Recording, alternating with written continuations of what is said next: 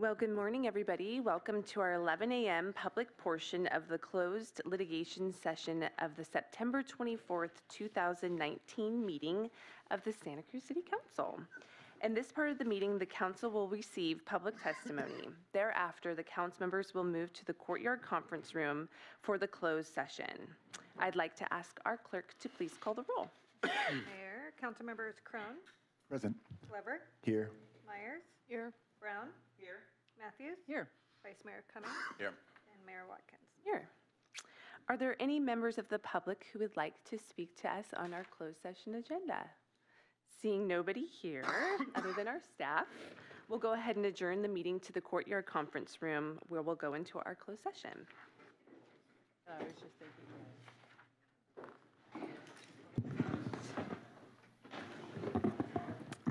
Uh, okay, now we're extra loud here. We'll go ahead and get started. Let's call um, to to order our afternoon agendas. So good afternoon, everybody. Um, Welcome to our 1 PM session of the September 24th, 2019 Santa Cruz City Council meeting. And I'd like to ask our clerk to please call the roll. Thank you, Mayor. Councilmembers Krohn, Here. Glover, Here. Meyers is currently absent. Uh, Brown. Here. Mathews, Here. Vice Mayor Cummings, Here. And Mayor Watkins. Here. Um, I'd like to ask our clerk to please lead us in the Pledge of Allegiance. Pledge allegiance Public for which it stands.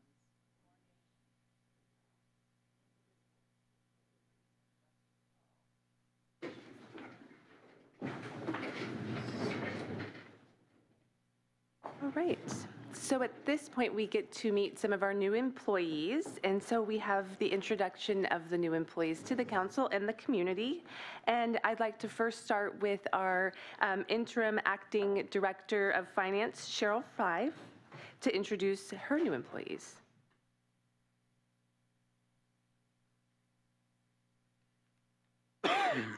Um, I'm happy to introduce Ross Brandon. He's a Principal Management Analyst for the Finance Department Risk Manage, Risk Division. Um, He's a long-term resident of Santa Cruz and spends the majority of his time surfing, frequently frequenting the east side from Pleasure Point to Capitola. He comes from his last position as regional manager for Peet's Coffee in the San Francisco and Monterey Bay Area. He has a bachelor's from UC Santa Barbara in history and religious studies. He's married, has two children, and his daughter is heavily involved in Santa Cruz roller derby.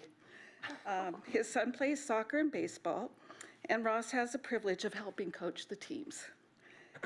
He regularly travels to Mexico to surf, and he's also travels abroad with his family, mostly spending time in, recently spending time in England. Ross says he's excited about serving the community in which he lives, and we look forward to his development in his career and benefiting from his commitment. Thank you, Ross. Welcome, Ross. Thank you.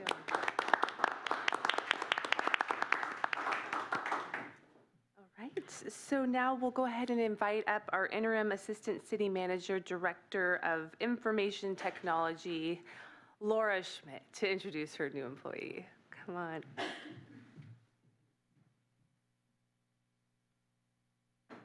Thank you, Mara. That's what, that's a mouthful, isn't it? So Kendra, dang it, I've been rehearsing her name all week. Kendra DiGirolamo is our new business systems analyst two in our information technology department. She comes to us most recently from neighboring Driscoll's, where she worked for 11 years as a business systems analyst. Prior to that, she worked as a senior EDI analyst in Minnesota.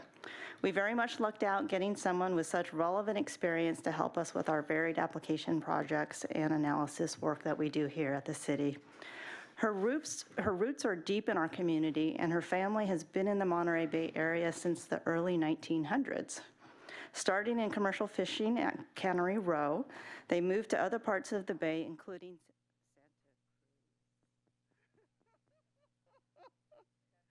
I'm dead. My mic is dead. I'm obviously alive. Um, Kendra's great aunt Sally, Sally was even once the mayor here. How crazy is that? Um, the latest offspring of this great family of hers are her two boys, Cade and Jack. They keep her busy running around at ages eight and one and a half, she's pretty well consumed being a super working mom. She sits here at City Hall along the wall of our IT folks, so please stop by and welcome her to the city. Welcome, Kendra. Welcome, Kendra.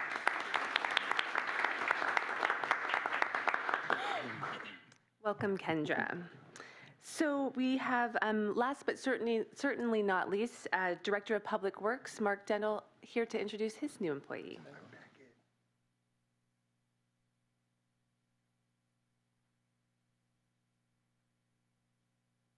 Good afternoon, Mark Dettle, Director of Public Works, and it's my pleasure to introduce Eduardo Ruiz. Uh, He's our new engineering technician, Um, and it's an existing position. He was born in Mexico and was brought to to the U.S. as an infant, Uh, grew up most of his life in Salinas, and after community college, moved to Sacramento and worked on his bachelor's uh, in civil engineering. He He's currently living in Salinas. Um, He graduated from Sa- San Francisco, uh, Sacramento State, um, and he's worked full-time as a staff engineer. He's also, his focus was land development, road design, flume work, surveying. Uh, Before he transferred to Sacramento State, he worked for Monterey County as an intern, and he worked in the Public Works Department doing uh, calculations of superstructure, uh, inspections, rebar placement, abutments, and other construction in the Carmel Valley. He graduated from Hartnell College, transferred to Sacramento State, graduated with a Bachelor's of Science in Civil Engineering in, in 2018. When he's not working, he's a soccer fanatic. He loves to play, walk, watch it, talk about soccer 24/7. Um, He also likes to do outdoor activities, bike riding, hiking, riding off-road, power vehicles, aquatic power vehicles, and other fun activities. So, and he really likes to see new places and travel in the U.S. and internationally. So please join me in welcoming Eduardo.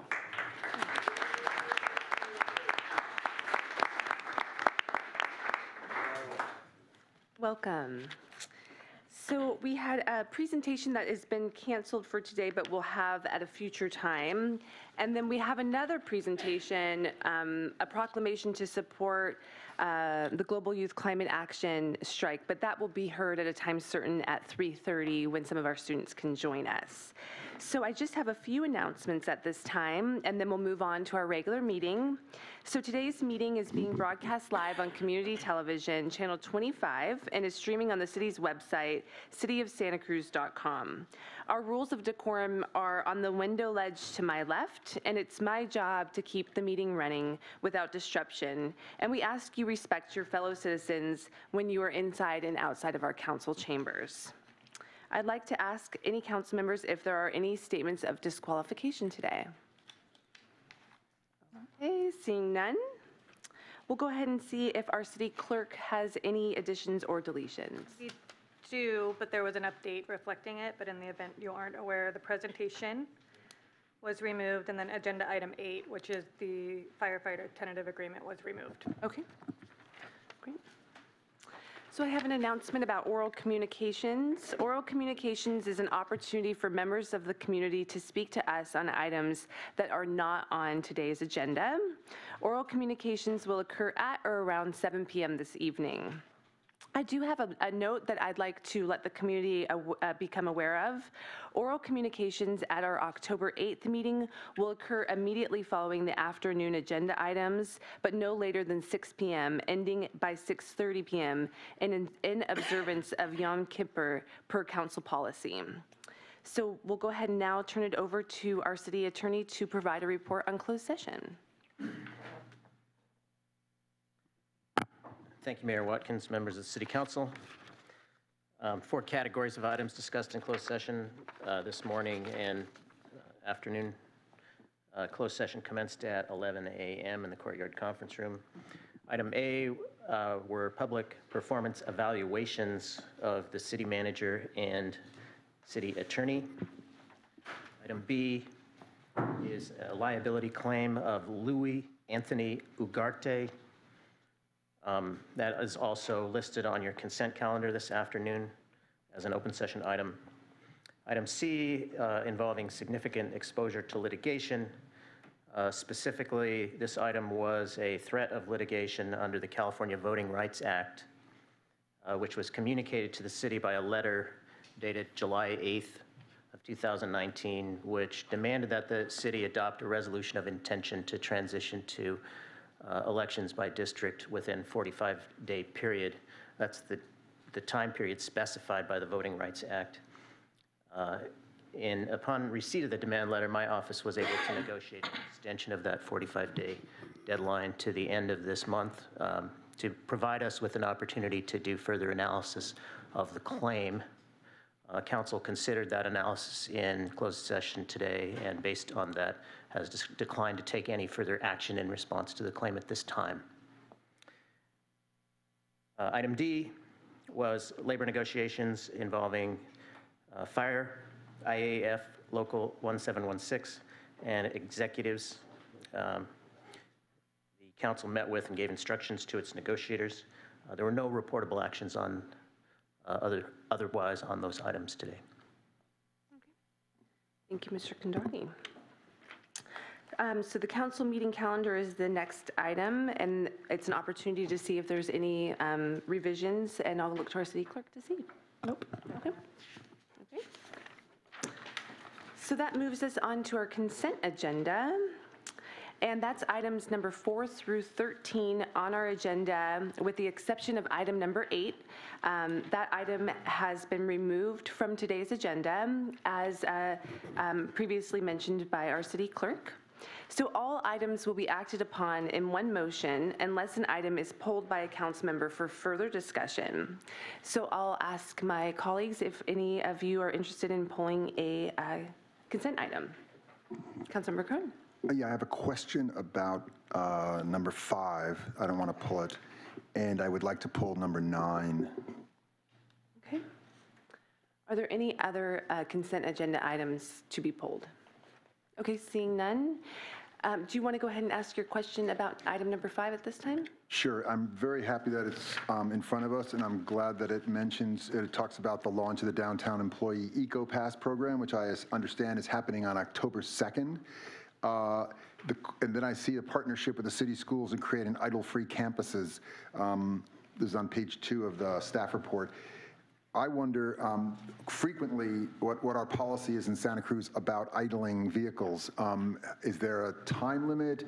If you go behind the catalyst, for example, I saw two buses, huge buses, just idling for a, a while. Uh, And I'm wondering, what is our policy around that? And if, if somebody could maybe respond to the idling uh, vehicle issue. Good afternoon, council members and Mayor Tiffany Wise-West, Sustainability and Climate Action Manager. Yes, the city does have an ordinance that idling within the public right-of-way for 90 seconds or more is prohibited. So we are utilizing that in this campaign.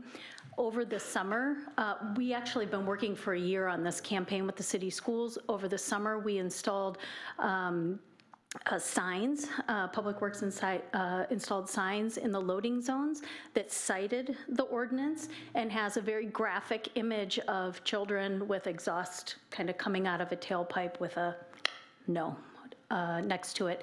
And we also provided signs to the schools to install in their parking lots and worked with the schools on putting out on their social media and in their parent-teacher newsletters um, a blurb about why we're doing this, why it's important. And so those went out uh, just within the past month of September. Just a quick follow-up. So does the 90 seconds in a public right-of-way, does that include parking spaces? I believe if they're public parking spaces, yes. So these buses often idle behind the catalyst in the city lot for hours, um, and I assume, I don't, I don't know what the deal is, that people are sleeping before their gigs or something.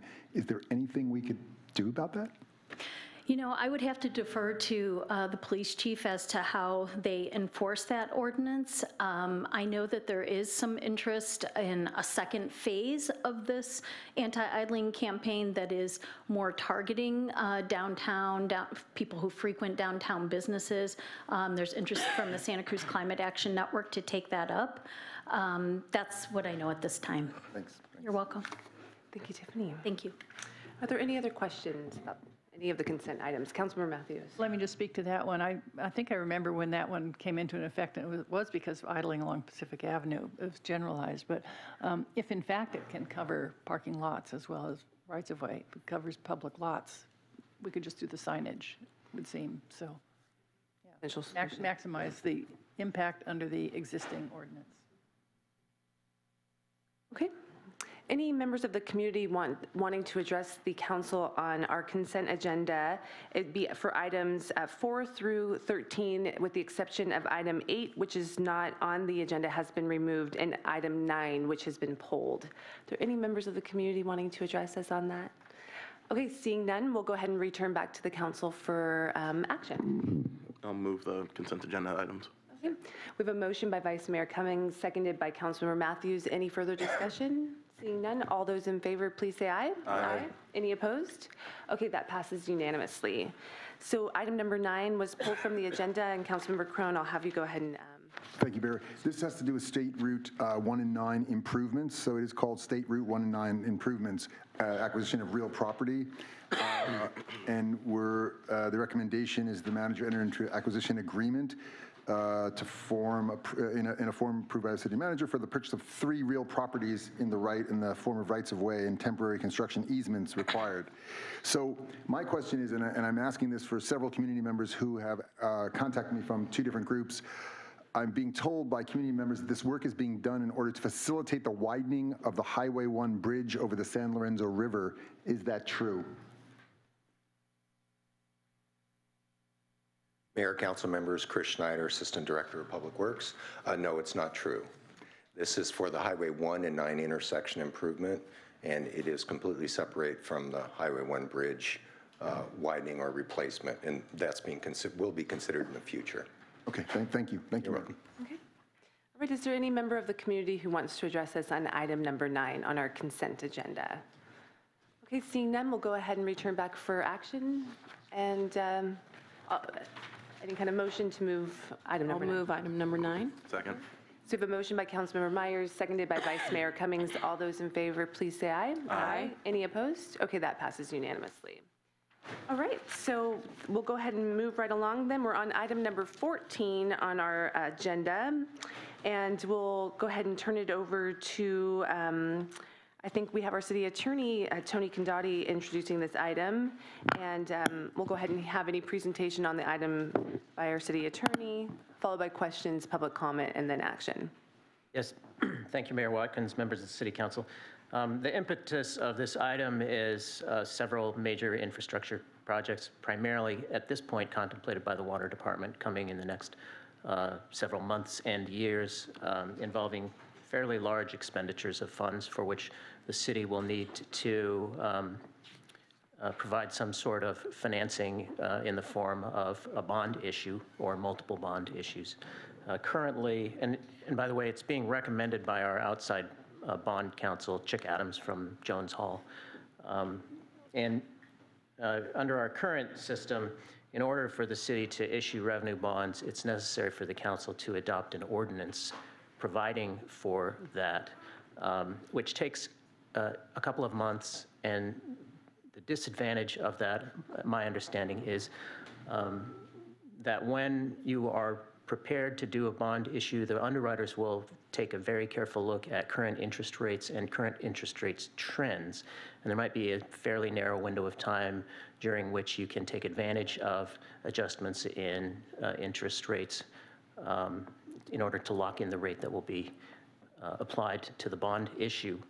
Um, Since we have to do it currently by ordinance, it slows down the process, and so we possibly would buy, would pass, um, pass up opportunities for favorable uh, uh, financing rates. So um, the recommendation is to adopt a new ordinance uh, um, amending chapters 613 and 1626 of the municipal code. Uh, Chapter 613 deals with uh, the city's refuse collection, garbage collection uh, regulations, and uh, Chapter 1626 uh, deals with water, sewers, and public services. So it would essentially adopt two identical ordinances in two separate uh, chapters of the municipal code to authorize the city to uh, approve a revenue bond measure by resolution as opposed to by ordinance. So rather than a first reading and a second reading and waiting out the 30-day period, um, you would be able to take an action at one meeting and have it take effect immediately. So that's the recommended action. Um, I see the Water Department Director is here, um, who can provide some more uh, detail, and Works Director too, um, should the, should the council have questions. But um, that's the recommended action. Okay. Any council question? Councilmember Krohn. The only question I had, and I'll, I'll move it, but I guess we got to hear from the public, but um, why did it take so long to do this? Like, why now rather than like a year ago, five years ago?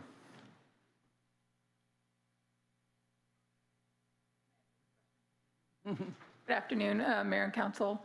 Um, And you may recall, in 2016, we um, moved a uh, charter amendment that actually changed the provision of Chapter 16 to allow us to uh, pledge revenues um, from the water fund or from enterprise funds. And um, so we changed the configuration of the revenue bond uh, initiation and uh, issuance process. And this uh, ordinance is actually now replacing uh, something else that was in another part of the, um, the, the Muni Code with the very specific things related to revenue bonds for enterprise funds, refuse, wastewater, and uh, water. So that's the timing. So it was a really, a- we haven't done a revenue bond since, well, we issued in 2014 under the old arrangement, and then we made the changes to the charter in 2016, and we're getting ready to do a revenue bond sometime in the next calendar year, I would say. Any other questions from the council? Is there any member of the community who would like to address us on this item? Seeing none, we'll go ahead and return back for action, and I would move the item, and I, and I think it's a good thing because it's, it's actually put us in a better position to get these bonds. As I I sat down with the city attorney the other day, and, and he explained it, but, I mean, it's, it seems like a real positive thing for the city. Okay, I'll second the motion. So we have a motion by Councilmember Krohn, seconded by myself. All those in favor, please say aye. Aye. Any opposed? Okay, that passes unanimously.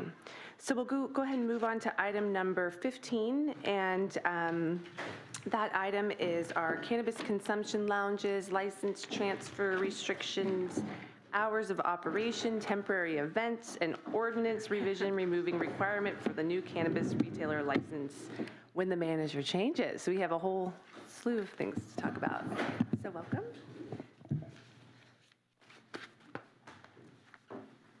Good afternoon, Council. I'm Catherine Donovan, Senior Planner with the Advanced Planning Division.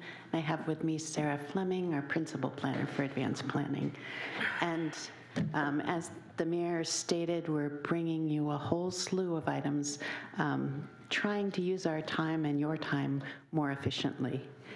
Um, We've brought forth four different things that we are asking for council direction, um, and then one uh, relatively minor ordinance revision that um, that we're bringing today is to introduce for publication.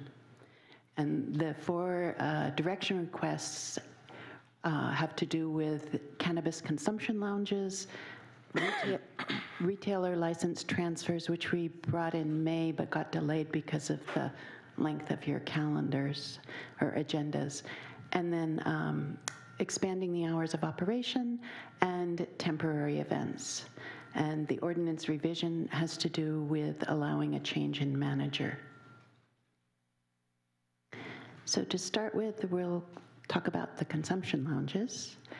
Um, This is an idea that uh, we discussed very briefly when we first um, adopted the adult use cannabis ordinance, and at that time, city council was not ready to consider that. We wanted a little more time to see what was happening in the world of cannabis. Um, But uh, we were asked to bring this back by Vice Mayor Cummings, and we've done a little research. Um, There are several communities, there was sort of an expanding number as I was writing the report, and I would say probably under a dozen, but close to that. Um, San Francisco and West Hollywood are being touted as the, the example. Um, San Francisco is sort of the premier ordinance, and West Hollywood is kind of an up-and-coming, um, has, a- has a different approach. Um, And the questions we had for you, first of all, whether, whether we want to go forward with this or not. But if we do, do we want to exist, do we want to limit this to our existing retailers? Or do we want to allow standalone lounges? Um, And if we allow standalone, do we want to limit the number? Or do we want to um, have an unlimited number, knowing that our um, distance, there's a buffering, so the buffering and the allowed zoning would be a restriction in and of themselves. Um, We also wanted to know whether you- to consider allowing them downtown. We did not allow our retailers downtown, but this may be a separate animal. And then um, some of the other cities have multiple permit types, and um, we wanted to know whether you wanted to look in that direction or to simply have one type and then each individual business would be specific. And moving on, the retailer license transfer, this we've discussed several times. Um, We've made some minor adjustments, but it continues to come back as the retailers um, continue to push to allow the retailer licenses to be transferred. And at this time, um, we've kind of looked at a couple of different options what we have now, um, the competitive proc- process maximizing, maximizes our public benefits because um, when people are applying for a license, they know they're in competition and there are a number of factors that we list, and so they're, they're trying to do better than the other guys. Um, but the retailers want to be able to sell their businesses, and they also want to take on partners who would own a larger percentage than we currently allow in order to raise capital for their, for their businesses. Um, One of the problems is that the current limit on the number of licenses creates an artificial value in the license itself, um, kind of similar to what taxicab medallions in, say, New York or Boston do. Um, Hopefully not with the uh, really severe crimes that have been um, associated with those taxi cab medallions, but this similar process. So some of, and there are multiple options, and these, this was just sort of a, the widest range we could give without uh, uh, exhausting ourselves. So um, we considered keeping the cap of five licenses and allowing track transfers, um, but without the factors in the process, um, this option would limit our ability to obtain greater public benefit than we currently have. Um, And then there's the, what they call the golden ticket um, issue, which is that because of the limited licenses, those licenses are a golden ticket for the people who hold them, and they can sell them for a lot of money. Um, And because of that artificial value, um, it provides an incentive for those businesses to sell to the top dollar, which, you know, one of the things we've felt from the start is that we want to limit, that we want to encourage our local businesses and keep um, large corporations, and we always seem to use Philip Morris as the example, out of the city. Um, a second option would be to simply remove the limitation on the number of licenses or expand the limit so that we um, have more licenses. And under um, that scenario, um, we would allow uh, people to obtain licenses who um, probably realistically couldn't find a location, but that would allow a competition for the sale of an existing license. So, so people could sell their business to people who had obtained a license but didn't have a location. Um, so that would give more flexibility for the seller and for the buy and more certainty for the buyer. Um, and it, it might increase the number of retailers. It might not because we noticed with just our limit of five two of those five had difficulty um, finding locations. So, so there is a finite number of people, not even in terms of business competition, but just in terms of locational characteristics. There are, there's a limited number of locations and willing landlords or sellers of property. Um, The third choice that we are presenting is to just do nothing um, and leave the ordinance as it is. Um, It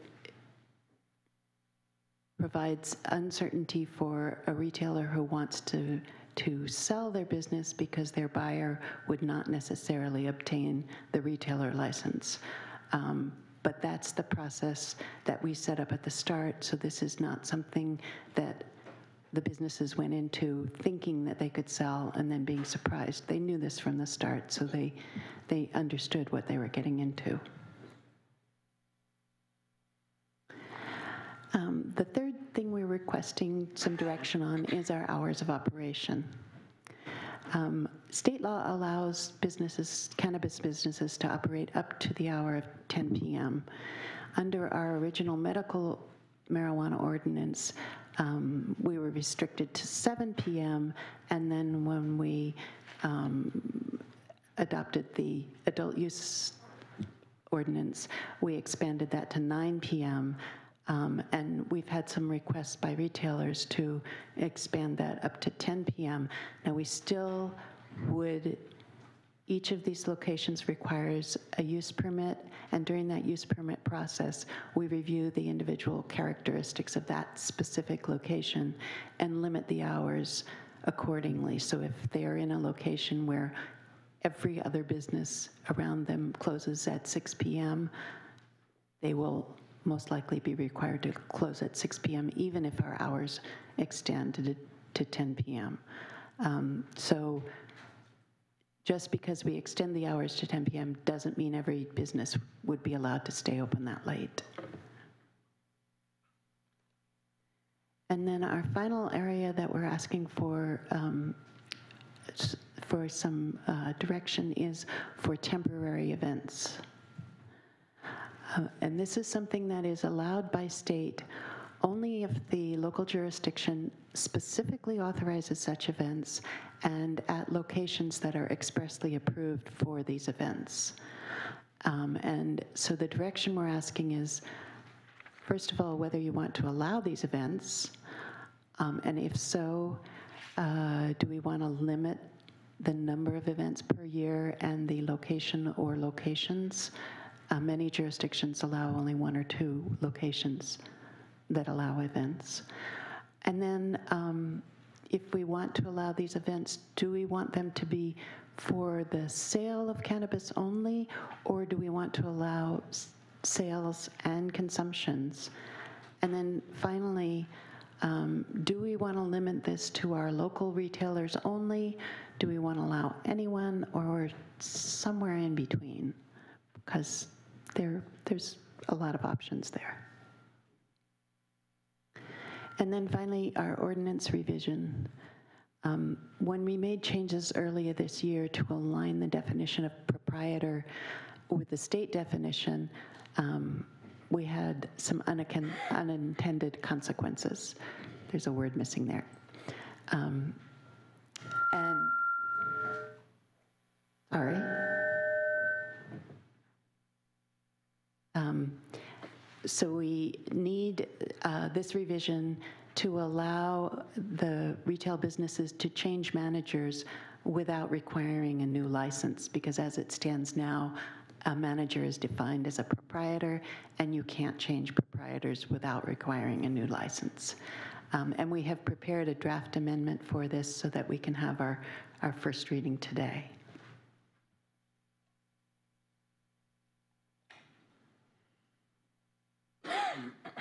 Um, And Sarah has reminded me that at the time that we um, came to the council on the transfer item, we were also, the finance department had come forward with the uh, cannabis tax issue, and that was delayed until um, September also. Um, However, the Finance Department has had um, the director move on, and so they are not prepared at this time to come forward with that item. So our recommendation on the revision item is here, and then we are just asking direction on those other items. And if you'd like me to move the slides backwards, if that would help, just let me know. Thank you, Catherine. And I think when we get to the place where we're probably making decisions, looking at the various options, that'll be very helpful as we go through them. At this time, it's an opportunity for questions for council members, um, and then we'll go ahead and open it up to the community and then return back for action. Do we have any questions at this time? Okay, seeing none, we'll go ahead and see if there's members of the community who would like to address the council, and now would be your time. Please come forward, and you'll have up to two minutes to address the council.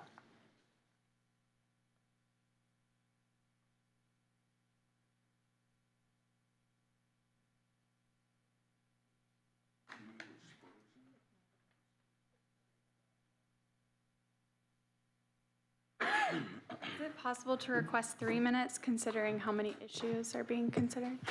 No, we have two minutes for, we have actually, uh, we already have one request for four minutes that's been approved. Um, I saw, I see that person coming forward now. So you can go ahead and, um, and have your four minutes, but at this time, it's two minutes per person. Okay, thanks.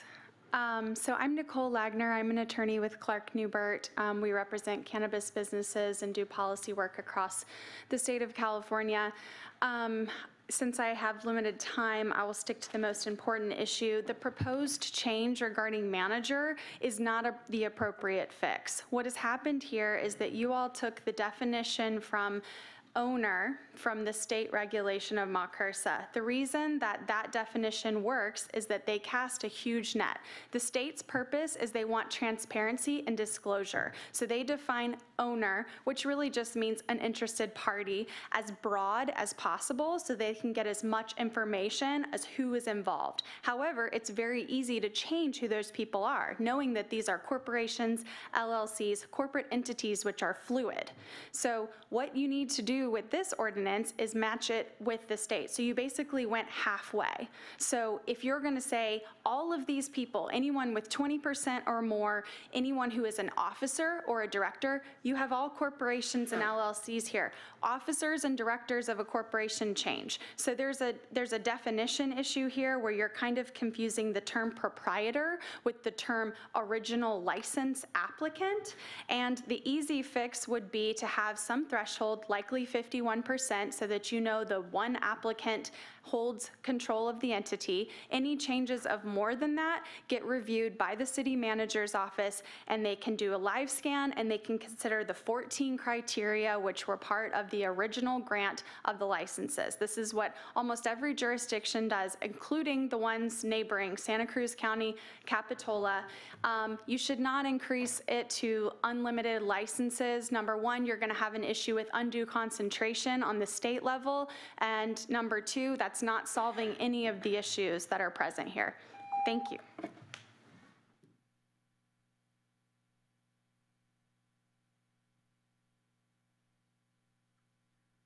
Good afternoon. My name is Jim Coffis. I live in Ben Lomond. Uh, Before I begin, I want to express my appreciation for, to all of you for uh, your willingness to serve your community. I- God knows it's uh, a lot of sacrifice, and um, you have to suffer a lot of slings and arrows that are cast your way, and there's not many of us willing to do that. So uh, you have my sincere appreciation for stepping up and taking this on.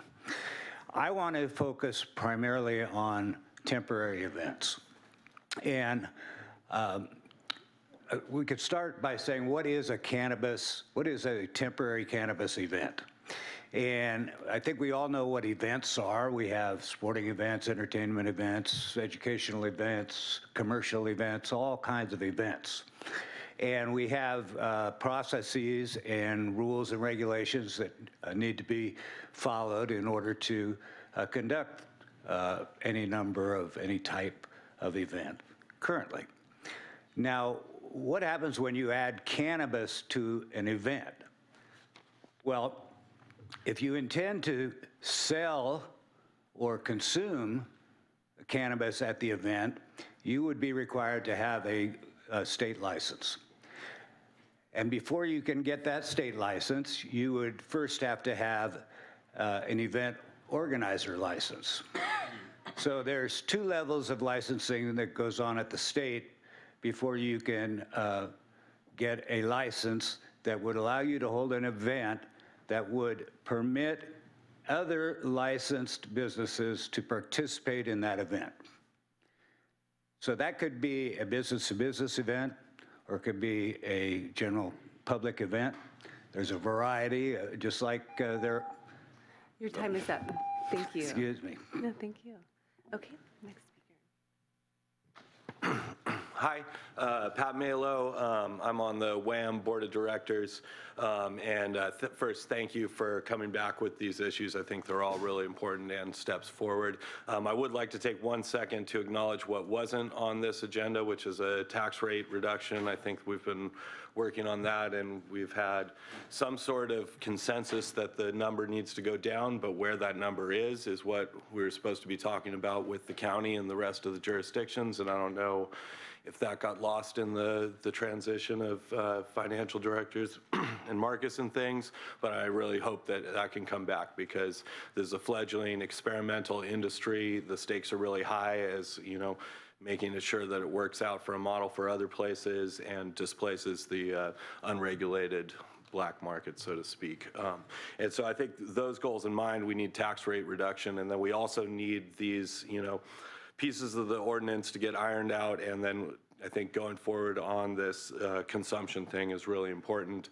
Um, And then from the WAMM perspective, we have a little bit of a different mission, but these things affect us almost more critically. Um, The ownership model is really important to us because we might be in a situation where just by changing boards of directors, um, we might have to go through a whole, you know, unintended consequences with that that other people have spoken specifics on. And then also we have a model that we're trying to get to, to, um, you know, so, form some sort of multi-stakeholder, worker-directed cooperative, which might get really, really complex with this kind of thing. So, and then also, you know, the tax rate reduction for other businesses, it's life or death for the entity. For WAMM, a lot of the time, that extra tax rate is going to translate into, um, you know, medicine for people who can't afford it, who won't get it because we're trying to pay tax rates and things. And this are a lot of the problems, not just with the, you know, local situation, but state in general. So thank you.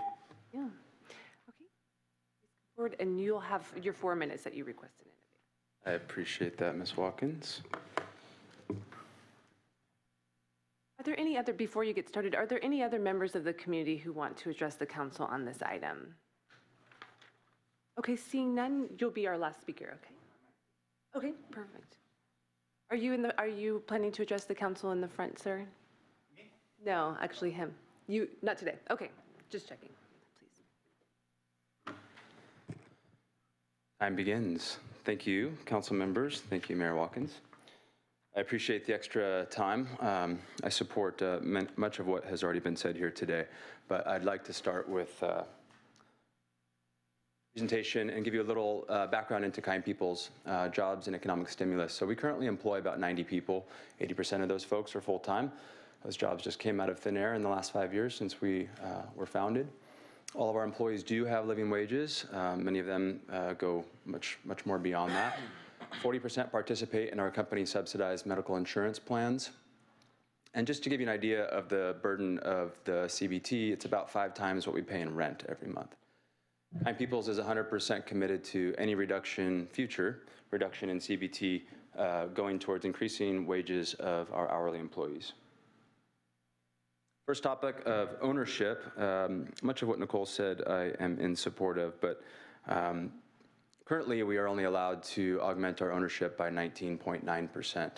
Uh, that's simply unworkable for us in order to maintain our relevancy and grow our business and continue to be the stellar employee, em- employers that we are. Um, ultimately speaking, we just don't want special rules that don't exist anywhere other than the cannabis space. So we can continue to innovate and scale and drive economic growth in Santa Cruz, but we really don't want to get left, be- left behind with our other competition um, in the neighboring unincorporated area and city of Capitola. Um, we're looking to be able to modify our business's structure and diversify our ownership at will. Um, We feel like that is the best way for moving forward. Retail on-site consumption is the next topic. Uh, Here's a picture of our Ocean Street location.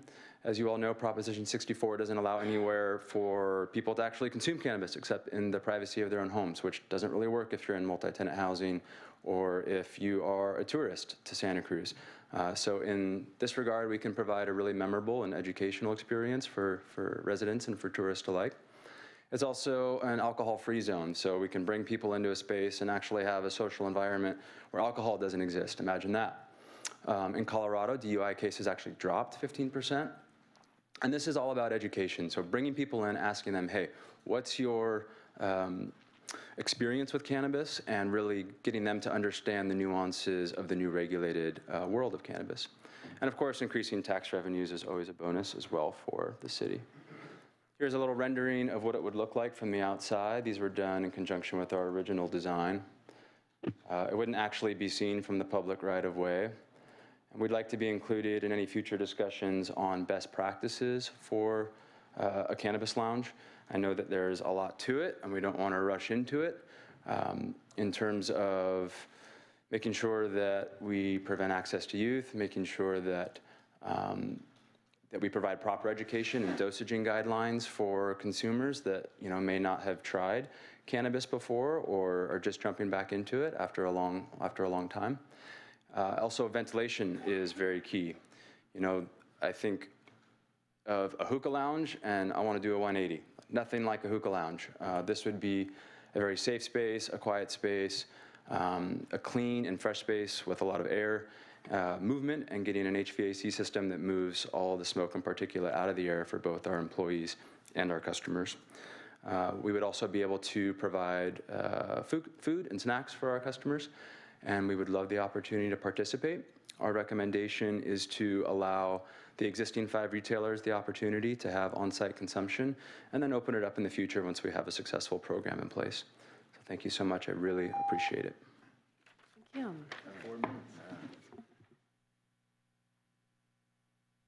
Hi, my name is uh, Grant Palmer. I'm CEO of Canna Cruz Collective. Uh, We're down in uh, Encinal Street over by Costco. Um, We're, I think, the longest running uh, active retail dispensary currently up and running, and we are just slowly dying. Um, We're losing share to the illicit market every day. The illicit market makes up about 80% of the cannabis market in California the legal market only 20 um, because we are essentially our, our costs are so high we can't provide uh, competitive prices to people.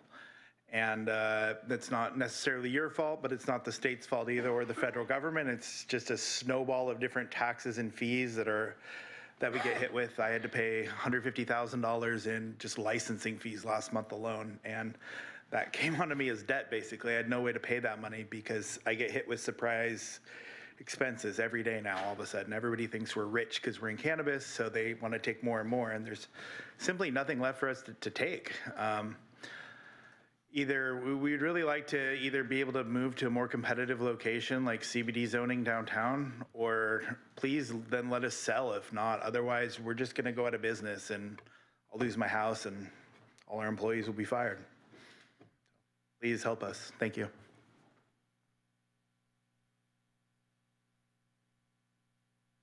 Hi there. I'm Jacob Lagner. I'm owner of Reefside. We recently opened on Ocean Street. And I just want to address, I think a lot has been addressed today. Um, I wanted to address the uh, concept of the golden ticket and um, the value of the, of the licenses. Um, the, all we have to do is look into the county um, where transfers are readily available. Those businesses are not selling. We're not seeing Philip Morris come in.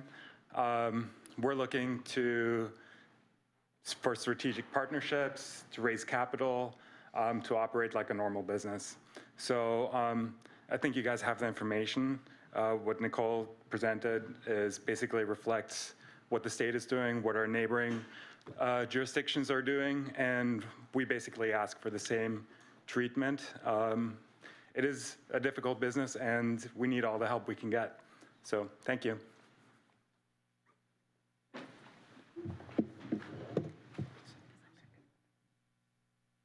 Good afternoon, Mayor, Council. Uh, My name is Robert Singleton, the Executive Director of the Santa Cruz County Business Council. I also want to speak in favor of treating cannabis businesses that are locally owned and operated um, as any other business in the city in terms of their restrictions on, yes, there may be a a limited number of licenses available, but in uh, whether you look at the state definition or the county, they all allow for license transfers. They all allow for um, these businesses to operate like other businesses in terms of being able to raise capital, sell, share, sell off stakes in their company, which is essentially what businesses need to be successful. Um, we're facing a very competitive environment. I don't need to reiterate a lot of what a lot of the other folks have said in the room. It's extremely competitive. The black market is still very much uh, existing and putting a lot of pressure. If we want our locally owned and operated businesses to be successful, we have to make sure that they're not uh, competing in an environment where they have one arm tied behind their back. They need to be able to raise capital. They need to be able to bring on partners. They need to be able to finance expansion.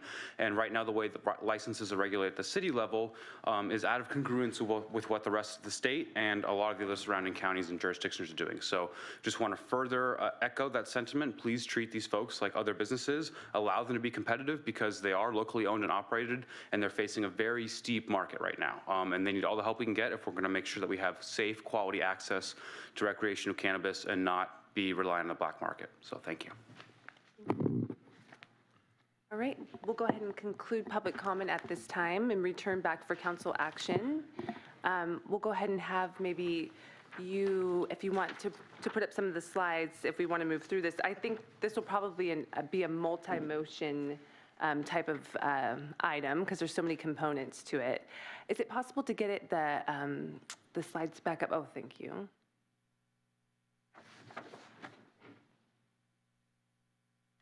Okay, so we have the consumption lounge topic as our first point for discussion. A motion was handed out to um, the council by um, Vice Mayor Cummings, I believe. Um, Did our city clerk receive that motion? Okay, so do you want to address the motion that you prepared to make? at this Sure.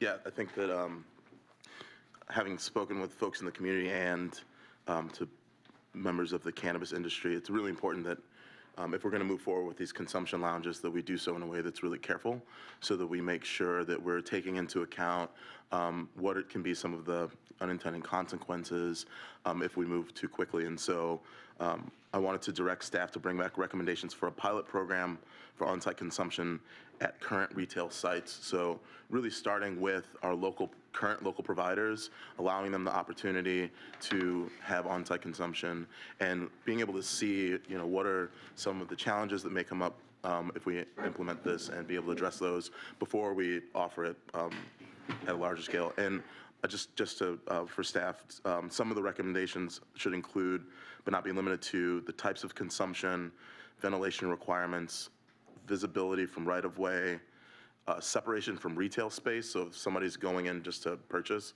that they're not walking into a room that's um, heavily filled with smoke, um, educational and public safety requirements, among others, and then uh, a retailer application process, which includes uh, best practices proposal from retailers on how they address the uh, aforementioned issues.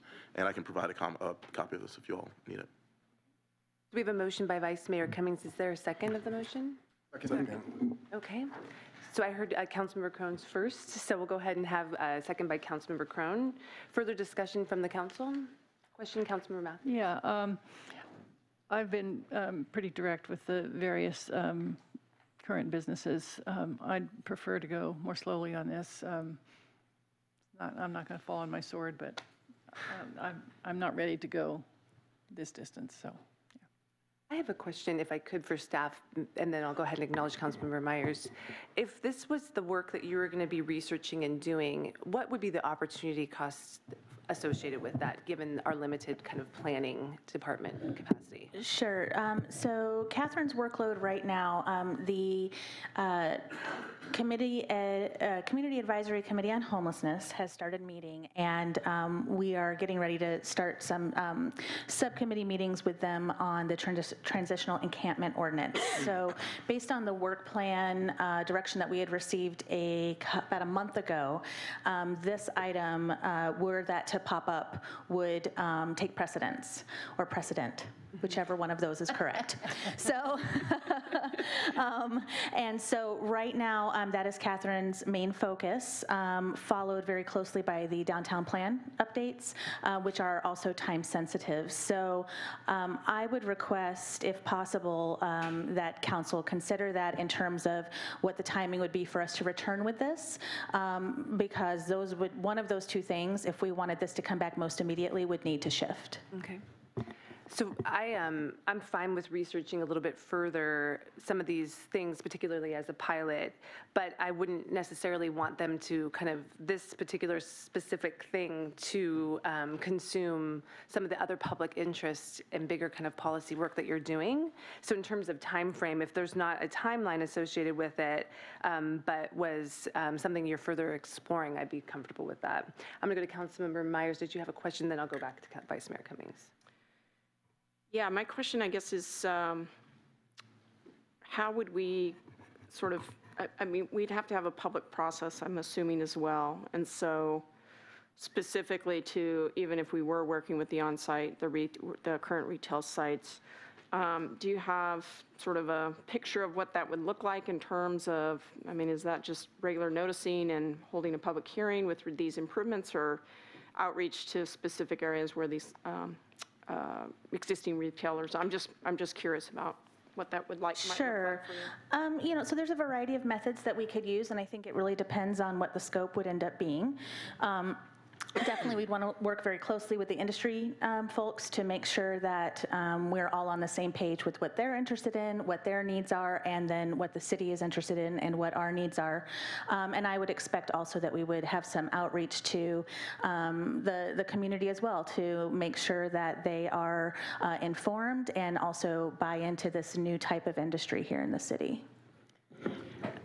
I, I would just want to add to that, that um, since we enacted the original uh, cannabis ordinance in 2017 that went into effect in 2018, um, there hasn't been a lot of public um, input.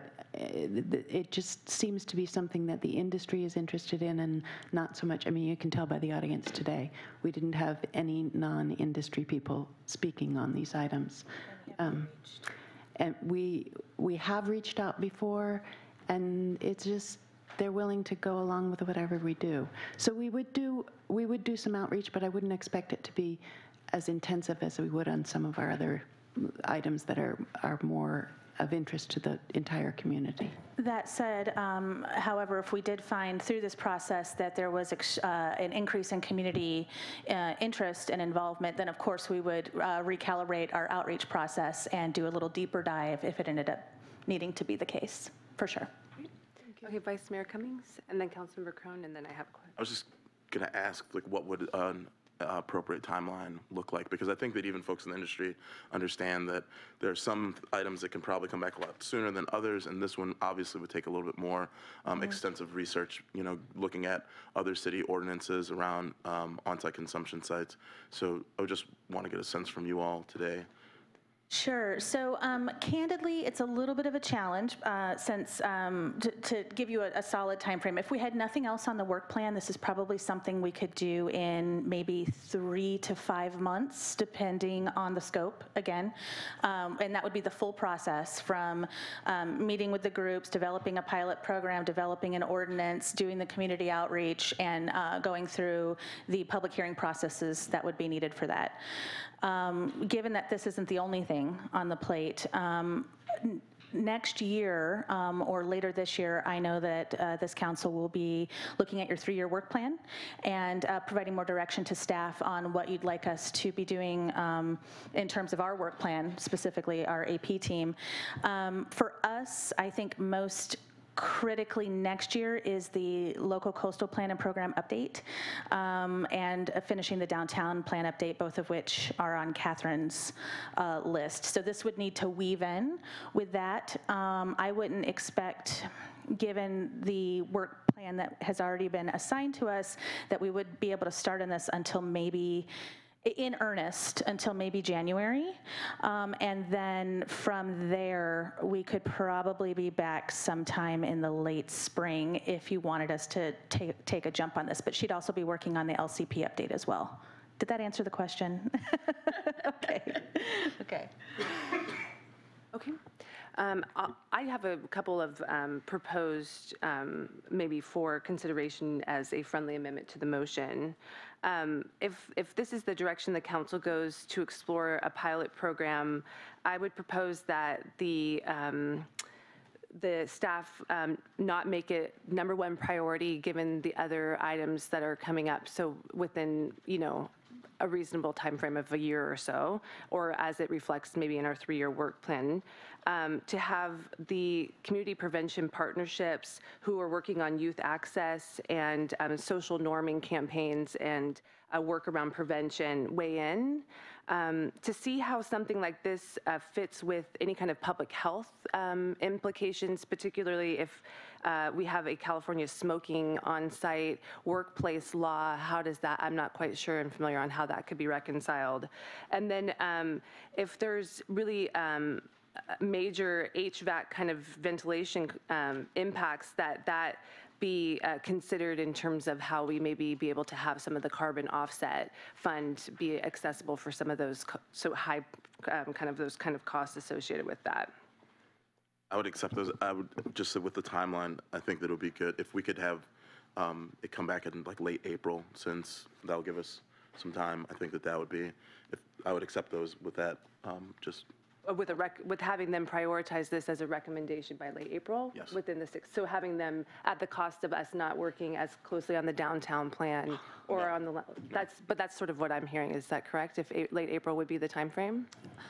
So um, what I intended to say was that um, I would expect us to be probably wrapping up the downtown plan. um, If we were to put this on the shelf and not start on it until the beginning of next year, we would be able to make that progress on the downtown plan and the transitional encampment stuff over the next um, few months and get those in a spot where they're ready to move forward and come before Planning Commission and Council or whatever bodies they need to go to. And then we could start on the, uh, picking back up the LCP update and then the, um, this cannabis item. And we could come back, we could aim to come back in April. That might be a little aggressive, but we could at the very least come back with an update for you with the aim of having something fully, fully vetted and fleshed out. But just to be candid, it, it may be a month, a month later than that, or, but sometime in that spring period. Okay, so with a spring update or potential recommendation if you're there? Yes, if that's suitable to the council. Okay. So is the friendly amendment acceptable, given that, okay, does the city clerk receive that? Okay, Councilmember Mathews? Um, Again, it's really not a priority for me. I'm really concerned about the HVAC. I mean, just looking at the uh, um, graphic that was shown at Kind People's, that, it looked like it just ventilated right out to the sidewalk. I mean, I personally don't like just walking downtown and being hit with a cloud of pot smoke, you know, so consider that. And um, uh, also just, again, a consideration, um, a pilot program is not just going to be a simple adjustment. It will involve uh, a significant investment, capital investment for those businesses that choose to do it. So it's not going to be a, an easy flip a switch or not um, pilot. Got to be something to take in, into consideration. Councilmember Krohn? Um, I think uh, what I'm hearing also, I don't know that that the folks present can um, weigh in, uh, they'd like maybe for the summer season, you know, if, is there any chance of this being ready for like next summer? If, given that, with the timeline? That would, our aim would be to have something based on the, the uh, prioritization here, have something ready to go um, by the late spring.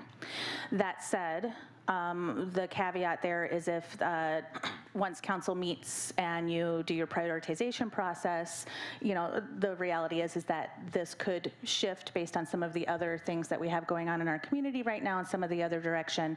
Um, But we definitely could make that our aim, and I would expect us to be able to, um, assuming that no other priorities come up or anything else changes on Catherine's work plan, be able to do that by the spring.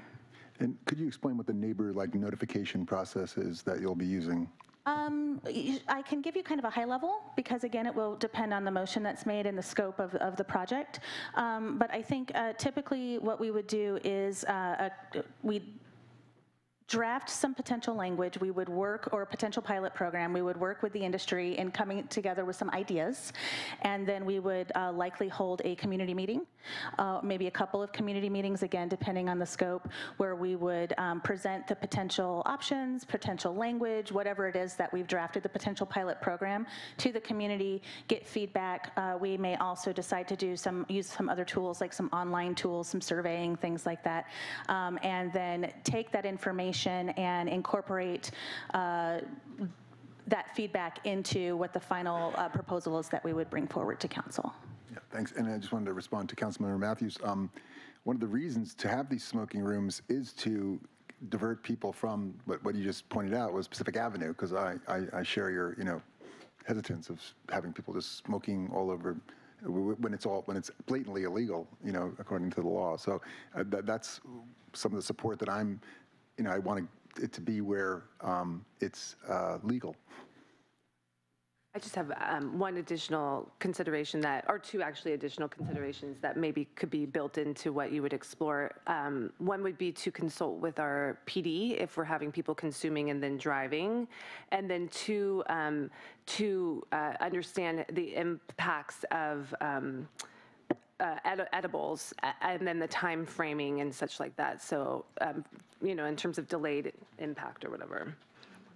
I, I. And I, I just want to say that um, I didn't want to go into too much detail, but really wanted to point out, you know, like public safety, ventilation, and have those so that, um, you know, we allow some flexibility. But absolutely, I think that it's extremely important that even when this pilot process is moving forward, that um, our retailers and whoever, you know, receives these permits, that they're working closely with PD to kind of assess how well this is going, what are the impacts. I think that um, types of um, consumption is is you know trying to get to that. Like, do we want to consider edibles um, or the different types like dabs, tinctures, all the different considerations, so that we understand how to do this in a way that's safe.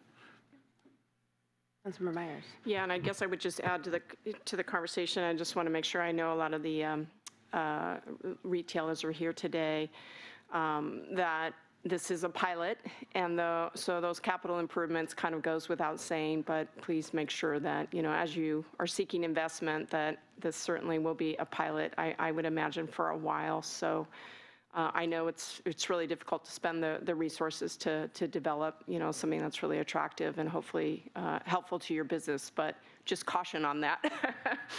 Thanks.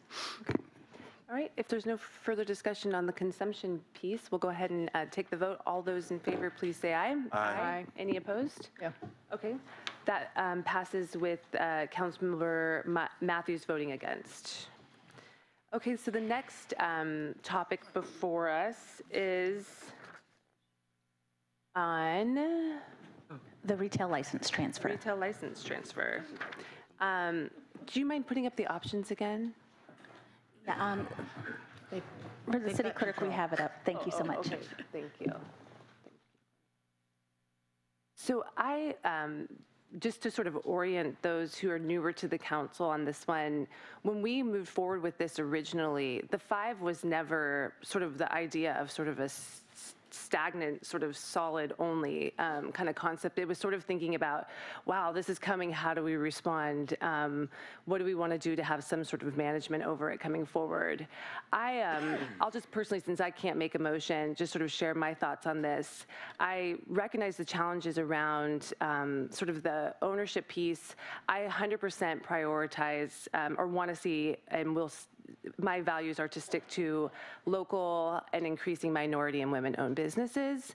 And so however uh, we modify or adapt our policy moving forward, those three areas have uh, to take sort of front and center, in my opinion, as we know um, that although we want to have opportunities for business owners to be able to um, sell their business naturally, that there is an industry coming in, there is big business coming in, and we want to maintain um, local local control, local ownership, and support our local community in, in that way.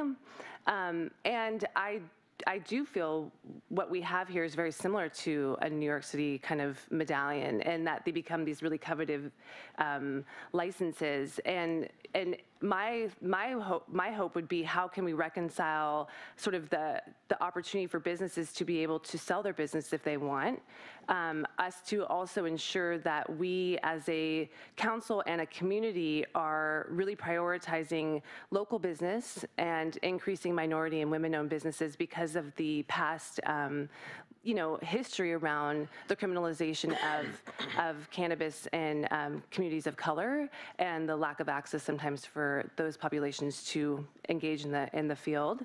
Um, and then, um, so I had what's, so, sorry, I'm going back, no, I forgot. So local sell, um, priority for local ownership, not having big business in, and then also to have an opportunity for us to, um, in some way, kind of manage the space, which we already do in terms of our land use. So my preference would be to modify the, um, I guess it would be the option two here to kind of look at how we're expanding the limit um, using our land use as sort of the driver, similar to how I think the county does it, but then also allowing for um, us to factor in the areas of um, of priority of local and women and minority owned businesses while also trying to address the issue of transfer and, and business sale.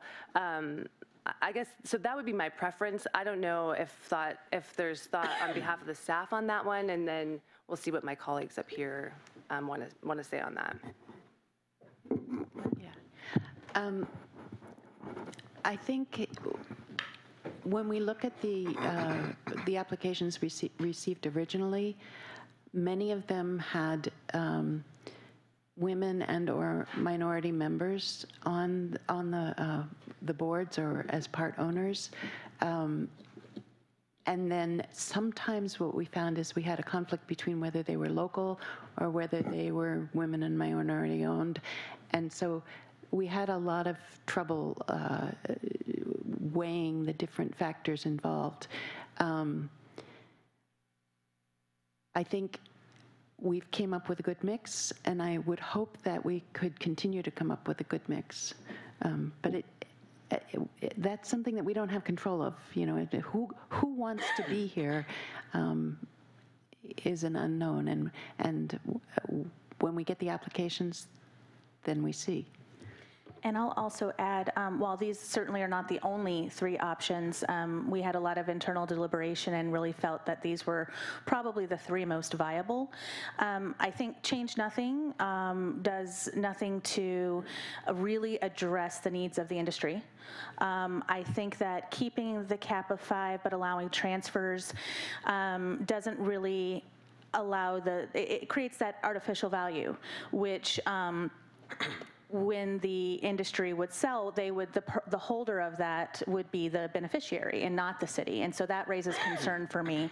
Um, So I would say, um, from a staff perspective, probably option two would be the best compromise um, because it does remove that artificial inflation of that um, license while also giving the industry an opportunity to be able to sell the business for the business value without tacking on the arti- artificial inflation of the license. And this way, if we maintain the factors, then we're still able to kind of go through that vetting process for a better term, uh, uh, lack of a better term, in order to make sure that we are um, getting the type of local retailers that are really in the best interest of the community and paying a living wage and all of those good things. Great. Okay. All right, thank you. Is there any other thoughts? Councilmember Glovers. Thanks, yeah. So I'm just, uh, I just keep hearkening back to the statements made by the representative from Canna Cruz about the impact that certain different variables are having on the businesses and the fact that he may lose his home if we don't change some of the, uh, some of the stipulations around whether it be the license transfers or not. Um, In Capitola, because that gets consistently referenced with regards to license transfers, has there been any notable transfers in the last two or three years of large value? They've, they're very new. I don't think they've even allowed, I think it's less than a year that they've been there. What's that? County has had transfers for Yeah, well, we've already, we, we, this is the time for the staff. Uh, So have there been any transfers within the county that uh, have taken place in the last My understanding is out of, it's either 11 or 12 that they've had two. two? And then were those large trans, the large purchases that were to and out of area? That I don't know. Ooh, so that would be, because I mean, if we're looking at president and, you know, the potential of the inflation or the perception of uh, the cost with regards of the licensing or the, where the benefit lies, I would love to see the information about what's been going on in the county and those two transfers, because if there's a, a history of large or big business coming in from outside the area and spending millions of dollars to acquire a local business, then that should be troubling for us and direct our, our decision. But if not, and they've only had two small local transfers that have remained locally owned and are still benefiting the community, then seems if we go with uh, item one in that case, and, you know, worst case scenario, Canna Cruz had to sell their business but not lose their house, uh, or, you know, just trying to find a middle ground so that we're taking care of the, the people that are in the industry, especially those who are there in the beginning and help to form and structure all of these different guidelines and are, are paying into our community heavily, so Yeah. figure out ways that we can acknowledge that. I have heard that there has been interest expressed by large um, industry, ca- but, but not Philip Morris as much as large um, pharmaceutical, well, cannabis businesses. And actually, I heard a, a major Canadian company was looking, just, they were sniffing around. Um, So I, I, it's a reality, it's, it's, but what happens is, is up in the air, yeah. The only thing I think, I guess if I could add and weigh in, and then I'll um, go ahead and acknowledge Councilmember Brown, is I think it's such a new industry in general, and if we are sort of hoping that doesn't happen, but we don't have any constraints to make sure it doesn't happen, I think what we'll risk is um, having an opportunity for big business to come in and buy up our little businesses essentially, um, and we lose control over how we're able to vet having local ownership, having to prioritize minority and women populations. So even though there may not be precedents, or may, maybe there is and we just don't know, um, I think even um, potentially opening that up as an option allows it to, to be that Can I respond to potentially. that really quick? And then, well, let's go ahead and have Councilmember Brown, and then we'll go ahead. I'll go right back to you, Councilmember Brown. Yeah, um, thank you. And thank you for the uh, staff report and all of the work that you put into trying to sort through um, how to approach this new, um, new industry, new set of regulations. Uh, You know, it- what we are doing here for the, um, at ri- the risk of stating the obvious, is trying to come up with a set of market distortions that um, uh, which I'm okay with. I mean, that, you know, regulated, um, industry regulated markets is, is okay with me. But we are trying to come up with a set of market distortions that best um, kind of help us achieve our goals. And I don't know um, that these do. I'm, I'm persuaded, um, having had many conversations with folks in the industry locally, that this may not be the best way. Because if we are, um, saying that we want to support local business, but we are also constraining them so much that they, they may not be able to continue to exist, then there's a problem there. And so I think that, um, you know, I'm also persuaded, I don't know all of the details, but having looked into this, that what's happening in other um, communities uh, where we had, there are kind of motivated local businesses who are looking for capital um, to be able to expand, to be able to um, continue to keep up with the um, tax burden that we have placed upon them uh, and other things. I, you know, I think that um, at a certain point, we just have to, we do have to have some faith that um, our local uh, businesses are going to do their best to maintain those principles. And I think we also have the ability to um, include some uh, requirements that help us ensure that is the case while providing them with the flexibility to be able to um, be capitalized at a, you know, rate that allows them to pay living wages, um, provide health insurance, et cetera, et cetera. Um, So, and I think that the motion that is not been read yet, but um, that um, we had, that we received related to um, uh, the change in the transfer, um, removing the prohibition on the transfer of cannabis retail license. And I'm not sure that it that exactly gets at it because this is about investment in the business, sale of the business without losing the license. So it's more about the business than the license itself, although the license is clearly a factor. But, um, you know, requiring some kind of annual audit process, which is the second part of the proposed motion I'm looking at here, there it is, um, that would require that um, business, current business owners um, ensure that their investors are um, also going to be and maintain compliance with those um, criteria, and that those preferences that we give would not be compromised. I mean, I think there's a way that we can do, we can try to do that. Um, and it's not going to be perfect. Nothing's going to be perfect. Um, but I, I'm persuaded at this point that, um, that we are going to, we're going to compromise local business if we don't do something. Thank you. Yeah, that was the point I was also going to make in response to that, is that if there's less restriction on license transfers outside of the city, and then we have a tighter regulation on it, and uh, the the- the impact of taxes and also the kind of cost of living here and all these other kinds of things, it may have the opposite effect and in fact kill our small businesses as opposed to supporting them and protecting them from big business buyouts or just that kind of uh, feeling within the industry in general. So something to be cautious about, to be conscious about. So thank you, Councilmember Brown, for bringing that up.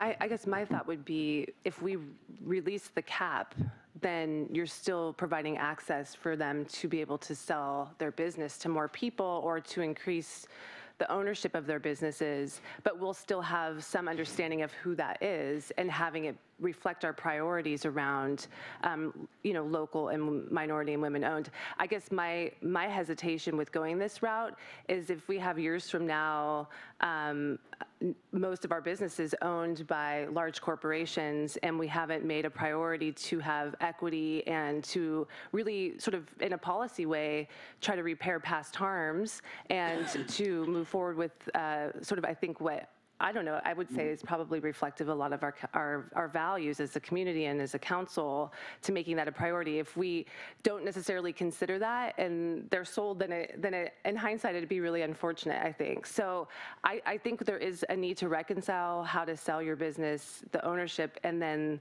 the licensing and that process. Again, just sort of reminding those who weren't on the council at the time, the five was just sort of an arbitrary number, sort of to sort of ease us into that. So holding on to that as sort of the end all, sort of that's the that's the limited amount was never really the intention. I think we originally talked about it going up to seven and then in, ex, and expanding to ten potentially. So, um, you know, for me, I think you know. Uh, like releasing the um, the amount or expanding that to a certain percentage makes more sense. If not, you still have these sort of coveted high value licenses essentially. I don't know if, if staff wants to weigh in, given the input that's been received by the council at this point. Um, I don't, I don't think there's any easy answer. Um, If there was, I would have given it to you. And I think it is um, that you have it in a nutshell. We have, we have our, the values that Santa Cruz holds near and dear. Um, and then we have the retailers who are hurting now because of, um, you know, the high cost of doing business in this industry. I think in 10 years, it'll be a very different world. You know, the, the federal government is looking into allowing banking for the cannabis industry. And that is going to make a vast difference. But um, we don't know if, if that's happening. We don't know when it ha- is happening, and we don't know the details. Um, so, what we do now may keep our local businesses afloat until some of these bigger picture items um, get resolved. Um, but again, I- I don't, I don't want to open our local businesses up to the big corporations, but I want to help them make it through this time, and I don't have the perfect solution for that. I don't know if I I saw him on the edge of his seat. and then we'll- Hi, Mayor and council members. Lee Butler, the planning director.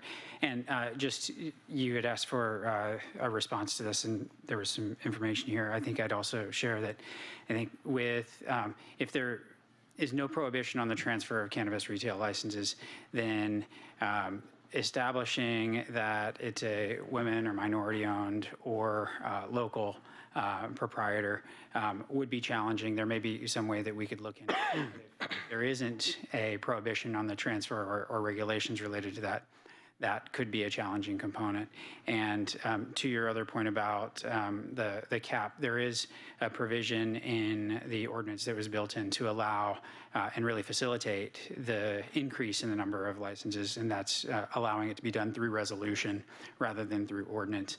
It was, um, you know, there were there were different levels that were considered, and uh, the council at the time said, let's make it easy if we want to do that in the future. So that would be an option for you to consider through resolution rather than through uh, a typical ordinance change.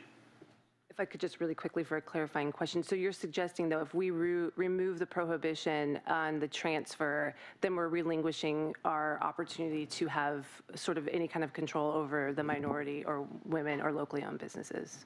I, I, see that, I mean, obviously, we recognize that as a desire of the council, and that is something that we could work towards, but if there isn't a prohibition on the transfer, um, then, you know, that annual audit process, if that is transferred to a non-local or to a, um, a, a person who's not a minority or woman-owned, uh, or woman, then we could come back in the future and do that audit and say, are you still providing uh, organic products? Are you still meeting the green business, uh, or green building and clean energy criteria?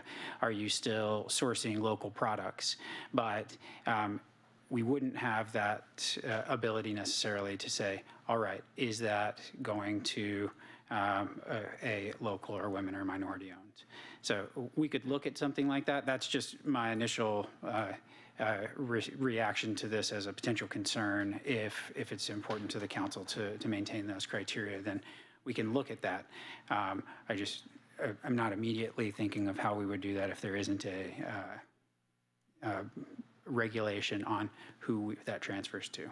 in terms of the motion for. Now, in terms of uh, option two on the PowerPoint, we could theoretically remove or expand the license limit, but still require the factors.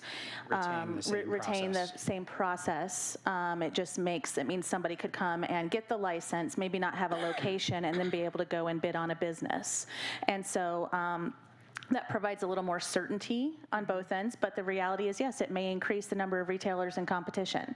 And so I think really it's up to the council to decide, you know, where, where are your values?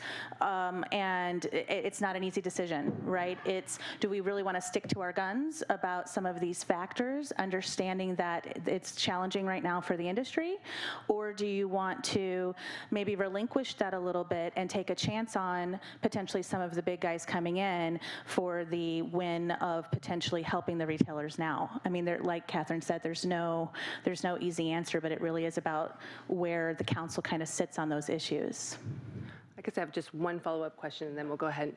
Um, But if you were to increase the number, say, for example, to 50 or so, then anybody could apply potentially and then be an eligible buyer or kind of be able to kind of be- buy into the industry, right? Yeah, and I think here with the remove or expand the license limit, there's a couple of ways that the council could decide to do it. You could do it where you keep the factors. You could do it where you remove the factors. Same with the cap of five. You could keep the cap of five where you keep the factors. And the challenge there is that the, the businesses then, when a seller comes in, there's no guarantee that that seller, or when a purchaser comes in, there's no guarantee that that purchaser is going to be able to meet those factors to purchase the business. And so really, there's a lot more um, uncertainty and risk in terms of that.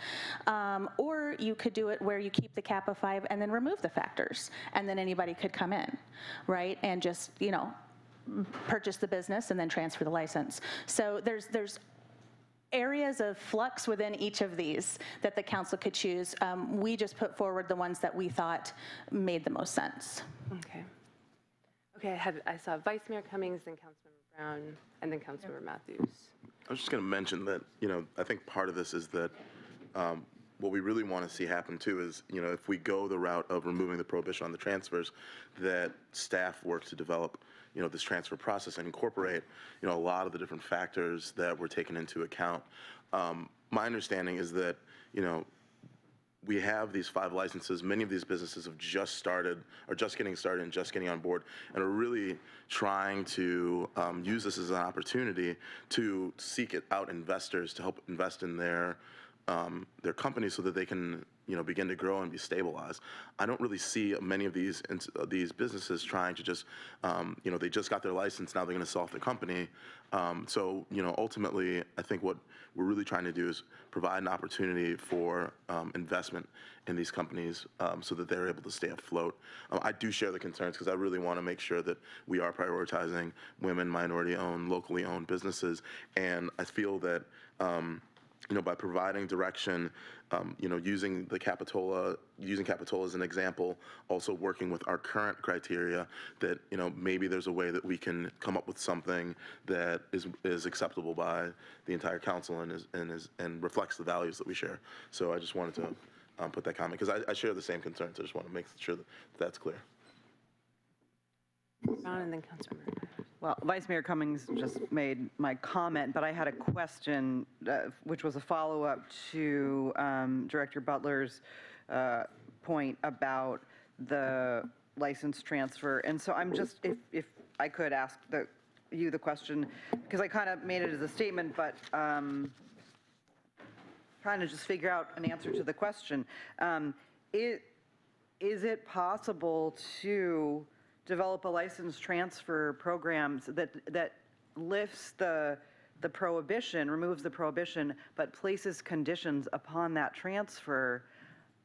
I'm, I'm asking, I, I- it doesn't seem impossible to do, so I'm asking you if, how that might work, and um, why, why couldn't we just go that route to say you, you can transfer the license, but you must meet X, Y, and Z conditions up front in order to get approval for the transfer and then have an audit process. So it's not simply a matter of going back after the fact and saying, oh, by the way, are you still doing this? It's doing what we would do with the business regardless of whether the, li- the license is transferred. Can that be done? So we could potentially explore something like that. For example, um, you know, we could say, all right, if you came forward and you had a woman and minority-owned business as part of your proposal, then you could say, well, it would still have to be uh, purchased by uh, a woman or uh, minority individual to, to meet those same criteria. Um, So, so that is one way that could potentially be looked at. And I, if I could add on to that, um, I think that's absolutely feasible. Um, instead of, so let's say, I'm just going to make up a scenario here. We have a retailer that wants to sell.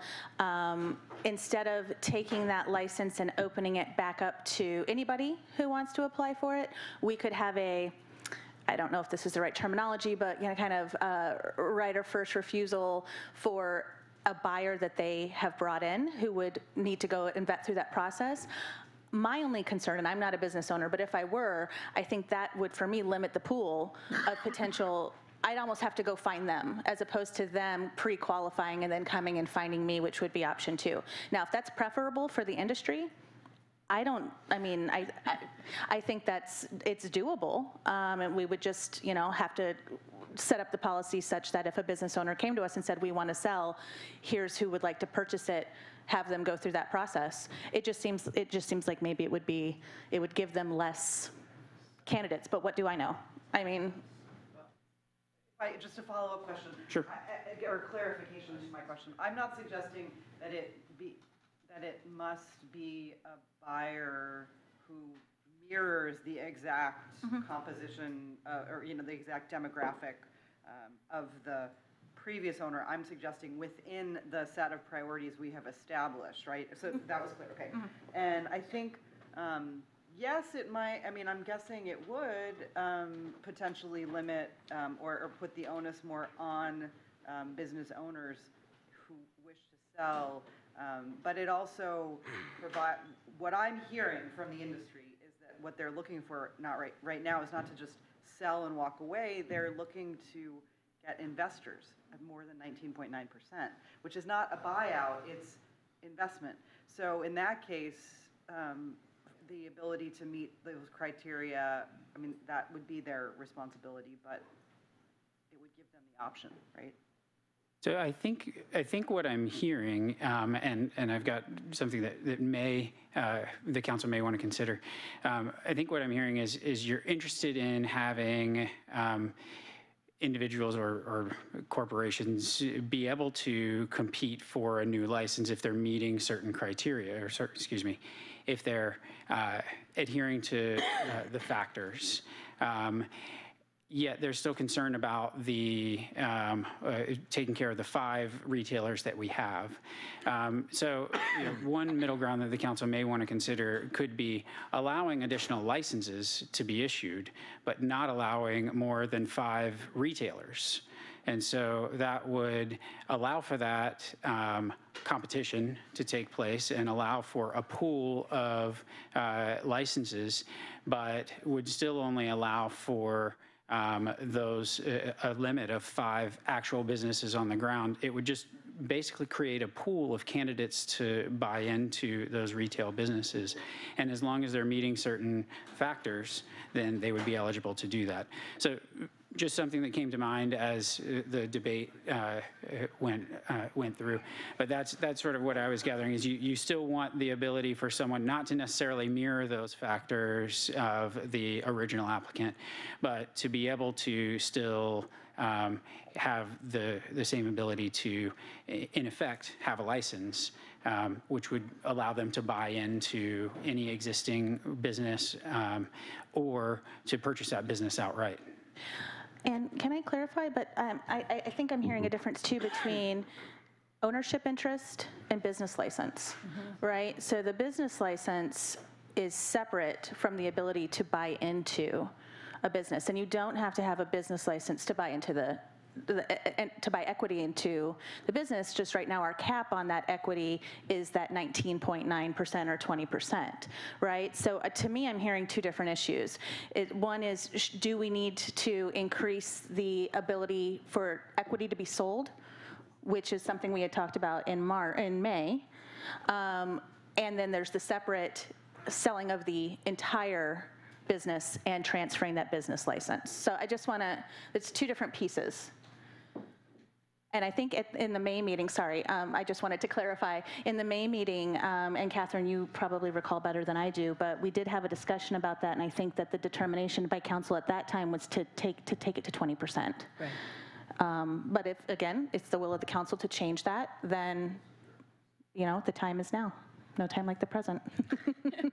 Okay, Councilmember Meyers and then Councilmember Cronin.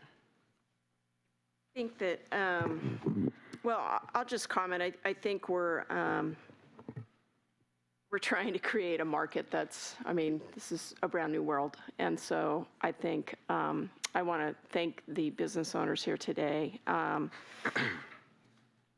It sounds like what we really need to get done is to stabilize your ability to bring more capital into your business. At at least initially, that's one of the major obstacles, it sounds like, to stabilizing your businesses. So um, I kind of feel like we're trying to do a little too much um, with some of this in that um, I- I, share the concern for local businesses, and I share the concern for um, avoiding uh, investment from, you know, folks outside of our immediate sphere of, of values and uh, benefits that we'd like to see from the company. But I also um, acknowledge the difficulty that um, not being able to go to the bank and get a loan uh, is, is having on these local businesses. So um, I guess I was kind of going where Councilmember Brown was going um, in terms of trying to figure out, um, and again, I don't want to keep having the industry keep coming back because we're sort of piecemealing this as it goes. Um, So I, I'm moving, I, I- initially I was interested in, in looking at how do you, how could we broaden the license piece in this so that there is potentially more there in terms of getting people in a pipeline that would be able to help with either investment or purchase, for example, of other businesses. But um, I think what I'm hearing is that um, staying with, with who we have now um, and really working with those businesses to look at um, how these transfer processes may play out, along with the audit and the ability to look at, at uh, new people coming in, maybe the kind of the in-between step potentially. Um, So I guess I just wanted to make those comments, um, but I am just curious how we, um, uh, how we do this. Um, I don't have a proposal right now, but I, I think I'll just stop with those comments for now and, and continue to hear some of the, some of the ideas around the dais right now. Thanks. I was wondering from the city attorney uh, about a transfer tax, possibly, uh, that keeping, you know, another, another way of trying to keep it local for longer by having a, you know, a 10% or something transfer tax if you sell a significant part of the business. What we have to do to bring that about? Most likely, we would have to have that uh, approved by the voters by ballot measure. My sense, just from thinking about it briefly, is that tax probably wouldn't come into play very often, given the number of businesses that we have and the likelihood of transfers. Um, I also wonder as to how that would deter an out of, say, out of the area uh, investor versus uh, a local investor. So um, those are just my initial thoughts. And d- or do we have the, um, Catherine, do we have the same criteria for, would we, for this outside invest, or for an investor, if we go beyond the 20%, or did we go to, it sounds like we're going the whole 100%, is that, is that what I'm hearing? Um, somebody at the, at the mic said 51%. Uh, Would we have the same criteria? Could we make them a local resident for five years and, Um, I, I'd talked to Tony very briefly, um, and he s- seems to think that we could. I,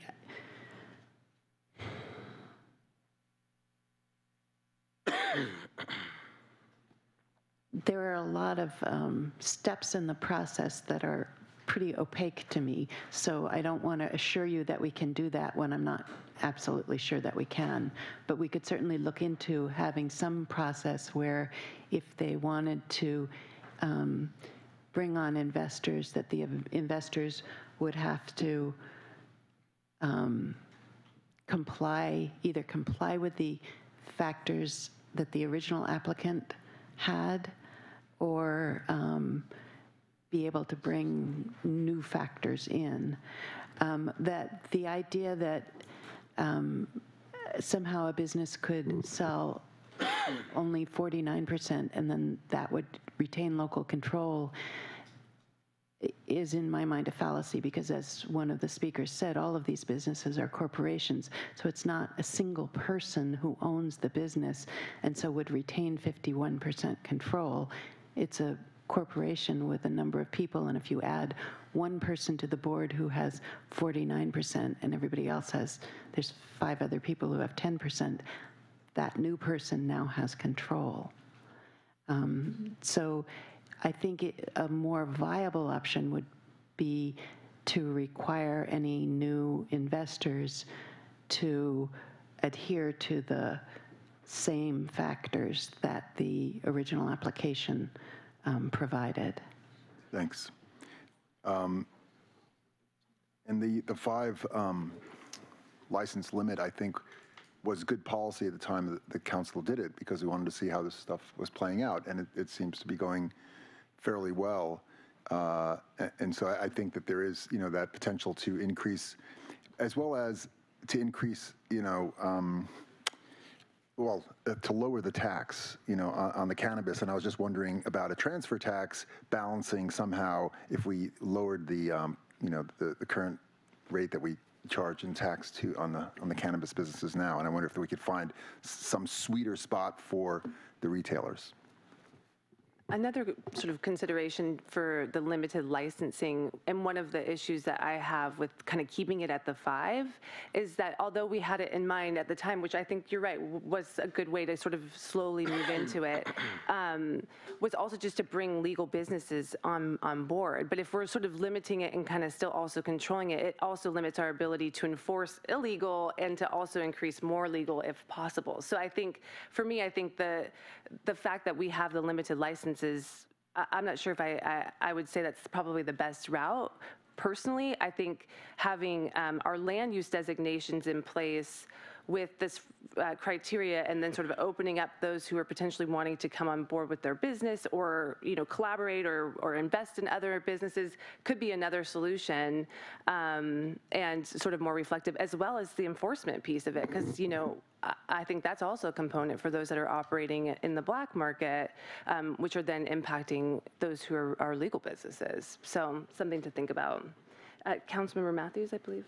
Yeah, I want to get some clarity. Um, The motion before us, which will in some way relate to the um, PowerPoint here, um, is to remove the prohibition on the transfer of cannabis retail licenses and develop a full license transfer process.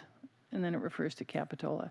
Um, I think, um, Sarah, maybe you brought up the difference between an ownership interest which is equity, and the license. Am I understanding that correctly? And, um, well, I I guess I'll leave it there. Yes. Will you clarify that? Yes, and Catherine, please jump in at any point. But um, the business license is not tied to the amount of equity that is owned by the business itself. The license is the ability to operate that specific kind of business. And in order to get that license, you have to meet a, a certain number of factors or sh- demonstrate that you meet at least, you know, some of them. There was, I wasn't here for that, um, the vetting process, but, you know, there, there was a ranking of applications that came in, and those who were, did the best job of meeting the factors were the ones who were awarded the licenses. That's a different process than when eh, the people who now have that uh, license and are operating that business want to bring in capital because they can't through traditional banking methods. They want to bring on another partner. And um, previously, before April, we had um, a certain threshold of, of how much, it was 10%, um, that a cannabis business could sell or equity they could sell. And at that April meeting, it was increased to 20 by this council, 20%. Um, But again, that is something different than the procurement of the license. Right. I guess my thoughts here are, um, I I favor the ability to bring in a greater degree of ownership um, investment. Um, I am, uh, to me, the kind of criteria that we have now um, don't honestly make a lot of sense. There's some criteria about being woman-owned, minority, and local, um, which are admirable and apparently gave a framework for analyzing the initial applications. Um, It's not clear in what I'm reading, do you need all of the above, some of the above, a preponderance of the above, which ones are most important, et cetera? You don't have to answer that, but anyway, it's confusing. Um, And I would think other issues that are important when looking for a partner would be, um, you know, their um, track record, their, anyway, other, I would just say business-related factors in addition to those. But aside from the criteria like gender, woman-owned, minority, et cetera, are um, the community benefits. And those are, those are referred to in the second part here somewhat, although vaguely, um, criteria centered around community health and safety. I mean, I think that's something that could be built into the operating um, conditions for any business um, that would have more flexibility. Um, I know you're eager to speak, but I'll just, just say one more thing. Um, um, Shoot. Well, I- it'll have to come back to me. You interrupted my train of Sorry, thought. I was- didn't mean to. I'll- I'll interrupt you. Okay, Vice Vice Mayor Cummings. Uh, I just want this, you know, the, the second bullet point, one of the, the things that was brought up was that we have um, the cannabis retailers fill out these applications stating, you know, what are the benefits they're going to provide for our community, but there's no follow-up, Yeah. right? So you can state that when you first receive, you can state that in your application, receive your license, and then begin operating, but then if there's no follow-up, there's no way for the city to know if you're actually complying with what you said you were intending to, and so that's kind of the um, purpose behind having this and de- developing an audit process to make sure that businesses are actually, you know, paying living wages to their employees, they're actually providing some benefits to the community, and so um, that's kind of the, the essence behind the audit process. I am also, um, you know, thinking a little bit more about the 20% investment because um, it seems like that's like the biggest thing right now to getting the cannabis industry off the ground is allowing for people, more people to come in and invest. It doesn't appear to me that people at this moment in time want to sell their businesses and their business licenses. Now, maybe in 10 years from now, that could be the case.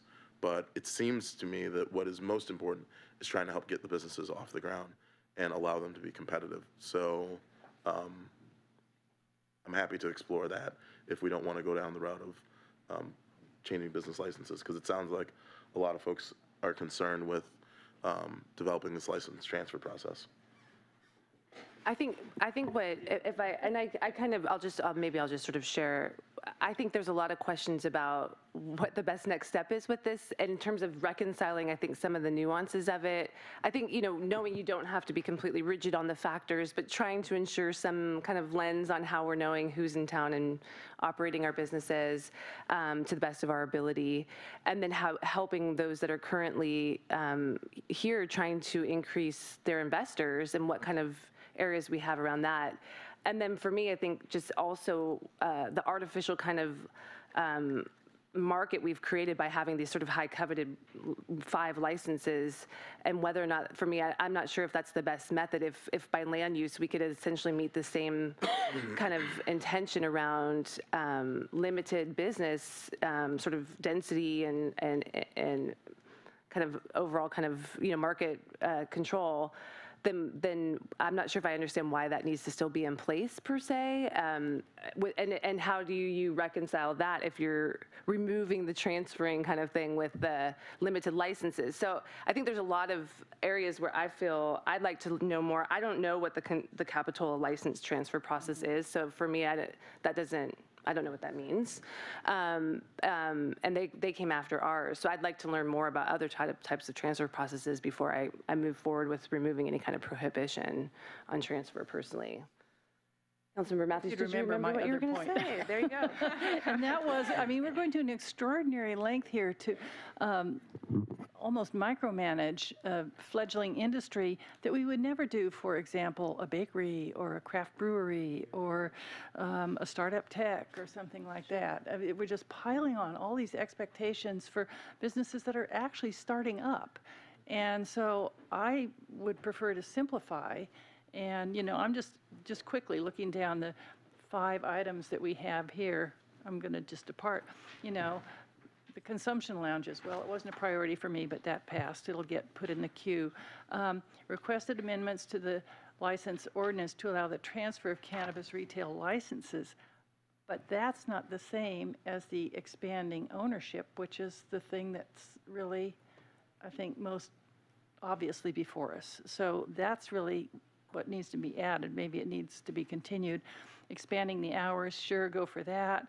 Uh, I'm not keen on cannabis events. We'll see where the vote goes on that. And yes, let's introduce the ordinance. So that's kind of where I fall down on that package of things. I think we're just way overthinking the details. So do you want to make a, a mo, do you want to return to your original motion for this particular uh, component of the recommendation? Or do you want to make a motion in regards to some of the other areas where we might already have kind of council alignment? I'd be happy to make a motion on um, items, staff items three and five, which is expanding the hours from nine to 10, and then um, the ordinance revising requirements for uh, new cannabis retail license when there's a change in proprietor to exclude a change in manager. So if there's a change in manager, that doesn't mean that it has to, they have to have Yeah, a I'll change in second license. that. Okay. So do we want any further discussion on that component of it? Yeah, I'm just seeing the Reefside people are shaking their head no. Uh, I'm not exactly sure what their argument was. Do you, do you get that one, uh, Vice Mayor Cummings? I don't- I I don't- understand it from reading the ordinances that um, the language that was in, in um, this item was that uh, it would change it so that if you, ch- if you change managers, so if you have a turnover in managers, currently, um, those are considered proprietors. Right. And if you change a proprietor, you have to, you have to amend your license. This would allow for a manager who's someone who owns, my understanding is 20% or less of the company to, if they change, if a manager decides to move on, then they can bring on or hire another manager and they don't have to change the license. That's my understanding when I read it, so. I think the issue that the Reefside people have is that they want that change to be significantly more substantial, and it would tie in with the um, allowing investment. So, um, in hearing the comments that came from the public, I think uh, a a quick um, addition that we discussed was, um, in addition to excluding the uh, manager, um, it could also include uh, an exception that um, a member of the board of director, directors of a nonprofit with less than 20% ownership could also change, as well as an officer or director of a cannabis retail business um, that is not or- organized as a corporation with less than a 20% own- ownership interest could also be included in that exclusion to allow for board members on, say, WAMM, to move back and forth without that triggering license transfer. So I think those two would um, both be uh, supportable by staff to help address uh, some of the concerns raised from the public. Okay, that makes sense to me. Councilmember Mathews. In which case, I seconded your motion, but that would actually be bringing back a revision of this proposed change with, We could read the language in so that you understand specifically what it is, so that that would still remain the first constitutes reading. the first reading. Okay. You agree? Yeah, okay. Okay. Okay, that sounds good. All those in favor on, um, do you want? Reread, and I need a second. So the second was Councilmember Mathews. Motion by Vice Mayor Cummings to essentially move um, with the hours to go up to 10 PM, as well as to incorporate what our planning director um, described in terms of the ordinance language. Do you want to restate that, or do you want to restate yours?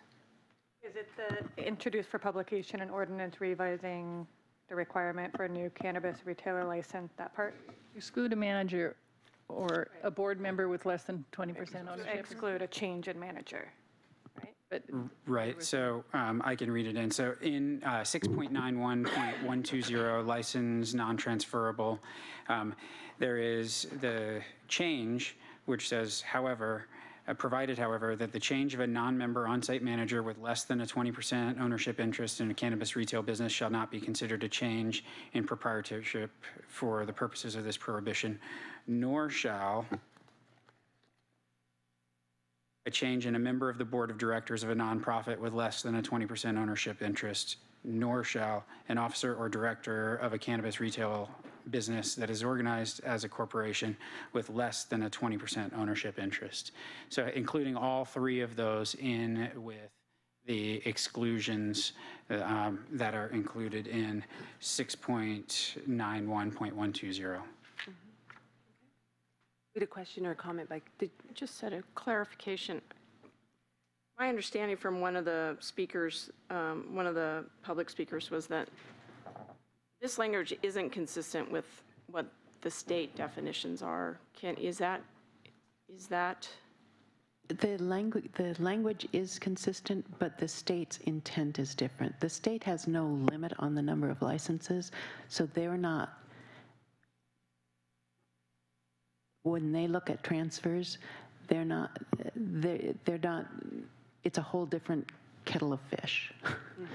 Um, So the, the speakers, what the speaker was saying is that the state's intent with this definition was to look broadly at anybody who is involved in the business, and that the city's intent or the city's use of it being that broad um, doesn't make sense. So at the time that we changed it, we were uh, trying to be consistent with the state in their definition of proprietor, and it had a lot to do with increasing the uh, amount that could be transferred of 20% from the 10%. Um, But by opening up this, to this broad definition, we got another kettle, another can of worms. Okay, Mr. Kunda. Yes, my understanding is the state, the, the intent of the state regulation is to ensure that the state identifies who the proprietors are. And so a significant change in a member of the board of directors or an operator or manager is reported to the state so for purposes of identification, but it's not, but the state doesn't restrict the transferability. And so therefore, while the definitions are same, they're used in completely different ways in our ordinance versus in the state law. Okay, thank you. Are, okay, thank you for that. Okay, are we clear on the motion? All right, all those in favor, please say aye. Aye. Any opposed? Okay, those components pass unanimously. So we still have the areas of For events. temporary events Since transfer. and then the license transfer question. Okay. So where would we like to start? I mean, I think I've go made to whatever slide you'd like. Yeah, the license transfer thing to me, I just, you know, I- I think, you know, I guess I just, I'm hesitant with the five being these sort of coveted licenses that then you could transfer. That does feel like it could go into the the business sort of sales thing without any kind of language around that that's very specific. So I don't have enough kind of, I don't feel comfortable with that this time. Um, I also, I also would just sort of say, like, I guess if we think in terms of the foresight, if we have, you know, contracts, say, for example, with jump bikes, and we're expecting jump bikes, and then jump bikes gets bought out by Uber, right? Now, we don't really have any control over that at this point, but I think we're at a place where we do have a little bit of control over the future in that way. And so that's sort of just the overall intention that I'm trying to express, given that kind of the newness of this industry, essentially. Um, So with that, uh, Councilmember Brown and then Vice Mayor Cummings. Um, Well, I don't want to rehash the debate, but I, it, um, Mayor Watkins, your, your point leads me to just want to re-emphasize the point I was making. Yeah, we, um, we didn't have control when Uber bought Jump, um, but we could have, had we had um, something, you know, some provisions in a contract, right? So I'm just suggesting that that is a way to address that concern. Um, And so, um, you know, that, I guess that's why I was trying to move towards the idea of having conditions on. And I, I appreciate, I'm actually, I, I like that idea. We Okay, can talk so- about that. So I just wanted Yeah. to, to kind of reiterate that. Thank you. Okay, so maybe, I mean, just if, in the interest of trying to move this forward, maybe that's the direction to go, that there's some, I don't know if you want to really restate that, but I, I see where you're coming from in that regard. Or propose well, that as the motion. I guess, um, because I don't know what the capital license pro- transfer process is, if that, if what I'm saying is in that, in there, then. No. No. Okay, so um, maybe would the, has the motion been made? I don't even know if the motion's been made. Um, gonna- Um, Maybe before you make the Yeah. motion, may I just offer a suggestion? Maybe it could be to have staff come back with a potential recommendation to mm-hmm. incorporate these considerations before we move with like some sort of specific thing. Okay, go right ahead. If that, if that, I mean, just to sort of preface it as not like, we're going to just move this direction, maybe have them come back with some further information, given this is the direction we want to go. So, well, I can make a motion, can give it a shot, which just, it's basic. So um, would the provider of the motion? That's you. I haven't made a motion, so. I know, but the provider of the motion that we're looking at here, um, if, if I could. um, Okay, so then I would make a motion to um, direct staff to return to the council um, with a recommendation to address the transfer of cannabis retail licenses, um, address um, and develop a full license transfer process, um, or recommendations for developing a license transfer process consist, I'm going to say consistent with the Capitola license transfer process and um, other possible conditions for license transfer. Can I, And um, recommendations for um, the potential um, business ownership transfer, or business investment and ownership transfer. So it's kind of broader than this, but it would give us an opportunity to sort through where we're at on those, I mean, we're, we're kind of talking about them all here, rather than just saying, here, can you give us the options, rather than coming up with them on the spot here in this space, and then we can So- decide how we want to proceed to uh, the challenge, you know, addressing the challenge that we've heard. I think I kind of get the gist of what your motion I, th- I think it would be helpful to clarify it. Um, So I'll make an effort to do that. Okay. Bearing in mind that when we talk about removing the prohibition on transfers, we're really, we're talking in, in two different ways on this, in terms of bringing on investors and the way we've defined ownership or proprietorship in our code, the process of bringing on new investors um, can constitute a transfer of ownership as we've defined it. So I think, in essence, what the council is looking for is uh, um, a recommendation for an amendment to the ordinance to permit transferability of a business license uh, in which the transferee is evaluated based on the same criteria upon which the initial licensee was evaluated. Something along those lines. That was exactly what I was thinking. That was exactly what I was thinking, and you just said it. So, okay, did you second that? Okay, so, so I, I, I was thinking the exact same thing, that instead of sort of having the Capitola information, it would just be consistent with our license application process, essentially.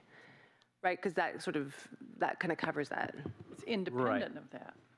So then, for purposes of the proprietor, you know, the existing businesses that are, that are listening to the discussion, um, what they would essentially do is bring an investor to the city in an application for a license transfer pl- process that lays out the new, um, the new structure of the organization to be evaluated in accordance with the same criteria in which the initial application was evaluated. Right. Okay. That makes, that makes sense to me. Okay, Councilmember Mathews? Mm. Well, devil's in the details there. Is it all of the above, or Yeah, sure. 60%, or what? Yeah, well, and that's where our staff can do what they I, did. I, I hope it can get simpler. We all do. And the language is very confusing because bringing in an investor, to the casual listener, doesn't sound like a transfer of the license. So maybe there's some definition changes. I know it's not, but, and yet it is, you know, so it mm. sounds like some wholesale cleanup. Yeah.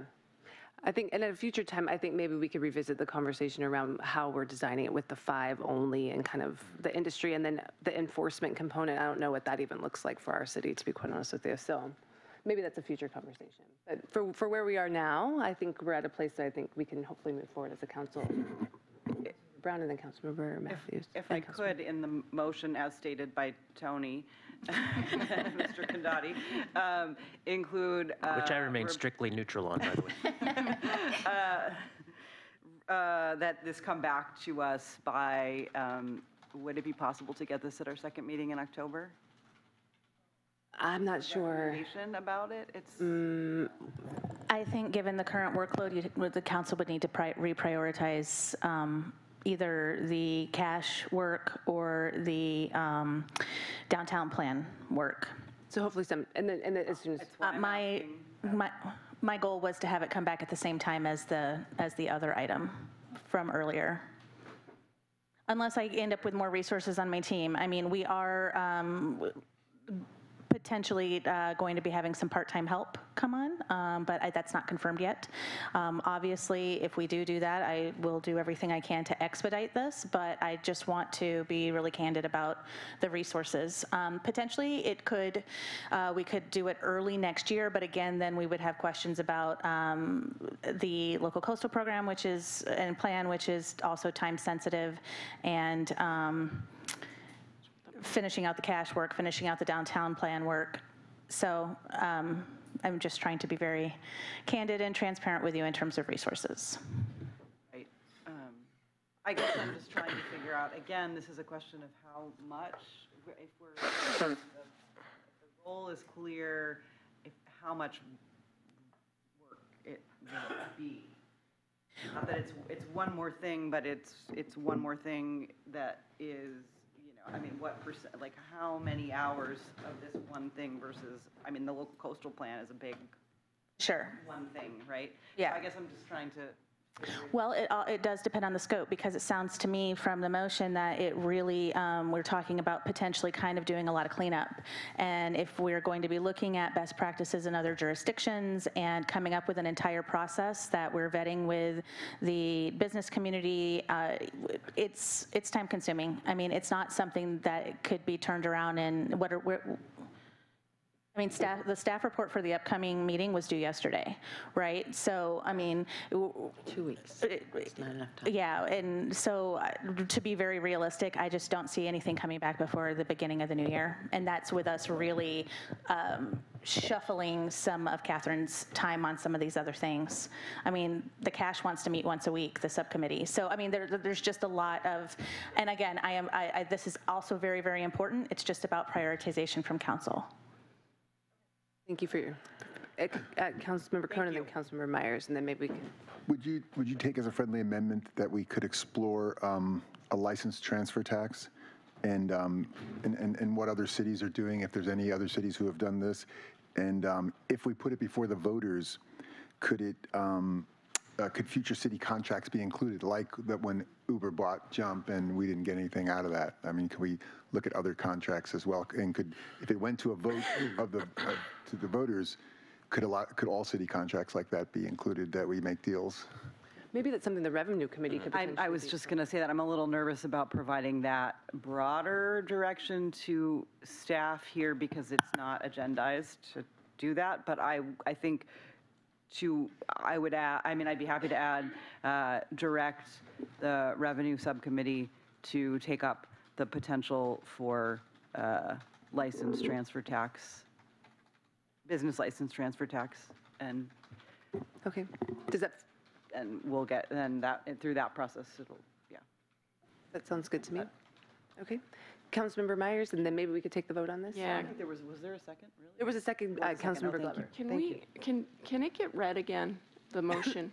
Um, Go ahead, Tony. Mr. Condotti, will you read the motion? Oh, we got, we got Lee standing up here. okay. Let's see if I can find it here. Um, got it. An ordinance amendment to permit transferability in which the transferee is evaluated along the same criteria through which the original licensee was evaluated. Yeah. And I just want to clarify, this is, are we talking 100% transfer? I know that's more of an ownership question, but just wanting to make sure. Not necessarily. Would be subject to the council's discretion. Okay. And just to you- clarify, I understood it as business license transfer. Yeah. Can I, can I make a correction here? It's a cannibal, cannabis retailer license. Right. It's not a business license. But again, this is different than a transfer of ownership interest. Right. Right? It's the retail license. Yes, as opposed to 20%, 40%, 60% of the business being transferred. It's the transfer of the actual cannabis business license. Okay. Five. There's only potentially five. Okay. Councilmember Glover? Thanks, and just in that re- uh, reiteration of the motion, I just wanted to make sure that the amendment that was just added was included in there with the um, directing of the Revenue Subcommittee to look at potential transfer taxes and all that kind of stuff, just to make sure it's in the record. Okay. I, Brown, if we- I could, um, because I, so the, the issue, I guess the reason that I was trying to broaden the direction was related to the question of um, buying in. So now we're, we're kind of, I think we're reeling it back in and get, it sounds to me like um, the only goal is to give the opportunity for current business owners to relinquish their license. And that is not what I'm intending. Okay. Under our current ordinance, if you transfer, if you take on a new partner of some sort who has more than 20% interest, then you need a new retailer license. So I believe that this would cover that because that would be included in the license transfer. The license transfer would um, apply to the new business structure, as, as Tony said. So that, so that taking on a new It's combined. capital partner would be included as a license transfer. Okay. Okay. Thank you. Okay, thank you. Okay, I think we're there, maybe? Okay, all those in favor, please say aye. Aye. Any opposed? Okay, that passes unanimously, but we're not done. We have one more on this one, and that is the uh, temporary events conversation. Um, Will you move us back to what uh, that had? Here we are. City Clerk, we're ready for the, thank you. Okay. So, um, in terms of the temporary events, I guess, do we want, maybe we could just go through the questions. Okay, I think the question is, we've dumped a lot on their plate. Is this a priority? It's not for me. I mean, let's, I think, you know, I think we could, I mean, we can give direction, I don't know, in terms of timeline. I mean, obviously, I mean, we have a lot on our planning department, and we have big planning needs, especially as it relates to housing and a lot of stuff that is really big. I, I, I mean, to to your point, I, I see what you're saying. Give him, we can kind of give him a sense of where we're at with this, and I guess to my mind, if it's not something that's fairly significant and we expect a reasonably, uh, reasonably near-term report back, let's just table it, for lack of a better term, come back to it at another time. But, um, you know, if we just say, we want you to work on this, but mm, could be two years, it's really not giving direction. It's just piling stuff on the work. I think from our perspective, to know if it's something that we should even have on our radar to potentially investigate would be helpful. Um, In terms of when that's done, um, you know, if it's not a priority for council, we can table it, but to know, and I think probably some certainty for the industry, if it's something that the council might even entertain, would at least, at the very least, be helpful. Um, Maybe not an action uh, item, but the understanding of if it's something of interest. I mean, I'll guess I'll just basically weigh in and then we can see where we want to go in terms of the prioritization. I mean, I don't have a problem with exploring what a cannabis event could look like here, but I do think we need to understand what those can, kind of considerations are, how they've looked in other jurisdictions. And if it's major and requires major kind of time, then, you know, clearly we have other things that we need to have you focusing on. Um, But if, if you do are able to understand what that could look like in a limited sort of fashion, I guess I would say, I, I mean, I'm fine with having you explore that as staff potentially. Vice Mayor Cummings. I'm happy to, I mean, because I think that, um, you know, we, this is a new industry, and even if it were, you know, a convention around cannabis that were to come to town, like, that will attract, you know, a lot of people. So if we think about from an economics perspective around our tourism industry, um, cannabis is something that is, you know, popping up now and attracts people. And so I think that, you know, it's, I think that it's something definitely worth exploring, especially if we want to think about how we're going to bring more people into our downtown and into um, our business community and how we can better embrace cannabis within our uh, cannabis industry, currently kind of trying to get its feet, you know, into Santa Cruz. And so I'm happy to make a motion, um, just kind of providing some suggestions around temporary events, um, if that's, you know, just so, so we can provide some direction, then we can revisit the timeline around it as well, so. Uh, Councilmember Glover?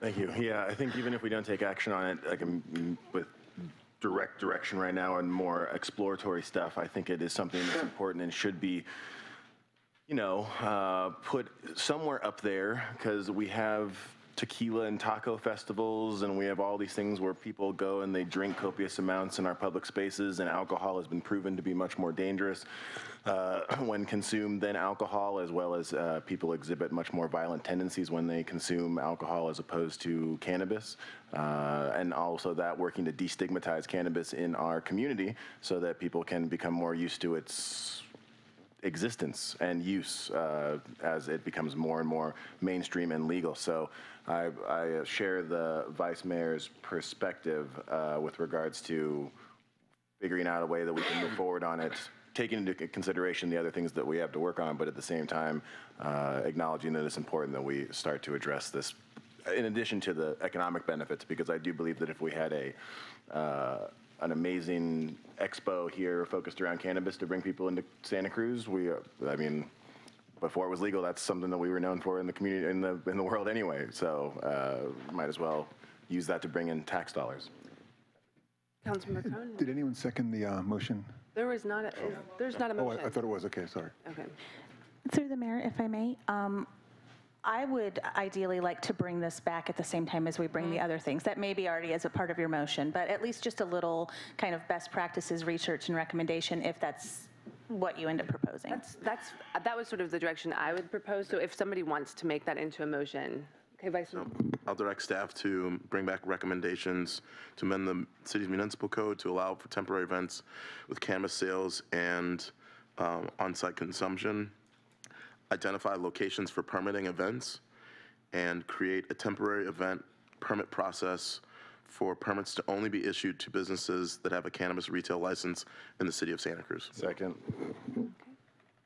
Okay, so that'll be built into them. Okay, and then the only, okay, so we have a motion by Vice Mayor Cummings, seconded by um, Councilmember Glover. The only thing I would think about is some of the, similar to the, kind of the tacos and tequila, like some of the safety constraints, and if it's on-site consumption, what does that mean in terms of people getting in their cars and driving over 17 or something like that?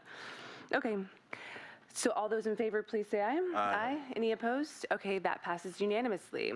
And then I have um, the attention of uh, Councilmember Meyers for another component that I think we lost one, one thread in, in this work. Um, And I guess my overall comment too is, I think each time we, we batch all of this, it gets- it's, it's really complicated. So I, I really hope that our planning department and the industry can really start to break these pieces apart. I appreciate everyone's, you know, work on all sides, but it's incredibly difficult, and um, I know we're sort of making this as we go. So I appreciate your work, and I appreciate um, the industry's patience as we sort of try to figure this out. But um, I think we lost one important part in all of this, so I would like to make a motion to direct our finance department and city manager to initiate the regional tax discussion with the county and local cities. Uh, I don't believe we, Okay. I think we lost track of that. That was a motion by Councilmember Meyers, seconded by um, Councilmember Krohn. That was, yeah, I think you're right. That was something that was lost, definitely something that we wanted and shared.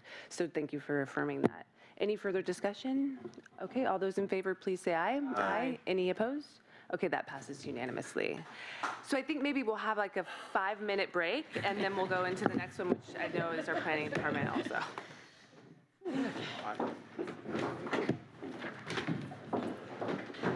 I think It's just, it was too much in one item. It's too much. I mean, if I mean, we decided last night, so I would assume she said it too. Ready? Hopefully that government works faster than we think. All right, so we're going to go ahead and come back to our uh, meeting. And um, I realize I'm a few minutes behind it this time, but um, we postponed a um, opportunity for us to have the mayor's proclamation um, discussed or read or presented to the community regarding um, the uh, support for global global youth climate action strike. So I do have a uh, proclamation here that I'll just read a few of the whereases are, and then we'll move forward with um, sharing that with any students who want to who want to take a peek at it. Um, but um, it's really obviously very timely and, incredibly important. So whereas human-created climate change is the largest single threat to the existence of Santa Cruz and the world as a whole has ever faced by humanity. And whereas the youth of today that will suffer disproportionately for the fossil fuel use that is taking place at the present time. And whereas when the young people of Santa Cruz do stand up and demand action, we appreciate them and we support their initiative. Now therefore, I, Martine Watkins, Mayor of the City of Santa Cruz, do hereby proclaim September 20th through 27th, 2019 as Youth Global Climate Action Strike Days in the City of Santa Cruz. And I encourage all residents of all ages to support our youth in taking an action to stop global warming. So good luck, go forth, and thank you.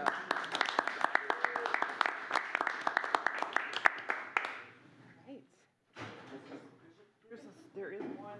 There's one student I here? know has been involved. End up in There's a student that's been involved here. Would you like to receive this mayor's proclamation? I'd be happy to give it to you. Okay.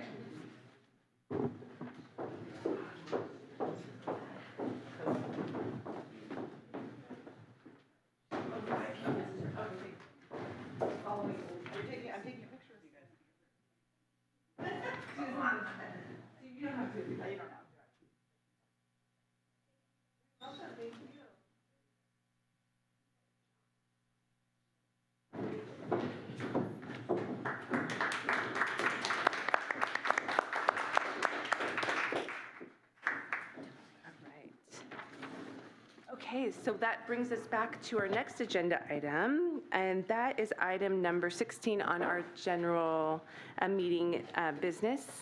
And that is the monthly update on the general plan and zoning ordinance reconciliation effort for the city's corridor. And we have Sarah back with us. Hello, Mayor and council members. Um, I don't have a PowerPoint, so I figured I'd just give my presentation from here, if that's okay.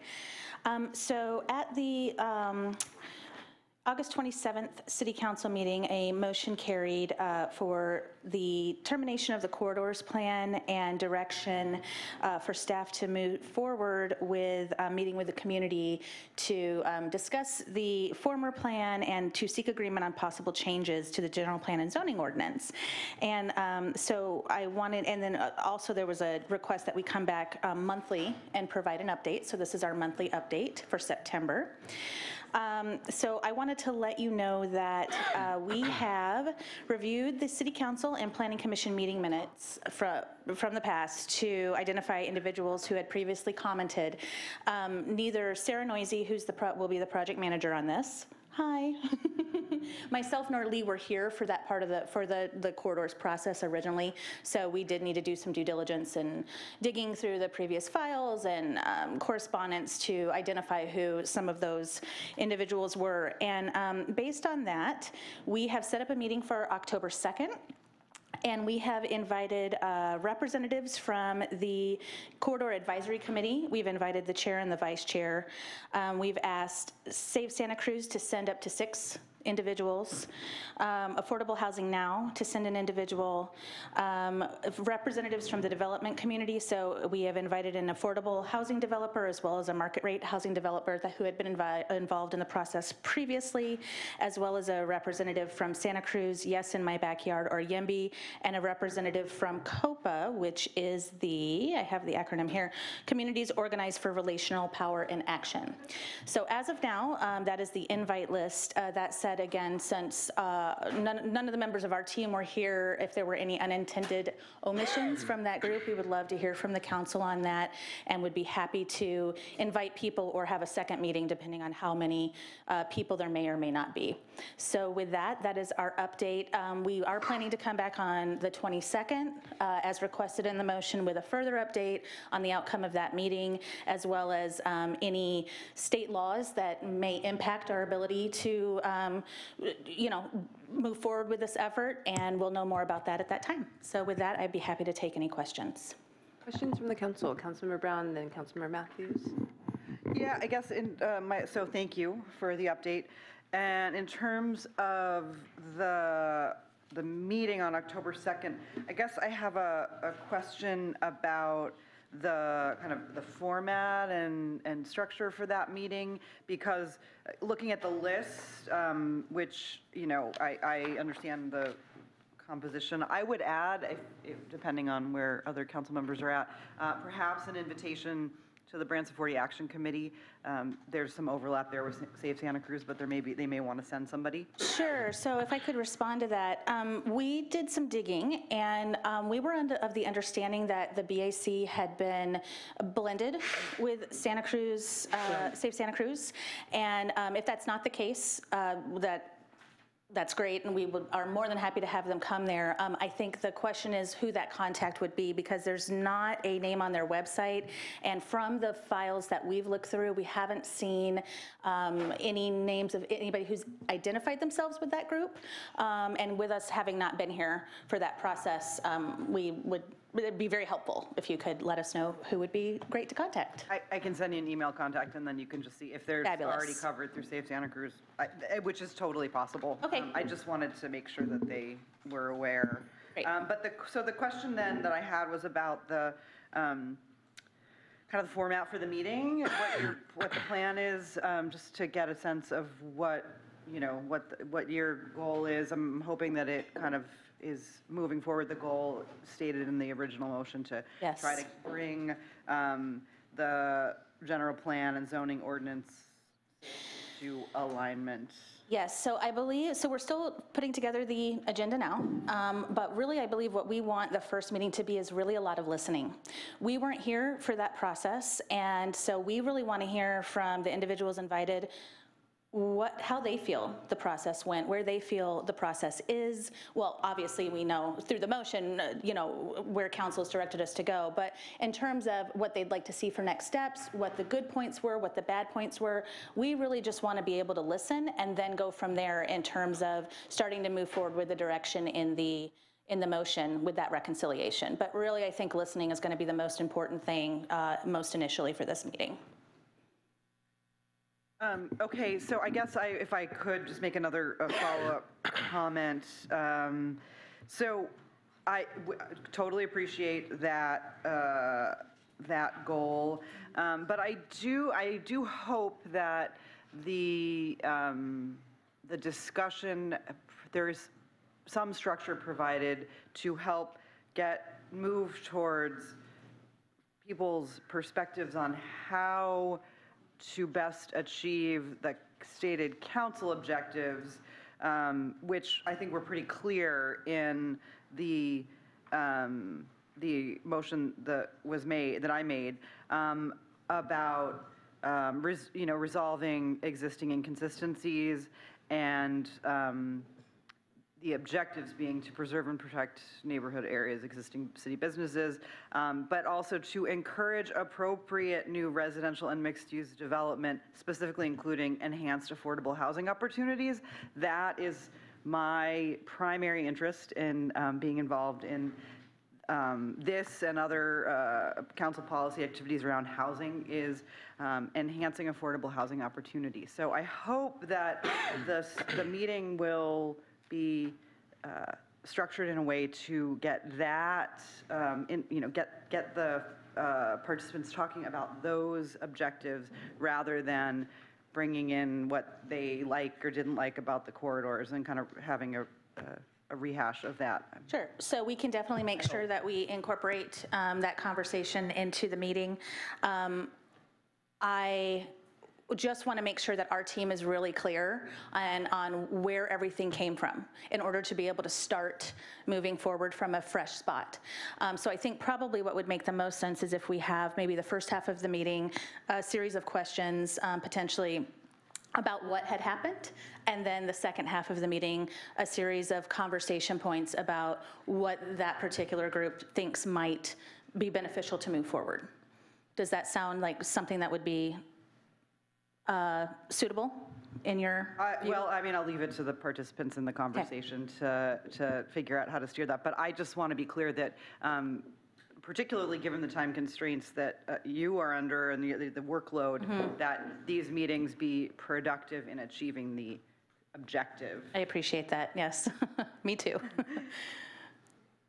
Okay. All right.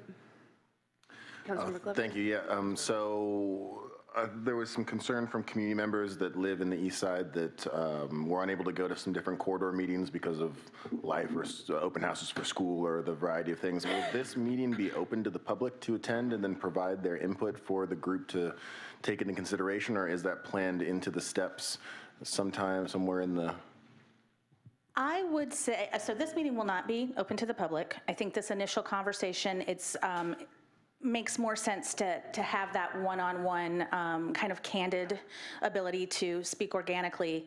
Um, I think what I would recommend then is when we come back and let the council know how that meeting went, we would be looking for direction from council on next steps. And I very much expect this to be a very robust community conversation moving forward, where there'll be plenty of opportunity for input from many, many different groups. And so while maybe this meeting um, isn't the best suited to be public, this is, will be a very transparent process moving forward. Right. Um, There was something that Councilmember Brown that you mentioned um, about not wanting to go back and rehash the existing corridors plan, but, uh, and, so I'm kind of torn in that res- respect because I know when we were here last time and we talked about it and we were hoping for a November 2020 kind of return, or is that was the timeline that you were hoping, and they said that that was unfeasible or, you know, um, impossible. I'm really interested in uh, expediting affordable housing development as quickly as possible. So the question then is, will it take longer if, like, what was the drawback that you were seeing to spending time talking about the existing plan and what those that felt their voices, who, who felt their voices were not included, if they, if they take those considerations and work them into the plan, as opposed to starting over from scratch again, which could take a long time? Oh, yeah, I know, I, I- sorry, if I could. Um, Councilmember Brown, Yeah, yeah. just to clarify, I, I'm not suggesting um, the, that the conversation not include, you know, what is, it should preclude that from happening. I'm just suggesting it, that rather than spending a lot of time debating and trying to persuade each other, yes, uh, you know, to the old plan as it was, no, I mean, I just, I'd, I'd prefer to see that more productive conversation before it about, well, how do we achieve these objectives um, that the council has given us? Councilmember Meyers, Councilmember Mathews, and then I have a question as well. Um, I just have a question. You mentioned briefly about new state law. Um, And so I guess my question around that, uh, in terms of how, I mean, we're, we're operating in a different world than we were three years ago, basically. Um, There's been significant housing legislation that's come down in the last three years. So uh, will you be informing these groups of that so that that context is available? Um, I'm just curious, how do we, you know, kind of, how do you kind of see that conversation going? Yes, so um, depending on what we know um, about what the governor either has or hasn't signed or vetoed or where things are by the time we have this meeting, um, if there is solid information that we can share, we will absolutely do that. That said, um, I, I tend to be a little conservative when it comes to these things and wait till either the signature is on the paper or the deadline has passed for the signature to be on the paper, either for or against. Um, This year's legislative cycle has been extended till October 13th, where typically it's over at the end of September. So we may or may not have an answer, particularly on SB 330. Um, a- At that time, it is on the governor's desk, so it has gone through all the processes, it's been engrossed and enrolled, and it is awaiting signature veto or nothing. So again, if we have that information, we'll absolutely share it with the group. Um, If not, if, you know, we, we can discuss the potential ramifications. I just don't know if at that point it makes most sense to spend our time having that conversation uh, if we don't have the facts, right? So, um, but we will know when we come back in October in terms of uh, where that bill sits. And we'll absolutely, that will be a part of the conversation moving forward. Okay, yeah, I hadn't realized that the, uh, the signature period had been extended, so. Yes, I don't know why, but it was Yeah. this year. Okay. Thank you. Sure. Councilmember Mathews, and then I have a quick question, then Councilmember. I'm going to work backwards. I want to play off that because that's really of interest to me, um, all the recent housing-related legislation. And um, I just throw it out, it might be worth a little bit of an extended um, information session at a general council meeting, just like everything that's new That's, you know, whether it's funding, but particularly just all the legislation. That would be a good thing probably for us to hear collectively. Mini study session. I don't know how long it'd take, but. Okay. Um, Definitely as things, um, you will hear about them as we come forward with anything that impacts required changes. So as an example, the ADU, um, there's several ADU bills that are Yeah. in one or another place in the process. Um, So those will certainly have impacts when we come back on the ADU discussion. Uh, But we could maybe have a conversation with the city manager's office about, at the very least, maybe putting together an informative memo or something on that. Well, I- and I'm, you know, just thinking out loud, and I won't take up too much time, but it might be something also of interest to co-sponsor with some other community, there's so many groups interested in housing. And, and it's one thing, oh, we got this little ADU cleanup, we got this little inclusionary, you know, I Mhm. mean, there's all the little things you get, but to get kind of the big picture of the changes and where it's going, and what uh. authority we now have, or opportunities we have, et cetera. So much has changed, I think might be good for us as a community to. Sure. And the California League of Cities, um, after the legislative term, every year has a presentation. So it may be the type of thing where we could pull that resource and do the presentation that way so that it's not pulling from the resources of the team to put something together. I'm trying to think of ways to Yeah. maximize That's a uh, good existing idea. resources. And even Yeah. have someone down and co-sponsor an evening program with some groups. Anyway, I would appreciate that, kind of a bigger picture of the new landscape. Okay, um, I was actually around for the origin of all this, uh, which was the general plan that we currently operate under, which was developed over, uh, I think, a three-year period with extreme engagement of many sectors and a huge amount of the public. And the idea of increasing density along the transportation corridors was one of the many, many, many concepts that came out and was unanimously approved. And then the corridors project, I mean, I'm telling you, you know this. Please. Was um, uh, taken as a discrete um, project to pursue. I was a part of that. I have to say, it was a pretty unsatisfying experience. Yeah, you know, it was.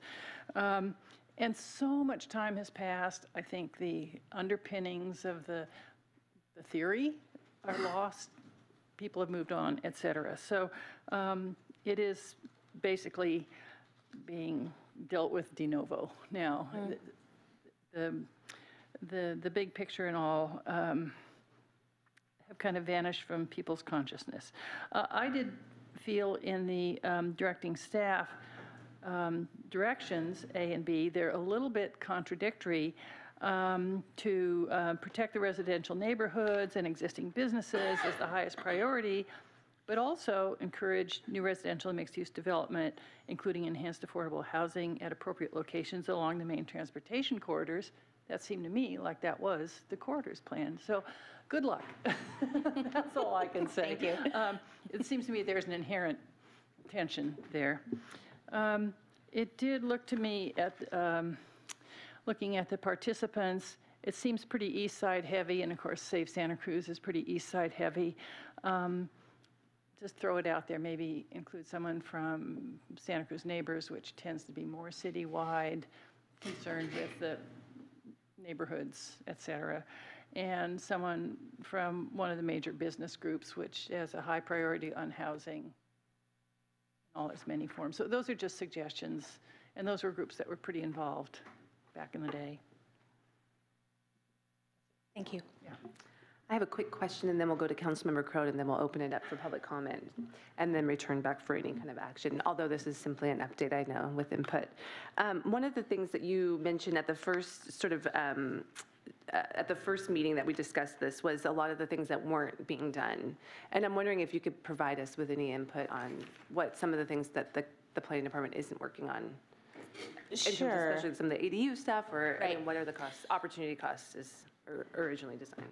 Sure. So um, some of the things that we were planning to work on this fall um, included a analysis of the fees for ADUs, um, lowering, potentially standardizing those. Um, We have on our work plan um, development of ADU guidance materials to try to encourage them and make them easier to develop in the city and help people who are kind of novice developers be able to come in and relatively easily know what they need to do in order to be able to develop an ADU. Um, We also had on our work plan, or still do have um, the prioritization of our housing strategy to encourage a variety of housing types for a variety of different um, types of housing needs. So that could include development of junior ADU regulations, uh, update of our SRO and SOU ordinance, that single room occupancy and single ownership unit ordinances in order to encourage the development of those, um, and standards to allow some of those things on the same lot, like a junior ADU and a regular ADU. Um, Those are updates to the ordinance that require the requisite uh, outreach and um, planning commission hearing and uh, council hearings. Um, We also have uh, on our work plan to update parking standards throughout the city to facilitate more housing. Um, There is uh, revisions to the overall uh, standards and then uh, particularly re- revisions to single-family dwelling unit standards to facilitate ADU development. And then, um, obviously, I think at the last work plan meeting, we talked about the need to update our zoning ordinance to promote legalization of unpermitted dwelling units. Um, That, that's a, a big one that um, has kind of been put on hold. And then we have a lot of general cleanup work that has been on hold for a while, um, that um, really needs to be done. So updating our beekeeping ordinance, updating our slope, mod- you know, modifying our slope requirements, substandard lot definition, um, where there's a center line setback issue in a particular area of the city. Uh, So there's just a lot of little kind of like core service general cleanup work that needs to be done. So I'd say that's probably the core set of most important things that have kind of been pushed back um, in the most immediate, few, you know, timeframe. Okay. Okay, so a lot of the, primarily, if I hear, I'm hearing you also, a lot of the work that we we're moving forward with, with the ADUs has been kind of, Yes, so there will, we will be, as soon as we know what's going on with the state, um, we will be bringing forward a conversation on, okay, um, conversation, and Sarah can comment more on this because she's also the project manager on that. Um, But the um, state stuff will definitely be coming forward with most immediately, but um, some of the other stuff uh, that I mentioned, like the fees and the guidance materials, there's just not capacity for that right now. okay, okay, thank you. Councilmember Krohn? Thank you. Um, What what is, I see in our thing, what is a CAC? Sure, that was the uh, Corridors Advisory Committee that had been um, put together when, in 2015, when the the corridors process kind of kicked off. How, uh, where are those two people from? So um, they, we invited the chair and the vice chair. Wh- Which, where do they live? They live on the west side, east side? Well, I have no idea. I don't know. And I- I- our direction, I thought, at the meeting was about, was focused on community groups. How did the two members of the CAC get involved? Sure, so since they were so intricately involved in the process, um, we thought it would make sense to have them come, especially when we were thinking about framing this really as a listening session to kind of understand, given that none of us were here for that, we wanted to be able to hear from everybody involved in terms of, you know, kind of what happened, right? What happened and where are we? So that's why we uh, in- invited them. Well, it would be great if you could um, address Councilmember um, Mathews' thing about nobody from the west side, it's east side heavy.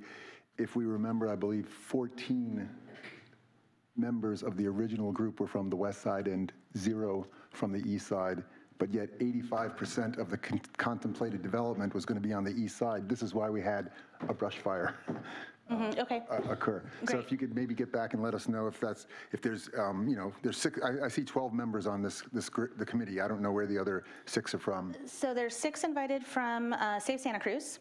No, no, I, s- I see that, but I Oh, don't know oh, I where, see. what the residencies are, because that became an Yeah, issue. I, I, okay, yeah, and I didn't even think to ask that, that question, because again, not being here, it wasn't, for me, it wasn't about the east side, west side, it was about the concerns with just neighborhood protection overall. Yeah, So, and I, and I I hear sent you, you though. four other groups too that um, I think are interested in being, um, talking about it. Okay, well, I would be happy if you um, have, I, I give you contacts, yeah. that would be awesome, thank you so much. Thank you. Thank you. Let's go ahead and pause for a moment and see if there's any members of the community who want to address the council on this item. And if you are here, please step forward and you'll have up to two minutes. Okay. I'll set that there. Uh, Hey, everyone, I'm Kyle Kelly. I'm a father of three in Santa Cruz and a member of uh, Neighborly Santa Cruz. Um, This week is a global climate strike, and I want to see Santa Cruz play its part as a city. Um, I missed out on my ability to comment on the corridor plan uh, because of an open house at my school. Um, that's the same for other working families that, that also go to the same school, some of which are on the east side, some of which are on the west side. Um, and we'd love to be included in that, in that next meeting that, that's talking about it. Um, so my, my family lives not far from downtown in the wharf, and for us, it's very walkable and very bikeable. Uh, my three kids are able to join in, communi- in commuting with zero emissions while enjoying our city. That's wonderful. Like we live right now at a medium density residential area. Um, and what prevents many people here, from families to students to elderly, uh, from getting the same experience as our current zoning, it falls flat because of the large amount of single family only zoning.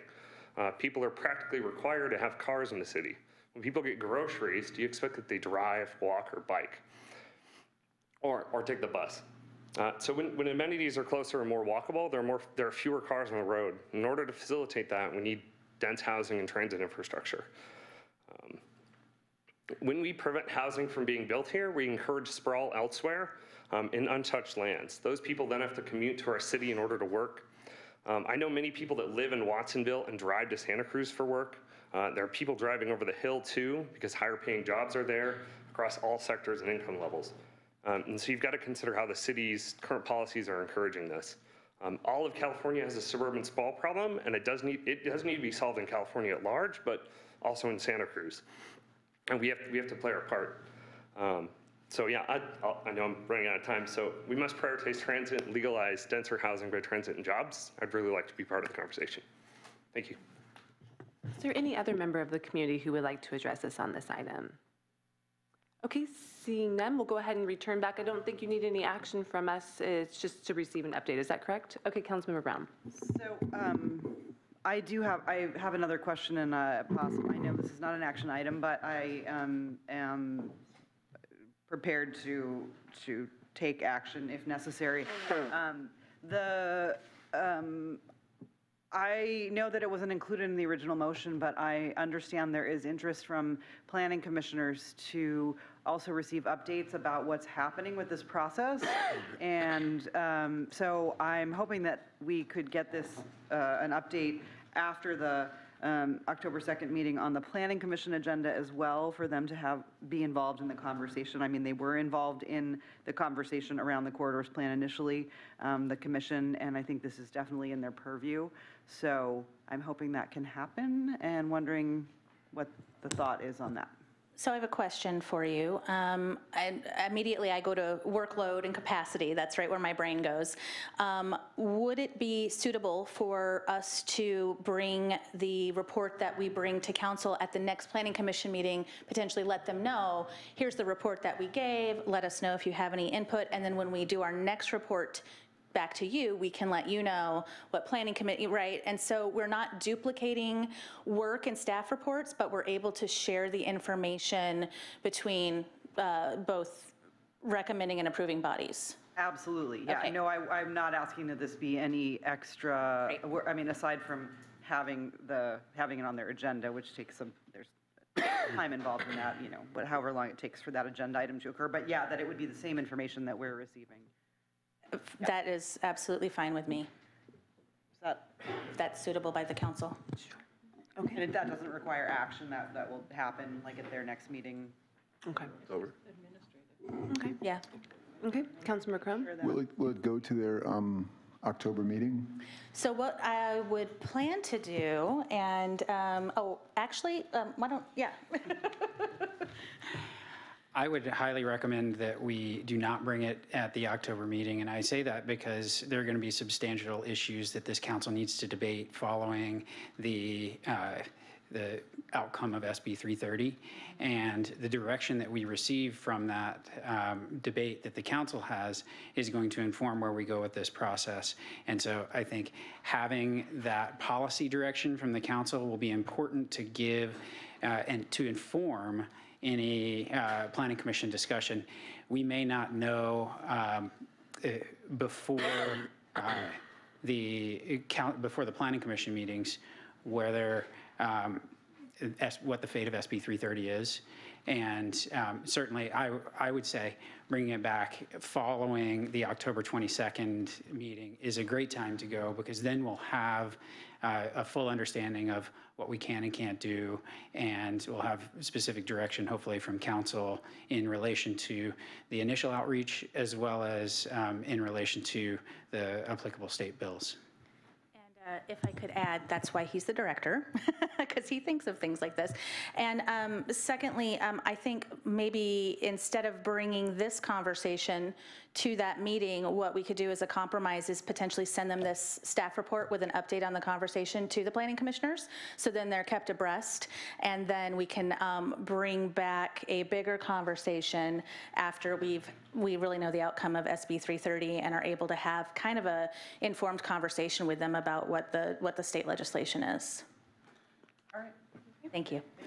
Councilmember Krohn? Um, Just since since you brought up Senate Bill 330, um, is that something that the League of Cities is opposed to? Yes, they are um, opposed to it. Um, I I was going to say oppose unless amended, but it's way past that point. So yes, they are, um, they were requesting a veto. Is it too late for cities to, um, You know, for us to officially oppose it as well? It is on the governor's desk, and so, um, I-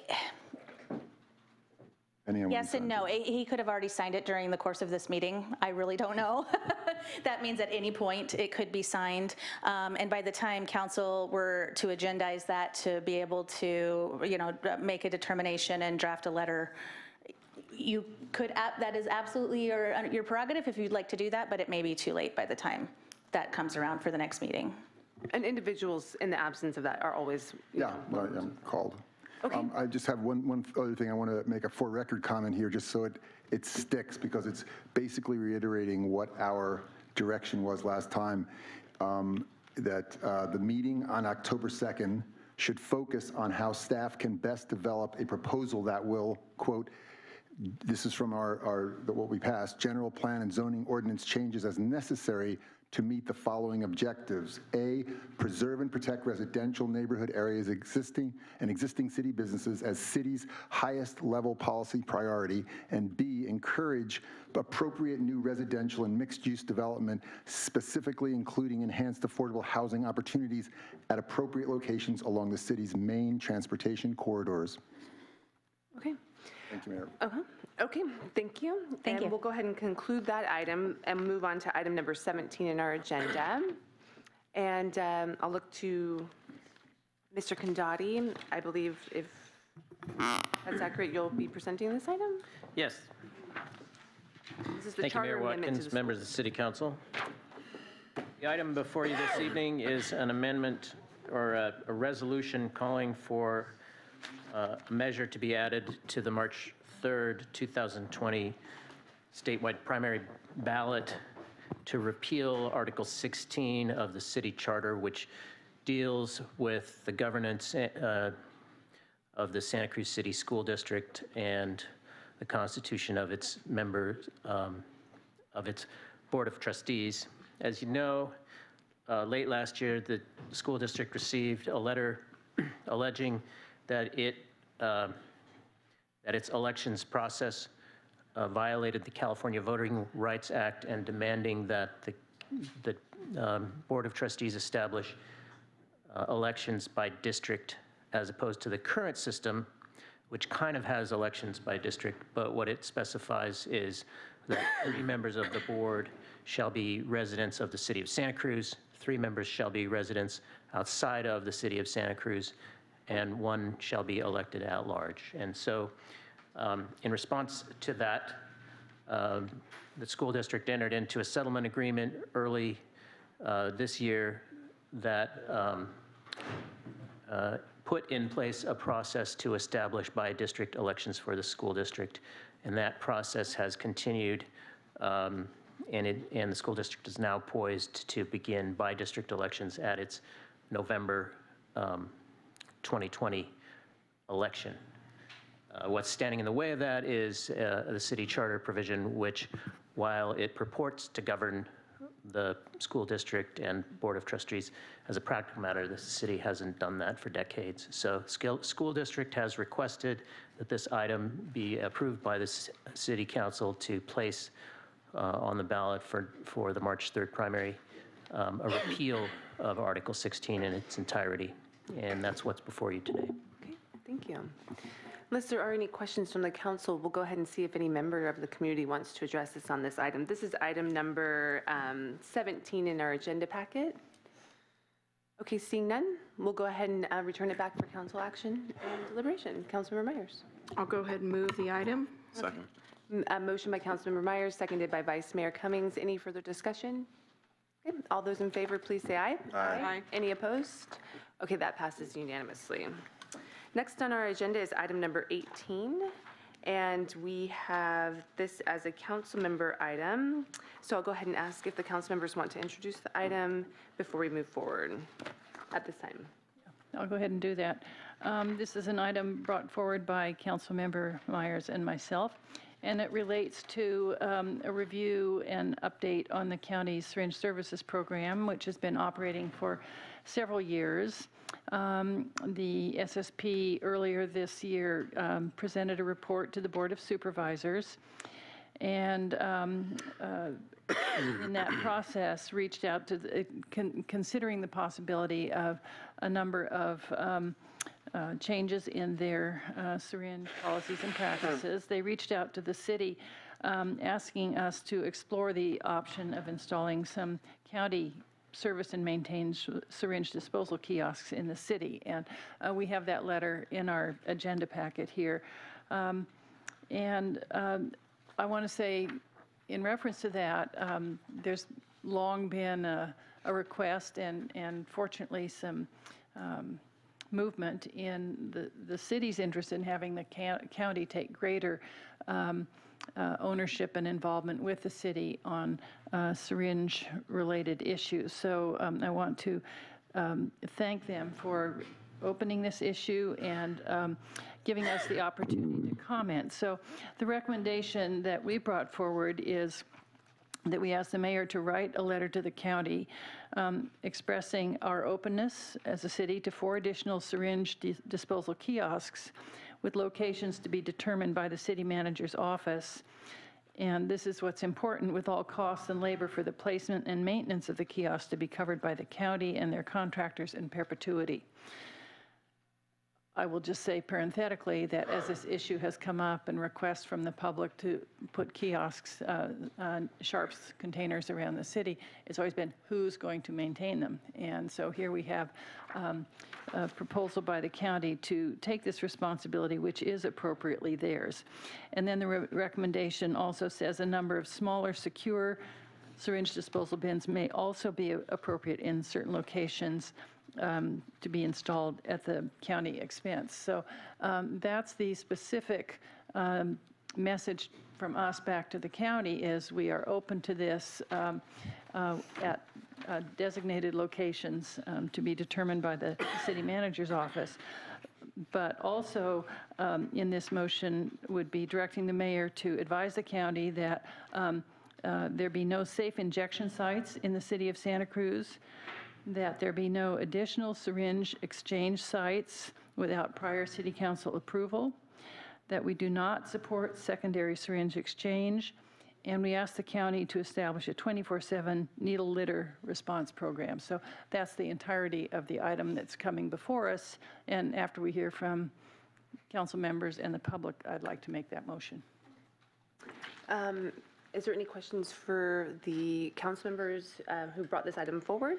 And if not, we'll go ahead and open it up to public comment and then return back for action and deliberation.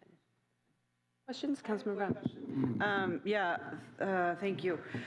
So I guess the, uh, you know, the county board of supervisors is actually hearing this item today, or an item related to the syringe exchange program, and they have, they are working on uh, kind of programming around kind of community engagement and evaluation of their findings and recommendations, which is going back to the Board of Supervisors in December. And so I, I get, and I feel like this is not a real opportunity for the city to um, be um, uh, to partner with the county, to cooperate with the county on its efforts and kind of work in conjunction with what they're doing. So I guess I'm wondering why this is coming, I mean, the kiosk piece, I get, it's in response to the letter, but the rest of it um, seems um, a bit preemptive if we want to work with the county on, on their efforts at, you know, community outreach discussion. It seems like, you know, we'd, we'd want to express that to them and kind of see where they're headed so we can support that. I think, um, for my mind, one of the reasons to put this on now was to say, as you're moving forward with, with all your plans, please don't include all these other things without even telling us, uh, because we have, we have issues with them. And, you know, they will continue with their discussions, and the conversations will continue, and I think um, we can certainly include in the language of the motion our appreciation for the county's willingness to work with us and our interest in working with them. But I think this is saying, this motion says, this is what we're willing to do now. We're not interested in the following. Okay, any other questions? Question? Thank you, yeah. So um, wonderful to see the uh, kiosk thing. I think that's long overdue. Um, Just curious about the, s- uh, the statement of no safe injection sites in Santa Cruz should be established. Is- Where, what are you working, uh, can you explain that a little bit more? uh, The logic behind that and why?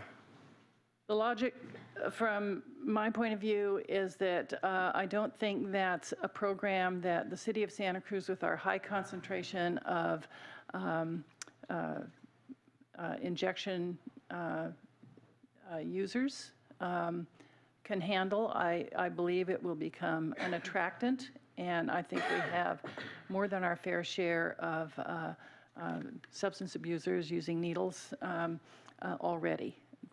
That's, I, I know that other communities have done this. Uh, I don't see that it's um, something that's transferable to our community. Um, And it has not been without uh, severe problems in those communities as well.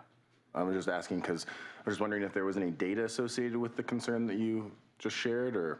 Yeah, uh, there's what lots the- of studies. I'm, I'm, this is something I've brought forward. I think for our community, it's, it's not an appropriate um, program to institute. I just, maybe I missed it. Did you include that data or those studies that you're citing in the agenda packet? So um, I would just counter that, and uh, just because looking at the data and studies that I've found and reviewed, it says that safe injection sites have a way of preventing communicable diseases and reducing in overdoses. So um, I, I, I think a uh, data-driven approach towards this kind of thing is important, and I was really sad not to see anything in the uh, agenda packet. I'll say generally, and, and then if we can just open it to the public, I, uh, I think around all these other items that are listed, additional comments um, to send to the county, I understand that from a harm reduction point of view, from, for individuals, there's a role, and it's measurable.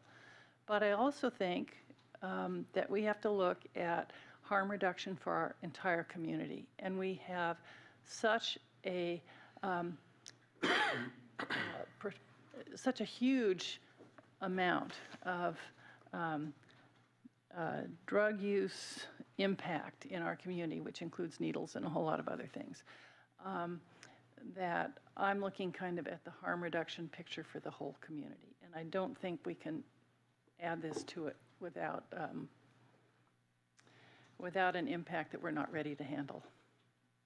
So I know Councilmember Meyers had something she wanted to add, but I think we'll go ahead and do that after the public comments. Uh, uh, Okay. So we'll have public comment, but before we go to um, any, uh, any of the individuals, I had a request from Serge Cagno to uh, have a group presentation on behalf of his group. Um, So you're welcome to come forward. And then is there any, is Denise Elerick, I don't see Denise Elerick here. So you'll be the only presentation, then we'll have it open up to everybody else. Hey, um, so my name's Serge, and I made a resource directory, and it's got all the services, and it's got the syringe services program on there, and we'll get back to that on how many hours that thing's actually open during the week. I'll leave you to guess that for a little while. Um, I was a drug and alcohol counselor in Oregon, certified, um, like the CADC that they have in California. Um, and I absolutely support placement of four syringe kiosks and smaller disposal bins. Um, because the only place to put, put them right now is, well, people drop them or people put them in trash cans, which is a little worse for the guy who has to clean the trash can. So absolutely supporting the kiosks and the disposal bins. Um, I would suggest the placement of the kiosks and the bins be included in the CACH work because part of what we're working on on sleep ordinances and where people might be and stuff absolutely relates to where you're going to put these things sort of solidly into the ground at times.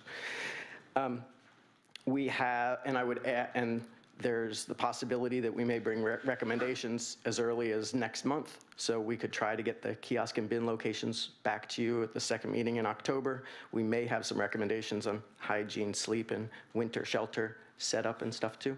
Um, and I am not a spokesman for the CACH. I'm just saying that out there.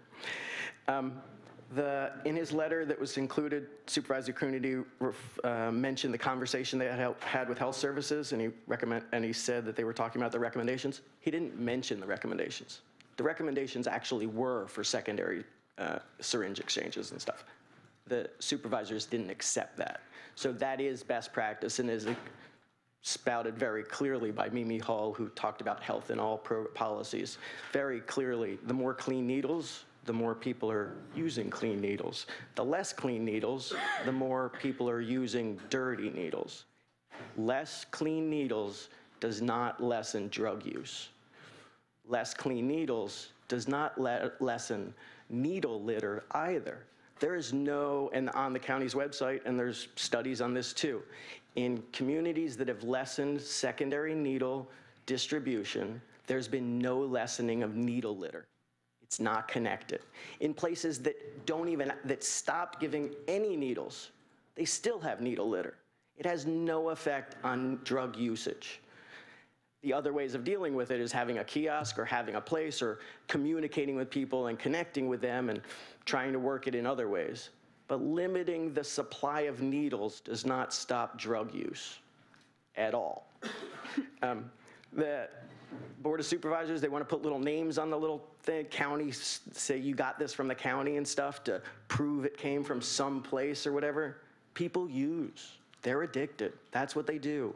They, I'm sorry, but it's a bias to say that people come from out of the county to use our services, or if we had clean, like injection sites, people would come. These are addicted people with a whole lot of challenges going on. They're not moving to other cities just because it's legal in one program, in one little place, in a very managed with nurses and stuff, not an open field and everybody using. That's not what those kind of programs are about. Okay, so on Emeline, if you want to get syringes, nine and a half hours during the week. Uh, Monday mornings, Tuesday in the evening for a little bit, Friday mornings. Wednesday, five hours per week are the only times that you can get clean needles. How many people don't want to go to a county building to show that they're addicted to needle, addicted to drugs, and don't want to go there get needles, and they're having trouble with other ways, which is what secondary exchange is about, and people who are also trying to connect them with services. There's nothing to say that somebody that goes to the county is more likely to sign up for Janus than somebody who's talking to the harm reduction people. So just an assumption. Okay, That's Mr. it. Thanks. You'll have up to two minutes. Thank you. My name's Sharon, and I want to thank um, Cynthia and Donna for bringing this forward. And um, I was part of a group that was invited to the county uh, last week, or was it in- earlier in September, in regards to the syringe litter. I was really touched that I was invited there, and I left feeling really positive. Like, I feel like finally we're in some solution. Um, and I, I do support 100% more kiosks, and I love the idea of a 24-hour service to address the syringe litter, um, and the county being financially responsible for that. And I feel that this proposal, as it's written, um, addresses the common welfare of the community. And um, for what it's worth, I'm a recovering drug addict. I started using when I was 11. I got clean when I was 28. I've been clean for over 27 years. Um, and when I was in the throes of my addiction, I, what that looked like for me is I had zero respect for me, zero respect for you, and zero respect for my surroundings. So to make an amends kind of to the planet, a couple years ago, I started cleaning with the clean team. I started cleaning with the Levelies, and I myself picked up over 300 syringes um, and collectively with our groups, we picked up thousands. And now we have the downtown streets team that is doing that. And when I was at that county meeting the other week, they said that they picked up 6,000 needles. Um, the last 27 years of my life have been a blessing, and I'm surrounded by clean and not clean addicts every single day.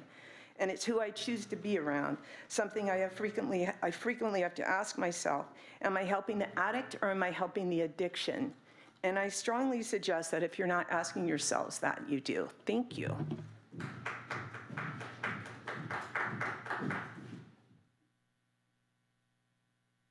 Hey, good afternoon. The goal of any SSP, as I understand it, should be to get people exposed to services, treat their wounds in the meantime, and just repeatedly offer them help. That doesn't happen in a secondary exchange in a, with medical, trained medical professionals. This is a complex issue. It's a health crisis. We don't treat that with just folks off the street. We treat it with trained professionals. Now, the secondary exchange claims that they refer people to services. And if the primary goal of a SSP is to get people in there so they can talk to them, I'm looking at numbers here of primary visits to the SSP. They go back to 2016. Primary visits, that's going for yourself, not others. We're averaging a little upwards of 150 a month prior to the HRC's inception in April 8, 2018. When they started, the numbers started dropping. When we opened Ross Camp, for lack of a better word, the numbers plummeted. An example would be March of 2018, 142 primary visits to the SSP. In 2019, the height of the Ross camp was 44. Uh, you can double check these numbers if you want. They're all on the internet. Secondary exchange, if their goal is to refer people to services, they're actually having the adverse effect.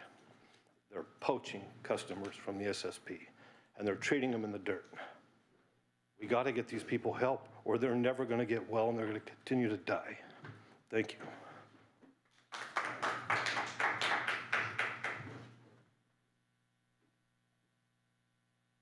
Good afternoon. I'm a data-driven medical professional as well, and I want to throw some numbers at you for the people that are data-driven as well. So the current SSP report from July 2019, which is the most current numbers we have, is 54,530 needles were handed out in the month of July 2019 alone. So this kind of assertion that we don't hand out enough clean needles, I would ask the question, how many clean needles is enough? So over 91 clients received over 200 needles per visit. This is the county's report. You can verify it yourself, it's online. Out of those clients, 86 are homeless. So to act that these homeless people have no interest in showing up at a county building to maybe take care of themselves, maybe interact with a nurse, is a falsity.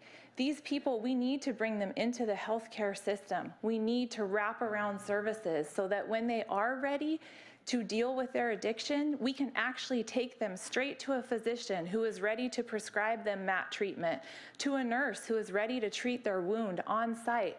Secondary exchange doesn't do that. That's basically like saying, here, meet me in the dirt where you're at.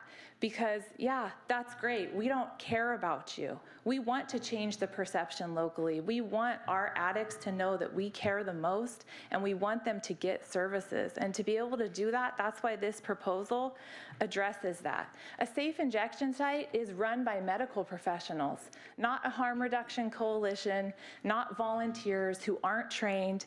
And I would argue that if you're allowing secondary exchange to happen in the city, where are the records? Where is the data?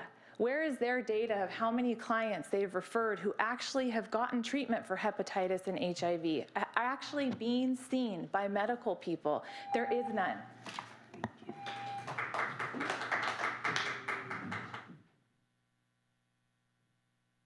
Council members, Mayor, afternoon maybe. Uh, There's my data. That's 80, 87 so far this year since January, and it's been a slow year because I've been really busy, haven't been able to walk around much. Uh, My name is Damon Bruder. I'm a concerned citizen and a recovering addict. Uh, I've said it many times on the other side of the river at the Board of Supervisors. We need accountability for our syringe services program. Handing out 10 needles and then weighing a black box that comes back and hoping that it's needles in there isn't one for one. I know you guys don't control that. I, I know you don't. Um, we need the accountability. We need accountability from the county for cleaning up the messes. That gentleman back there, he shouldn't have to come and pick up a needle from in front of my house because my nine-year-old, nine-year-old grandson almost stepped on it. The county needs to take that over. Your motion that, that you're putting forth, I agree with 100%. We need more kiosks. When I was having, when I was using, I needed a place to put my needles. I always went back to the needle exchange, which was right over there where the AA fellowship is now. I can still get what I need, same building. I needed a place to put them instead of flipping them in the bushes. I put it there. If we have kiosks, people, some people will use them. The more availability there is, and like Serge said, where they are will help. No safe injection sites. Don't give me a place to kill myself. The secondary exchange, mm, not the way it's being run. If it's run properly with a medical, a medical supervision, um, and it's not just a, let's bring your drugs, your needles, and everything you need in a pamphlet how to shoot up to where you're living in the woods, maybe the secondary exchange could help. Harm reduction is important to all of us, but only if it's run properly. We need harm reduction for our entire community. We need harm reduction for the PTSD of the parents of the child that stepped on or found a needle on the beach when they came to visit.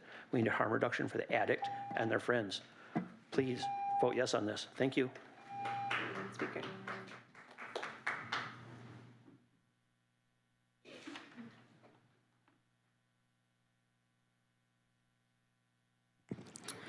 Hi, my name is Jane. I'm speaking here in my capacity as a public health professional. in particular, I speak from my experience as the Chief of Preventive Services of the State Office of AIDS. And finally, I speak in the spirit of health and all policies adopted by the City Council, which I'm really proud of. Public health as a field exists to serve the public. The goal of public health is to improve the situation of any part of the community experiencing problems that can affect their health. That, for example, is why the Dientes Dental Clinic was established. Poor dental health, including lack of services, was a major community problem. The positions taken against having any safe injection sites, additional syringe exchanges, including mobile, or secondary syringe exchange in, in Santa Cruz City are criminal. By these positions, the proposers are saying, despite well-known data-driven best practices, we don't want the county to provide specific services within our city, even though they would definitely improve the health and safety of the population, as well as the health and safety of individuals. Rather, than relying on well-documented successful programs noted on the county's website. The drafters are relying on anecdotal experiences of those who have their ear. People who assume almost all needle users are homeless and hope the problem of needles will be solved by getting rid of the homeless. This is shameful. I encourage you to vote against these. I'm not an expert on the specifics of syringe management, but I accept the research of many dedicated individuals who show that needle exchange and secondary needle exchange will reduce, reduce the litter of dirty syringes and spread of needle-borne diseases. As a secondary effect, as already mentioned, by linking these programs to other public health initiatives, such as mental health services and low-cost housing, there will be a net reduction of syringe use, period. You're, you're coming up and speaking on behalf of the Harm Reduction Coalition. You're, wel- you still can have your four minutes. Yeah, sorry, Denise wanted to be here to do the presentation, but, oh, good, yeah. We would have had a lot more people here, but it's hard to tell when these general business before the break are going to be. Glad I made it.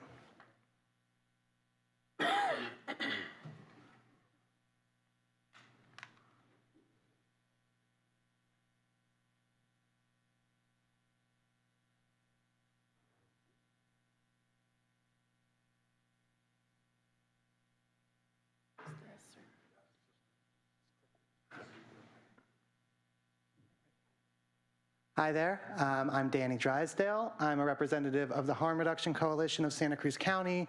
We uh, are the ones who do the secondary exchange work that is being referenced today, as well as a lot of other harm reduction services in the community. Um, and also, I want to point out we're far from the only people doing secondary exchange work. It's a really common practice at syringe exchanges to have people exchange for other people. So I'm going to go through this presentation uh, really quickly. I think the person before me covered a lot of the data that's actually really important. Before her, I heard a lot of falsehoods being thrown around. I'm not going to go through and refute each one. Um, first, just wanted to lay out examples of harm reduction in all kinds of areas so we know what we're talking about, things like sunscreen, seat belts, speed limits, so on and so forth. Um, we are interested in harm reduction for the whole community, not just around drug use, and things like syringe exchanges, safe injection sites actually uh, promote harm reduction for the whole community. So this is um, a, a, document made by our uh, local county health services, and this is them comparing the current practices of the county with evidence-based practice. You know, we heard the word data-driven. Literally all of the public health data points to the left-hand column being the best set of practices. What we do on the right-hand column, as you can see, is quite different. Um, I'm not going to dig deep into that because that's not what we're talking about today, but wanted to make sure we flag that while doing this presentation. Um, here is, this is a screenshot from a fact sheet that I sent in via email. It's public record. Y'all can go find that in the emails. Um, this fact sheet references several studies that show that syringe exchanges actually reduce the amount of needle litter in the community. So if we're here talking about reducing needle litter, strong, peer-based, which is what, uh, what, what we call our secondary services, peer-based syringe services actually will reduce needle litter. Um, not going to go deep into any of these because I want to move on, but this is a heat map of overdoses in the city that we left in here to point out how badly the city of Santa Cruz does need these services, not just the county as a whole. And this is also showing that the majority of deaths in the county in 2018, 15 overdose deaths, were in the city itself. And so obviously is a crisis that we need to address. Moving on, I want to say that as someone who spent seven years of my life heavily addicted to drugs in this county, it's deeply frustrating to watch the lives of people struggling with addiction be used as political chess pieces again and again. Um, and speaking as a representative of the Harm Reduction Coalition of Santa Cruz County, I want to express our clear our organizational opposition to the following proposals from this agenda item. We oppose a ban on overdose prevention sites, even though no one's been talking about them before this proposal, we do oppose a ban on them. Uh, we oppose a requirement for the council to approve new syringe exchange locations, and we oppose the, state, the, the statement of opposition to secondary exchanging as it is a critical link in the chain of harm reduction in our community. Um, I would say that we have waited very long for the regressive policies of previous city councils to be reversed on these issues, but given the current political climate, it seems we'll have to wait even longer. In the meantime, though, we as a coalition support the strongest possible programs based on the increasingly clear public health research on these subjects. Uh, furthermore, it is our belief that syringe litter is a symptom of the housing crisis as well as a symptom of the prevalence of drug use in the community. Housed people do contribute to syringe litter, but the lack of adequate shelter combined with with the heavy restrictions on our county SSP means that many homeless people do not have access to the proper ways to dispose of their syringes even when they badly need to. By framing the issue of harm reduction as an issue of needle litter, the county has already made this debate one that centers on and targets the homeless. Instead of talking about the housing crisis or the spread of infectious diseases or overdoses, we are here debating the low-hanging fruit of needle litter.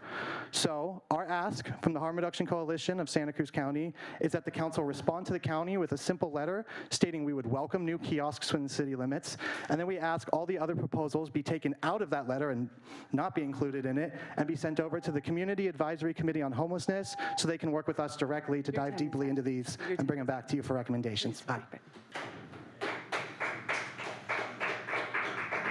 And I believe you'll, one more speaker, you'll be our, last. no, you- I'm sorry, you're, you're next and then our, la- our- Okay.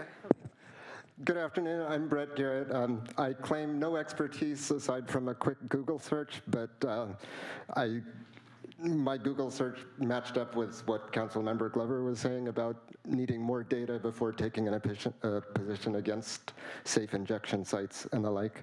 Um, so I'm going to agree with the previous speaker.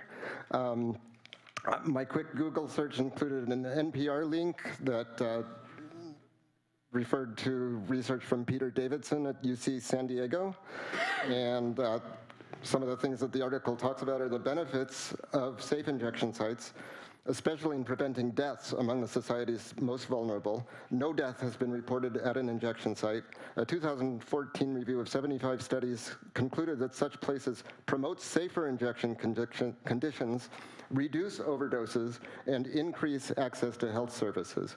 Supervisor, supervised injection sites were associated with less outdoor drug use, and they did not appear to have any negative impacts on crime or drug use. And the article goes on to talk about a specific program in Canada called Insite. Um, and it says they recruited, um, that, that the facility has supervised more than 3.6 million injections and responded to 6,000 overdoses. No one has ever died there. Uh, the, the research found no signs of a so-called honeypot effect at Insite, meaning it did not increase or encourage drug use. So we probably need more data, but it appears to me that safe injection sites provide a very valuable service that benefits the community, and I would oppose a position saying, don't do it here. Um, I think we should at least be open to the possibility it might help us. Thank you.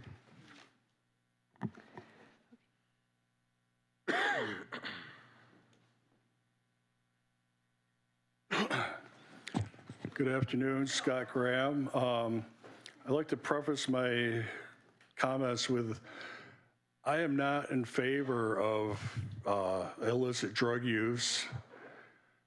My real reason for talking on this issue is that during the AIDS epidemic, I lost two very close friends to AIDS. And harm reduction is going to keep that from coming back, because it would come back. If, if people don't have clean needles and condoms, we're going to end up having AIDS and other diseases come back in a rampant way. Um, I've submitted this uh, from the Office of AIDS, California Office of AIDS.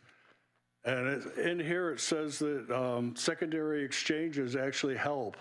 They help reduce uh, needle litter and they also help people be able to inject with clean needles each time instead of reusing needles or sharing needles, but they are able to use a clean needle each time they inject, which is very important. Um, myself, I would say, yeah, let's uh, get, get the uh, containers at the, the kiosk. Um, the first three bullet points, I say we need to have more data. We can't just have a knee-jerk reaction that's going to paint us in a corner where we can't take these actions in the future. We need data to prove that either these things work or they don't work. Um, I do support the county should establish a 24/7 needle litter response program based on what's going on in San Francisco, where they have a, a, a group of people going out and picking up needles on a daily basis. Thank you. Okay. We're going to go ahead and return it back now to the council. Councilmember Mathews, and then I don't know if Councilmember Meyers. Okay, um, thank you. And, and I, again, I want to reiterate, you know, most of my career spent in public health, and I, I do understand the, the concept and um, the concept of harm reduction. Um, in this case, I am going to move forward with the recommendation as stated. Um, uh, changing the words slightly. Uh, The first part of the recommendation, um, that we direct the mayor to write a letter to the county of Santa Cruz expressing openness to four additional syringe disposal kiosks with locations to be determined by the city manager's office and with all costs and labor for the placement and maintenance of these kiosks to be covered by the county and their contractors in perpetuity. A number of smaller, secure syringe disposal bins may also be appropriate in certain locations, installed and serviced at the county expense. Then, for the time being, as the county revisits its needle uh, and syringe policies and programs, uh, gathers additional data uh, on the feasibility and effectiveness of other programs, we express the following, that there be no safe injection sites within the city of Santa Cruz, no additional syringe exchange sites without prior city council approval. We do not support secondary syringe exchange uh, in the city, and we ask the county to establish a 24/7 needle litter response program. I'll second that. So a motion by Councilmember Mathews, seconded by Councilmember Meyers. And what I tried to explain in that motion and, and uh, uh, verbalize was that we realize the county is revisiting its programs and some of the shortcomings that we currently see. We hope the county takes greater responsibility and invests more in that. And the um, uh, impression we get is that they are interested in doing so. And so I I added the words that for the time being, as the county revisits its program and gathers data on the feasibility and effectiveness of programs, for the time being, these are our statements. Councilmember Meyers? Yeah, and I'll just add to that, um, and I, I, I fully support the, the new language. Um, I think that we, this is an opportunity for the city of Santa Cruz to begin a relationship with, most importantly, the new uh, health services um, director. And we fully, I fully um, believe that health professionals, medical professionals, and our county health department needs to be our partner and our guide in figuring out how we, how we plan for those in our community who need these services. Now, whether those are within our actual jurisdiction or whether the, those folks are living within our, within our city, um, we need to go slow. We can't go fast. And we will fail if we keep pushing. And so I think what our intent with this really is to recognize and, and actually thank the county for taking the time to reach out to us and, and, and to build this boat together. Um, we, we can't make any more mistakes. Our entire community is having issues with the needle, uh, needles that are being found in everywhere throughout the city. And, um, and most importantly, the people who are suffering from addiction, we need a comprehensive program that's going to provide success. We need pathways for these people to become well, healthy, and we're failing at that. And um, so this is about a partnership. This letter is not meant to be punitive or say we want this or that in our community right now. This letter is meant to express to the county, let's start working together. Um, It has limitations in it right now because as, as I uh, signed on to the thing, I believe those limitations are important to express right now. But with, um, with the added language of clarity, I think um, this sets, a- sets, sets us on course for a productive uh, relationship moving forward with the county. Thank you, Councilmember Brown, and then I have a few comments. Uh, Yeah, uh, so, well, I do have, yes, I have some comments, and then I have a question for the makers of the motion. Um, So I absolutely understand the kind of intention behind bringing this in this way. I totally support the uh, direction to to, uh, respond to the county's request and um, about the implement, about the installation, excuse me, of uh, kiosks. I, since I've been on the council, have just not been able to figure out why we don't have them. I understand there's a history there, but I think it's time that we changed course on that. I don't think it's been uh, done anyone uh, any good to not have Sharps kiosks, and I appreciate that the county is stepping up and wanting to do this and wanting to um, provide the resources for it. Um, So I absolutely support that piece. I, um, I do have concerns, though, about the, um, the rest of the language in, in this proposal because, um, well, for a variety of reasons, but um, I'll start with the, um, the kind of relationship with the county, and I agree completely with Councilmember Meyers that this is an opportunity for us to partner with the county, and that the county needs to be both our partner and our guide. And so I feel like um, try, including language which addresses um, the potential hypothetical establishment of programs um, and locations that aren't even on the radar, as far as I can tell, um, is really a, you know, a reaction to uh, social anxieties, and which we rightfully have in our community. We have a serious problem. Um, But I would prefer to wait until the county um, completes this process that they are, um, they are, I believe, talking about, who knows if it's, maybe it's already done, um, today related to recommendations on a plan for syringe disposal, um, addressing secondary exchange, and monitoring referrals of SSP to the MAP program. Um, They are planning to do that in December 2019. I would prefer to include in a letter that we look forward to working with them and partnering with them in those efforts around community engagement. They're doing surveys, they're having community meetings. Um, I think those are opportunities for this conversation to be had with our broader community. And um, so that would be my preference. And um, so I guess it, with, I'll leave it there for now. Um, but my question is if um, we could perhaps divide the, the motion for the letter regarding kiosks. And then the rest of it. 24/7 needle. And 24/7 needle litter response, and then the- the others as a separate. Um, In the interest of sort of moving that along, do you want to go ahead and make that motion to, or make that? I'm happy to divide it. Okay, let's Yeah. divide the question. Should we I go ahead support and that. maybe, let's go ahead and maybe take that vote, and then we can move forward with some of the other issues that are still outstanding after that. Okay, so the motion has been divided to address the, um, to support essentially the first uh, uh, recommendation to have the mayor write a letter to the county of Santa Cruz expressing the openness to the four additional syringe disposal kiosks, et cetera, as well as to include um, that that letter also um, include a recommendation that the county establish a 24/7 needle litter response program. Is that correct? Yes, and we can include language um, appreciating um, their attention to this issue and our desire to continue a, um, an active partnership. Perfect. So also including our intention around collaborating and their, um, our appreciation of their um, seeking our input as we move forward in this way. Okay, is there any further discussion on that component of the motion? Seeing none, um, all those in favor, please say aye. Aye. Any opposed?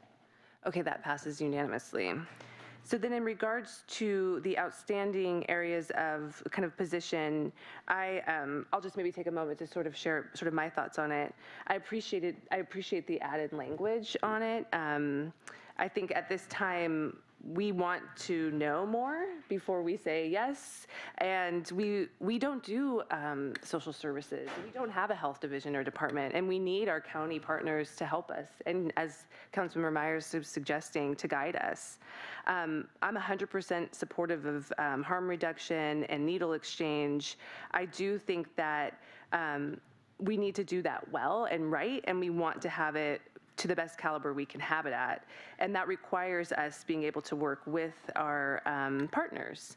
And so, especially those who are experts in the field, the county partners. So for me, um, having that language around needing to have the county weigh in, needing to have the city council approve, I think that could also be applied to the city does not support the secondary needle exchange unless it's sort of as a partnership or out kind of are spurred through the county and has our council approval. I think we just need to know. I think that's part of the, the challenge is if we don't do uh, um, uh, human services and it's happening in our community and we're unaware and it's not going through the county, then I think we want it to go through them. So that is sort of implied in the in the um, direction around no additional syringe exchange sites, including mobile exchange in the city, without us having approval. I think that could similarly be applied to the following bullet around the secondary syringe exchange.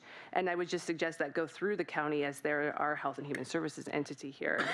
I do also just want to um, kind of share what Councilmember Meyers was saying. I hope what we can do is move forward in a way that's going to bring healing to those who are in need, that's going to bring the best medical attention and direction, and ultimately allows us to move into a place of prevention at a certain place where we can stop folks from uh, getting hooked on these drugs to begin with. So I will support it.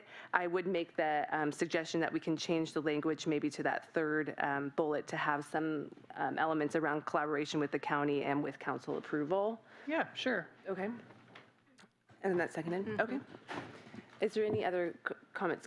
Oh, do we need clarity by, Yeah, if I could just get Councilmember Mathews to read State the what motion. part of the. okay, that, that's great. Could you please restate? that? Yeah, so for the time being, as the county revisits its needle exchange and harm reduction program, um, gathers data on fe- feasibility and um, impact, um, the city expresses, um, advises the county that um, we um, do not uh, support safe injection sites within the city established without prior, I'm going to put without prior city council approval on all of these things. No additional syringe exchange sites in the city of Santa Cruz should be established without prior city council approval, and the city does not support secondary syringe exchange without prior uh, city council approval. If I could, maybe the only thing I would add is that eh, without our council approval, but also without the county's information yeah, approval. yeah. As our countywide health And, services and agency. um, uh, in all cases involving um, consultation and involvement of the county health services. Which makes sense to me. Okay, thank you. Any further discussion on this item at this time? Councilmember Brown? Yeah, I just have a quick follow-up comment. Um, Again, I, um, I have concerns about making these kinds of statements to the county when we are approaching them uh, in the spirit of partnership and cooperation to say, um, except for not in our city. It just doesn't feel right to me. Um, I also have concerns about making sweeping statements about um, programs that, you know, I'm not entirely clear about the, um, the consequences and, you know, the benefits and the, the challenges. I under, um, what I know is we have a serious problem in our community. We have, um, we have so many needles um, that are being found, you know, that, and I, and I, and I am convinced that this is a- an issue that we have to address.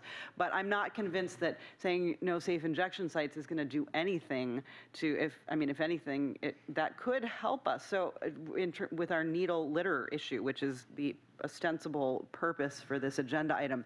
So I guess I, I'm just not comfortable doing that. I would prefer that we refer these um, matters to um, the CACH. It sounds like um, at least one representative of the CACH is interested in, in looking at these, um, giving, advising us.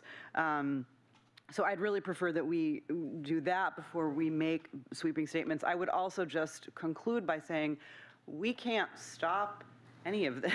I mean, we, you know, the city only has so much power to, um, to regulate. We, they're at least in, in this way saying, you know, we don't support it is a statement of that we don't support it. But um, we're going to have to take it very seriously if and when an actual proposal were to come our way, because that is where I think um, the, the city's going to have to weigh in about the conditions under which we would ever approve that. But for now, to just say, no, we don't support it, doesn't, it just doesn't seem like um, there's really any um, reason, need to do that at this time. So I, I, I can't support that. I'd prefer that we, um, if we want to have this conversation, that we um, get, we refer it to some people who really would, would be willing to spend some time wrestling with it and get more information and come back to us. Vice Mayor Cummings, Councilmember Glover, Meyers, and then Mathews. Thank you. And I just want to say that I agree um, with a lot of what Councilmember Brown just had to say, because I think that what's important is that we're not shutting the doors of the community on opportunities for people to receive, um, you know, alternative forms of, of care when it comes to um, the use of needles and um, their ability to get access to resources. Um, I think that um, you know, we need to, if the county's working on this and the county is trying to gather data and get an understanding of what is appropriate for the city and the county, that we, we keep our options open. And that we try to see what the county is going to recommend and then engage in a meaningful dialogue with them if some of these um, if some of these options were to come forward.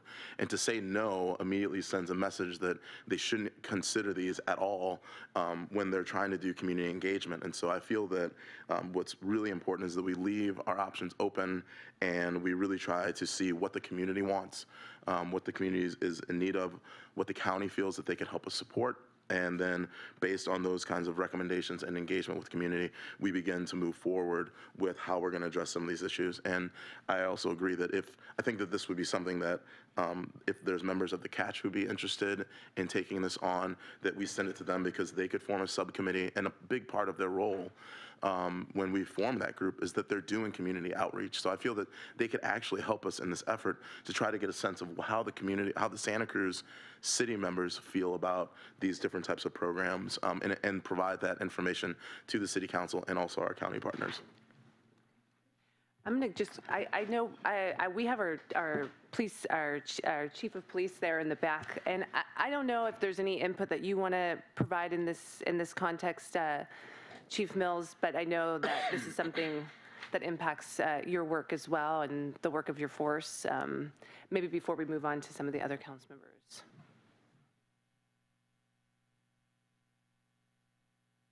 Well, Mayor, thank you.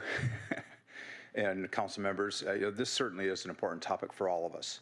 And there's not a person here that doesn't want what's best for the health of this community. And as you, we get hundreds of emails and complaints about people finding needle litter. So uh, the way you have it structured uh, in terms of add, adding additional kiosk, I think makes sense uh, to reduce the harm. And uh, we would be happy to continue the research portion of uh, harm reduction uh, to make sure that, you know, we at least are headed the, the right way as a police department to make, you know, and, and safe injection sites. Um, you know, uh, it, that's a pretty tough, tough issue from the standpoint that you are uh, encouraging, encouraging is not the right word, that uh, we are allowing people to knowingly violate the law in our city in terms of possession of narcotics. And, um, and so, um, you know, if there's another way to do it, then we certainly maybe want to, want to think about that. But until the state legislature and the federal government strikes down um, possession of methamphetamine and heroin as a law, um, I don't know that how we, the police department, could support uh, people being in possession of a controlled substance. So that's our input. I appreciate that. Councilmember Meyers, Councilmember Glover, and then Councilmember Mathews. Uh, I'm hearing, I'm hearing the need for sort of a qualifier, I, I think, um, in terms of, so eh, I- I'm looking at the, the Health Service Agency report um, that was also provided in our packet and posted um, with the agenda.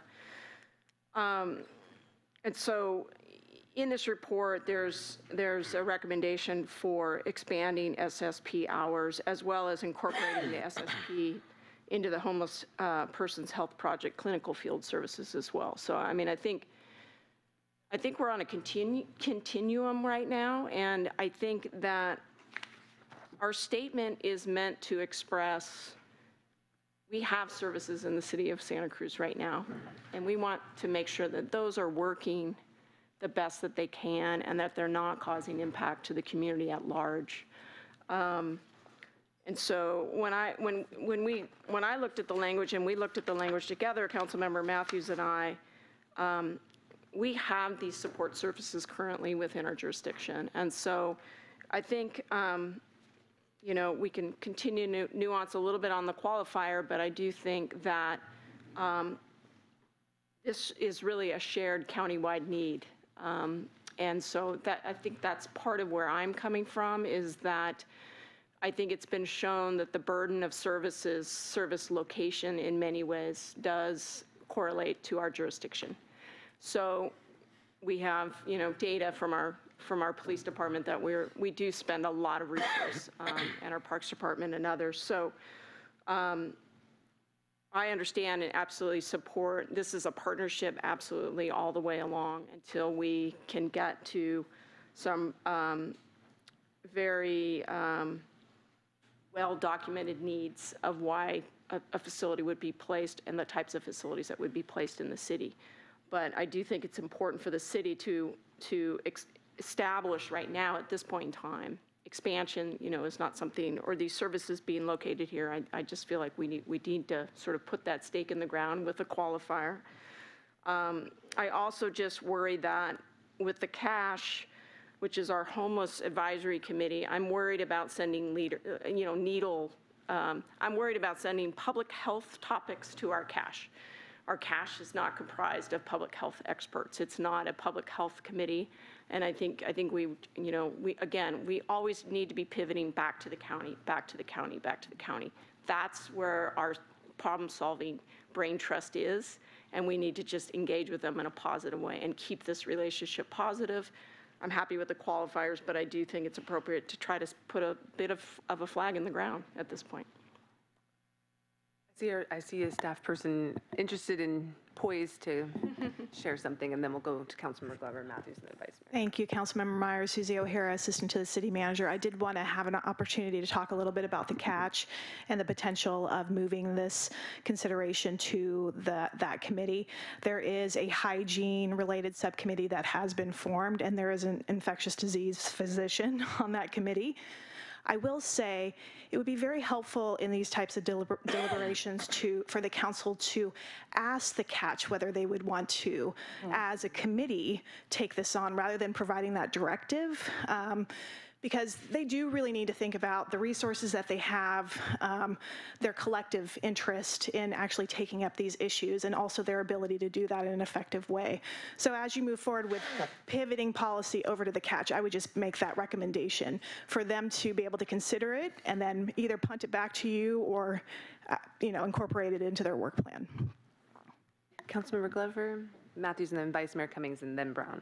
Thank you. Uh, Yeah, I just want to echo the statements of Councilmember Brown and Vice Mayor Cummings, uh, especially with the regard to this idea of partnership, because it's hard to imagine, you know, we just heard um, wanting to maintain a positive partnership, but to enter into a partnership with already clear-cut lines as to what you can do, especially after seeing the slide from the Harm Reduction Coalition on the hot spots of overdoses in Santa Cruz that we're dealing with in the city right now, uh, I just think it's inappropriate to uh, set these stipulations and not enter into the partnership with an open mind, since we know the relationship between the city and the county and collaborating around these issues has been tumultuous at best. So ideally, we'll be able to move forward openly with uh, an open mind to things that we might implement here, and then when that time comes, uh, reassess and figure out what's going on instead of setting up barriers ahead of time.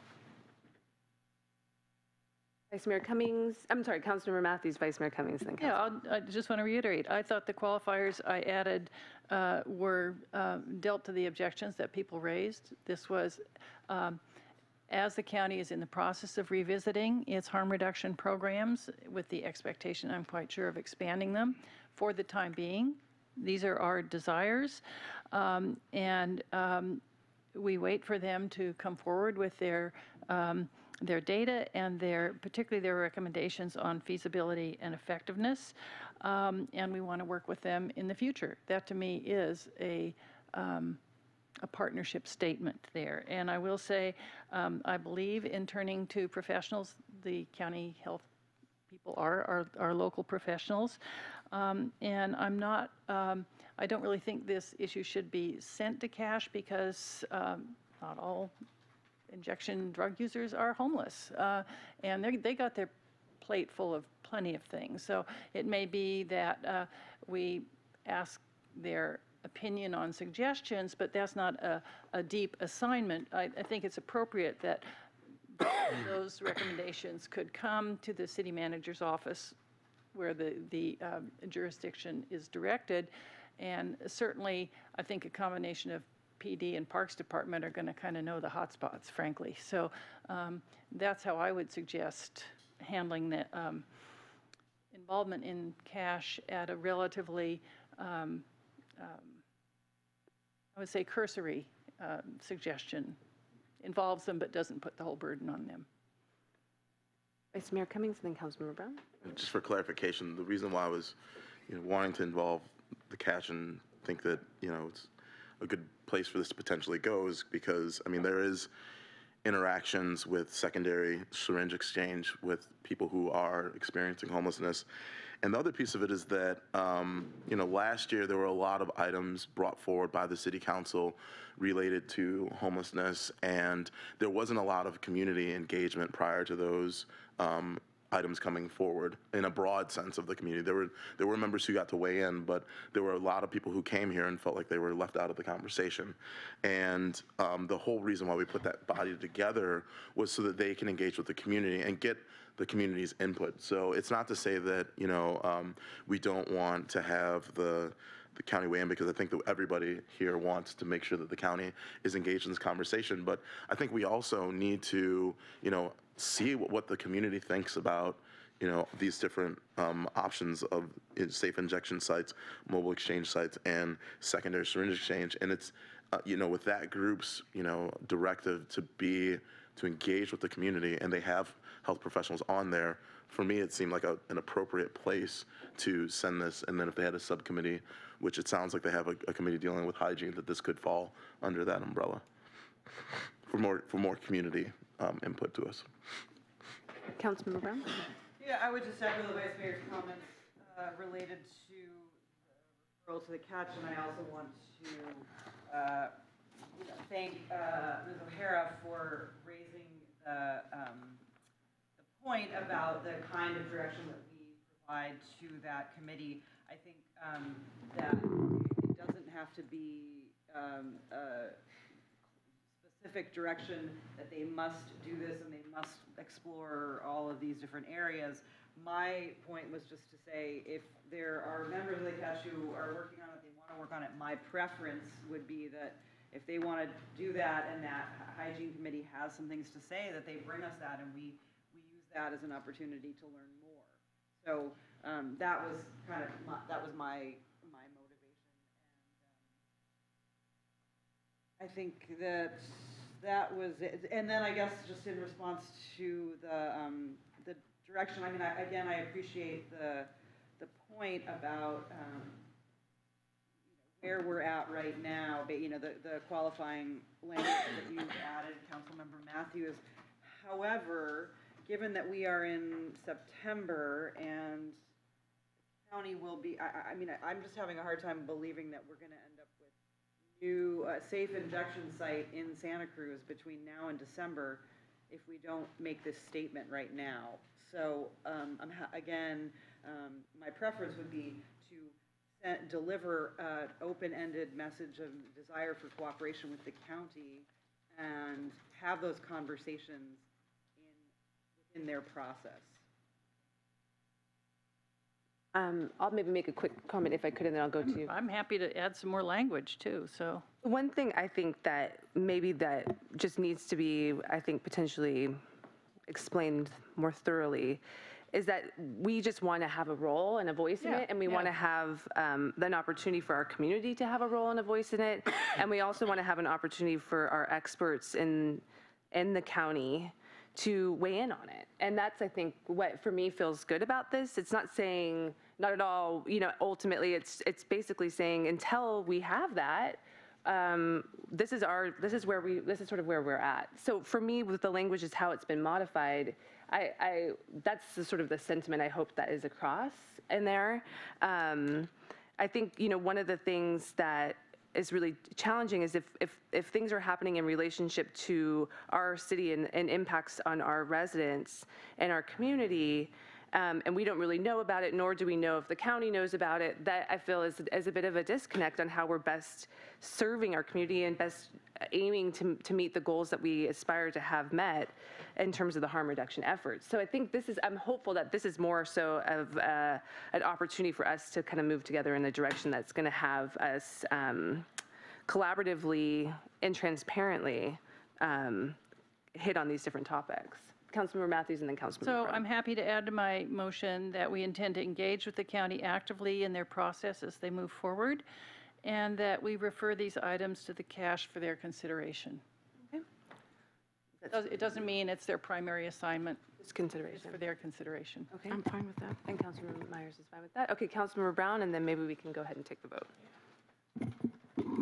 Well, I guess I'm, uh, you know, and again, I'm sorry to belabor this, I don't mean to, but I'm, I'm just wondering, in terms of the actual objective, meeting the, the goals that we have, um, that I think we agree upon, um, how is saying no safe injection sites, no syringe exchange sites, and no, no secondary syringe exchange going to give us information about um, ha- that happening? I mean, I, um, Mayor Watkins, I hear you when you say that um, these things happening without us knowing is a problem, but I'm not sure how this, these statements are going to uh, give us any information about them happening. So maybe you could, if, if- help me understand that. Well, Councilmember Mathews and then yeah, Vice Mayor. I mean, there aren't a whole lot of people here, but these are the back-to-back letters we got, emails we got from the public, and they are overwhelmingly in favor of us taking this action. And I think what this says is these are high-profile programs, and the county has said they want to engage with the public, and that's what we're saying. We need to be engaged before these get launched in our city. And I think what we have from all these letters we've received from the community is they're concerned. They know there's, there's drug problems, there's injection problems, there's needle problems, there's addiction problems. They want to help find solutions, but they want to be engaged, and they're looking to us to, to say that that will happen. Vice Mayor Cummings and then Councilmember Brown. I would just say that the second half of that motion, I think, is kind of where I feel like probably the whole council might be on board with just this idea that we want to work with the county, we want to work with community members, we want to send these these concepts to the CACH of safe injection sites, syringe exchange, and secondary syringe exchange, and for to learn more about their consideration. Um, to my knowledge, we haven't, the proposal of a safe injection site in Santa Cruz has not come up at all in, you know, at least since I've been on the city council. And I don't think that we were really planning on bringing that forward. So, I mean, I could see why people are concerned, but, you know, their concerns, I think, are because this came forward as an agenda item and people maybe didn't you know, they might have been concerned as to whether or not we were considering doing this, which we're not. Um, but, you know, as I stated before, I think that just kind of having these no declarations, when we, when I think what's more positive is that we, you know, work with the county and community on these different topics so that, you know, we demonstrate to the community we're taking in your input, we're working with the county before we make any decisions uh, on how we're going to move ahead. I think that, in my opinion, would be the most appropriate way to move forward. I think, I think honestly, that's exactly what this is doing, is it's basically saying, we um, want to work with the county, we want to work with the community, and that's why we're saying, until we do that and have that process in place, then we, we don't support it kind of being done without that engagement. So I think it's sort of saying the same thing that you're hoping it's aspiring to reach, That based on the my intention. qualifiers that's Yeah. been mentioned. Okay. Okay, unless there's any further discussion, um, we'll go ahead and take the vote. What, what's the motion again? I- I'm- I'm Okay, Ooh, I think you were transcribing it. I could come pretty close uh, for the time being as the county revisits its needle exchange and harm reduction programs, gathers data on uh, feasibility and effectiveness. The city um, advises the county that there be no safe injection sites within the city of Santa Cruz without prior city approval. There be no additional syringe exchange sites of all the other language without city approval. We do not support a secondary syringe exchange program without uh, uh, prior city council approval. Um, We intend to engage uh, actively with the county in their process as they move forward and be active partners. And we refer these items to the CACH for their consideration. Okay, and does that reflect the second? Yeah, mm-hmm. Mm-hmm. okay. All right, we'll go. Why don't we just Khan? refer it to the CACH? Well, I, I, have it I come made it very clear. I don't want this to become a primary mm. focus for the CACH. It's not exclusively a homeless problem. And I think where the main emphasis has to come is from the county health department. I think it's entirely appropriate to engage the CACH in it, but not, not uh, have the um, core recommendations for um, intensive, controversial, bigger picture public health programs come uniquely from them. Engage them, but not have the responsibility rest. City Manager Martin Bernal, this is also, is, is this your understanding that the county is hearing this item in October? Is that right? Is that also? I'm sorry, that they're what? The county is hearing this item, or they're going to be addressing this item. Is this happening in October, do you know? There was an interest in hearing back from the county. Tuesday. I can give, I have They may the have agenda delayed it. item here. Oh, oh, it's October. They're- They're having community meetings, surveying, et cetera, completing the analysis um, in November, and we're bringing it to, in December. Perfect. Oh, okay, okay, okay, thank you. Okay, uh, Vice Mayor Cummings, and then maybe we'll go ahead and take the vote. I'd just like to see if we, if there's any way we can separate the motion for the three bullet points from kind of the recommendations about how we'll engage with the county, community members, the CACH, because I think that's really the big area of, of um, disconnect right now. I think that everybody here is really wanting to see us partner and work with the county and work with community members, work with the uh, harm reduction folks, work with the CACH. Um, But I think that, you know, the, the you know, these affirmative declarations of no to um, the different types of harm reduction is where we have the biggest um, disconnect. And so if we can just separate the motion from those bullet points from our intention to work with the county, I think we could probably get to some level of So you're just saying drop out all the bullet points? Yeah. Councilmember Brown. Meaningless motion, but. I, I guess, um, you know, my, I was in response to a comment that was made uh, multiple comments ago, um, that the goal here is to say, um, we want to be involved in the conversation um, and decision-making before any of these things happen. That I can support, but we are saying, um, we want to be involved in the conversation and no, no, no, no to these. Okay. Um, And so to me, that just isn't a conversation starter to say no to everything, you know? Let me rephrase a motion, and then maybe we can vote and it- move on. I think, because that's ultimately where you're at with it. Okay, go ahead, Councilmember Mack. Okay. uh, hmm. Um, uh, As the county revisits its um, harm reduction programs, um, conducts community outreach, and gathers data on feasibility and effectiveness of various programs, we intend to engage with the process uh, and um, um, let me see. Um, uh, how do I want to phrase that? Want to engage in the process um, Before. before consideration of safe injection, syringe exchange sites, or secondary syringe exchanges are considered, and in any event would expect to have prior city approval for such programs. Yeah, that do it? Okay, Councilmember. I'm- Okay, yep, I'm Councilmember Glover. Yeah, thank you. Um, So I just wanted to respond to the statement that was made about holding up the packet of emails. Uh, In going through the packet uh, that was provided with our agenda, yes, there are uh, letters that are opposed to, or that are in support of this agenda item, but then there are also a- a litany of them that are not in support of this agenda item. Yeah. And in addition, the ones that are in support of this agenda item are littered with fallacies and poor data, uh, specifically encouraging us to go to a one-to-one system or for no needle distribution at all in Santa Cruz. So it's really problematic to see the reference to those emails being used to support this motion uh, when we are supposed to be working off of data and uh, making informed decisions that will in fact benefit the health of the entire community because these emails are promoting things that will be detrimental to the public health of our community. So it's really important for us to be conscious, not just how many numbers of emails there are, but the context of those emails, the understanding of the people that are writing those emails, and then how that correlates to data and proven uh, examples of public health and safety around the issues of needle litter. Okay, so we have the motion revised with similar uh, intent. All those in favor, please say aye. Aye. Opposed? Okay, that passes unanimously.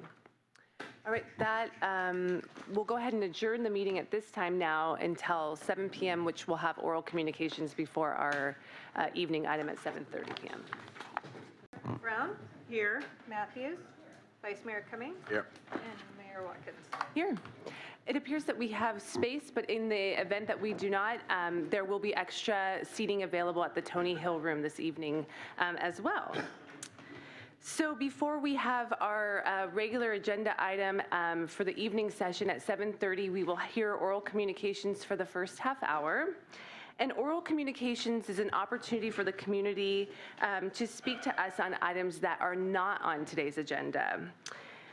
If I could get a sense of how many members are here that are wanting to speak to the council on an item that is not on today's agenda?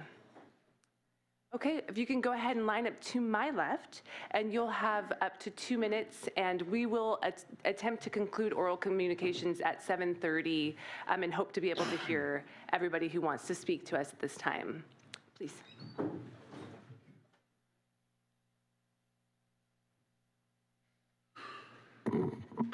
Council members, good evening. My name is Sue Powell. I am here to ask for your help in protecting the historic church at 111 Errett Circle from being torn down. One way that you can do this is to add an item to your next agenda to consider directing the Historic Preservation Commission to review the DPR 523 historic report for the property during a public meeting. The Circle Church is one of many historic buildings that is not included on the city's Historic Building Index. Historic building surveys were published by the City of Santa Cruz in 1976, 1989, and 2013. While the history of the Circle Church goes back 130 years, the current church was built in 1958 and was eligible for historic consideration in 2013. However, the Circle Church was overlooked by the city's historic designation process. Younger churches in more affluent neighborhoods were included on the Historic Building Index, but the Circle Church has been ignored. Because the Circle Church is not listed on the Historic Building Index, staff will not allow the Historic Preservation Commission to review the historic report submitted by the developers. The Historic Preservation Commission is very concerned about unlisted historic structures over 50 years old that are threatened with demolition. They have created a subcommittee to revise their bylaws so that they can be allowed to review submitted historic reports. They have seen that developers pay consultants to produce negligent and erroneous historic reports that do not support preservation of our city's history and culture. Neighbors and friends um, of the Circle Church believe that the historic report and demolition permit application um, for the Circle Church should be reviewed by the Historic Preservation Commission as an exception while the commission revises the current policy. The Circle Church is an iconic landmark like no other on the west coast of California. Please help us in our efforts to protect our heritage and culture. Thank you. Okay, thank you. Next speaker. Good evening. I am Brett Garrett, and um, there's something happening here in Santa Cruz that many of us consider to be very undemocratic. People are being paid at least $6 per signature and probably more to collect signatures for a recall petition. Do you know this would likely be illegal in Oregon, Arizona, Wyoming, Montana, North Dakota, South Dakota, and even Florida? I'll admit I didn't look specifically whether all of these bans include um, recalls, but all of those states have some kind of ban on payment per signature for initiatives and the like. That's because payment per signature is undemocratic and it leads to problems, including police being called right here in Santa Cruz due to the belligerent behavior of some probably small number of people trying to get those valuable signatures. But there is hope for California. Assembly member Evan Low has a bill, AB 1451, that would illegalize paper signature in California. And this does include um, a ban that would apply to recall elections. AB 1451 has been approved by 72.5% of the Assembly and 60% of the California Senate. In other words, the state legislature overwhelmingly agrees that payment per signature is undemocratic. This legislation now awaits Governor Newsom's signature, and I think we should all support it. And maybe, just maybe, this city council could quickly establish a maximum dollar amount for payment per signature in Santa Cruz. Because although we may all have different ideas about what what is excessive, I think all of us, most of us can agree that excessive payment per signature is undemocratic. And some of us feel the very concept of payment per signature is undemocratic. Please support AB 1451. Thank you.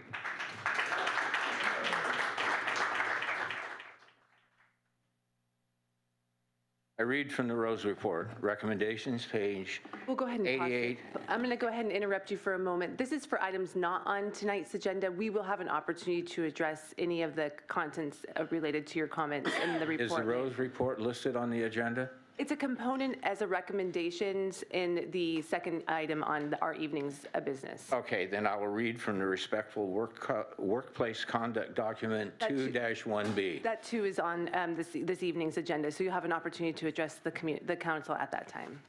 Okay, next speaker, please. And And this, just to- a reminder for those who are in the audience, this is an opportunity to address the council on any items not on today's agenda. Please. Yeah, hello, City Council. Bruce Thomas, Dufour Neighbors. I've been here before. I want to just give you a quick update of what's going on to resolve the year-long problems at the, on Dufour Street that were come about when the Blaze Pizza and the Starbucks opened. Uh, There's actually some positive news. Uh, We're getting some um, help from the Transportation Department, and they're going to come up with some recommendations that they will publish this Wednesday. Well, this thing keeps going in and out. I don't know what's what- up with that. But, um, so anyways, I, I'm hopeful that we can reach some consensus among the neighbors and the businesses. They're, they're reaching out to all the stakeholders, and they really do, I want to commend the Tran- Transportation Department for really putting a lot of effort. And yeah, um, you guys have, two of the council members have seen the situation. So hopefully we'll address the, uh, load, the lack of a loading zone. The talk is putting it down further towards the residents, so it will lead to a public process, some notifications. And um, it'll need consensus, or it might actually end up as an appeal. If it's appealed, it could come back to the city council to really resolve fully all the problems with traffic flow and the loading zone. And um, yeah, and and I really want to reiterate, this all came about because of lapses in the planning process. This should not happen again. Plan- New businesses should have loading zones designated, and I invite the public to go to hearings and make sure anything in their neighborhood does have a specified loading zone, so they can not have to face what we've had to face on Dufour Street. Thank you. Good day, Councilman. My name's Brian Peoples. I'm the Executive Director of Trail Now. We're a local organization active in promoting effective transportation solutions. I'm here today to talk about, you know, basically every day our community continues to be stuck in a traffic nightmare. Um, Our transportation system is virtually shut down. Families try to travel to the store, travel to school they, they can't do it. They're all suffering. So we're here asking our community leaders to begin looking at opening up the Santa Cruz Coastal Trail, not a decade from now, but today. And Trail Now is actually have proposed to have an interim trail without removing the tracks. Uh, Progressive Rail supports our proposed plan, and we're bringing in the money, to- the funding to do it. So we're asking the political leadership to support opening up the corridor today.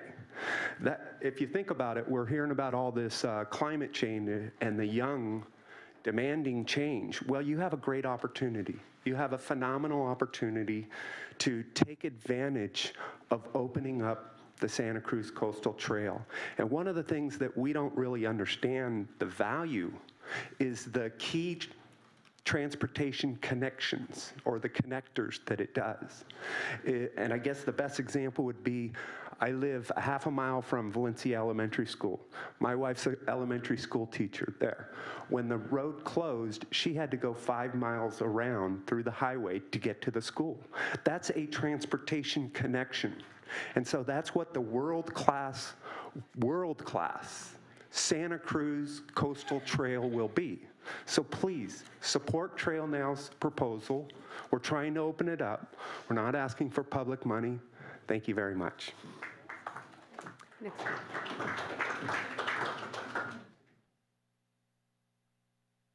Hello, Garrett Phillip.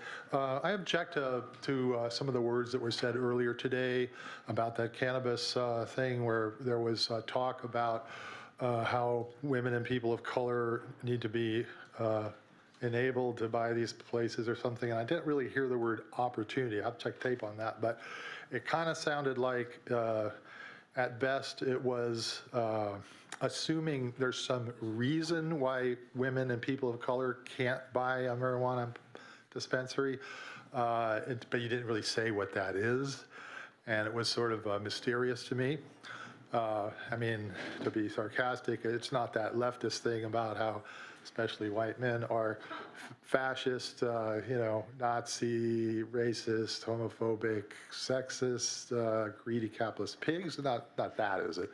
I don't know. But, and, and at worst, you, it, you kind of imply a quota system, which is as racist as anything there and sexist as anything there is. Anyway, uh, think about that while I read as much as I can of this. Which is not much. There's a damaging civil war of narratives in our country where leftists want to demean, divide, degrade, and replace American achievement with a shame blame. Ignoring the achievement of our moral evolution, ancient people are judged by modern standards. People of the past moralities are now either martyrs or oppressors and used as an indictment of the present as if today is the past. According to them, the country was founded only to destroy it, the Constitution written to validate slavery, and wealth is only produced by exploiting the poor. America is judged as a bad country by them. It is not 1961 or 1691. Surprise, it's 2019. Was America a country built by slavery or a country that overcame and abolished slavery at a cost of 600,000 lives? Is the U.S. a country of rampant discrimination or one of continually accepting more diverse people and cultures, if any? We have All right, next speaker. You're not in line? Okay, the speaker who's next then, please come forward.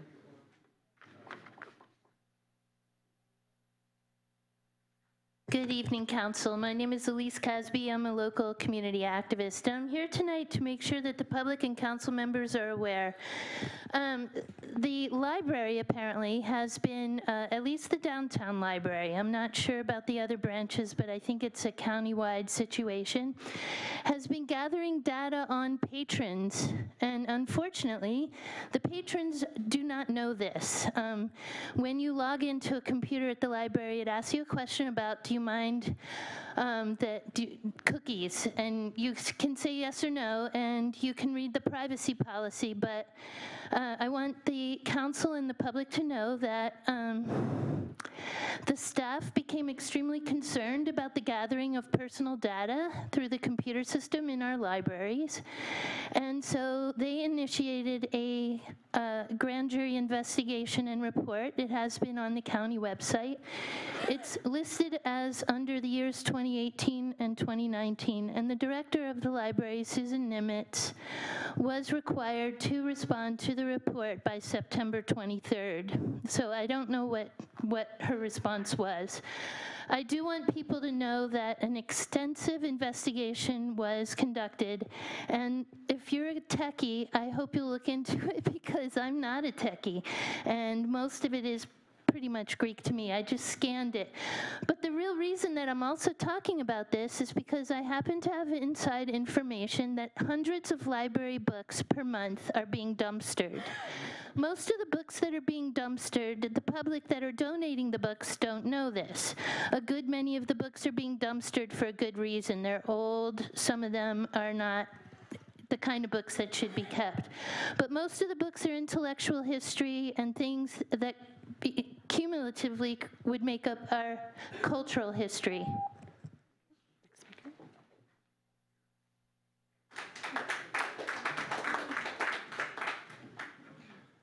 Members of the community and council members, um, Huff has watched, that's Homeless United for Friendship and Freedom, has watched the old guard's cavalcade of distraction for the last nine months as the unhoused population has swelled on the streets. The council minority and the staff have ignored the most basic shelter and health needs of those outside, choosing instead to find failed, costly, and face-saving measures to harass and disperse homeless people who gather for safety and community. The city manager and his staff have lied to the community, disgraced us all before the courts, and betrayed the homeless population with endless, broken promises. I'm looking at Susie O'Hara in the audience, not as a personal matter, but because she is a staff member responsible for a lot of these lies. I'm going to go ahead and pause the time. I'm just going to remind you, you're welcome to address the council. I but am please, uh, addressing you, and I'm addressing you about Susie O'Hara and the staff. Okay, go ahead, Okay? continue the comment. Because I think she has to be held accountable for the statement she's made and that this council has followed. I would remind Councilmember Cummings that he was going to hold her accountable four months ago, and I still haven't seen that accountability come up. False narratives such as the recall narrative, the $18,000 investigation narrative, the civility narrative, and the homeless menace narrative. These divert attention from real issues while renters are being forced out and homeless are freezing outside. The progressives and their supporters have gone along with this toxic narrative diversion by not demanding that Watkins restore items to the council agenda and insist on procedural and substantial changes. Glover's supporters have urged Glover trim his sails, speak softly, and walk on eggshells. This is a losing strategy. It betrays both the voters who put them in office, him in office, and his colleague, and those who are counting on their strength, not their submissiveness.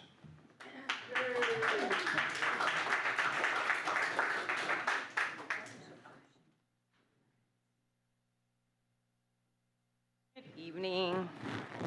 My name is Alicia Kuhl, President of the Santa Cruz Chapter of the California Homeless Union. And I just wanted to take the opportunity to let everyone know in the community that um, recently our lawsuit was dismissed regarding the Ross Camp. But at our last court date, the judge advised both the city and the plaintiffs to meet and confer regarding settlement. And I wanted everyone to know that we provided a letter signed by all the plaintiffs giving us the right to negotiate settlement, Anthony Prince and myself. And it was completely ignored um, twice by the city. And so an offer to meet and settle was never, it was a choice, basically, not to discuss that with us. And so unfortunately, that decision is likely going to lead to further litigation. Um, It's unfortunate, but that's where we're at right now. Um, And I also wanted everyone to know that there are still no showers at the city-sanctioned 1220 River Camp. That's where the people that were uh, displaced from the Ross Camp were intended to go, at least 60 of the 200, and they still haven't gotten any showers. And that is the camp that the city is, is responsible for, along with the Salvation Army. And I think that we can do better. So please, I'm asking you to pay attention to that and do better. And meanwhile, you have everyone else that was not uh, placed anywhere. And they could use motel vouchers, some laundry vouchers, and things of that nature. Thank you.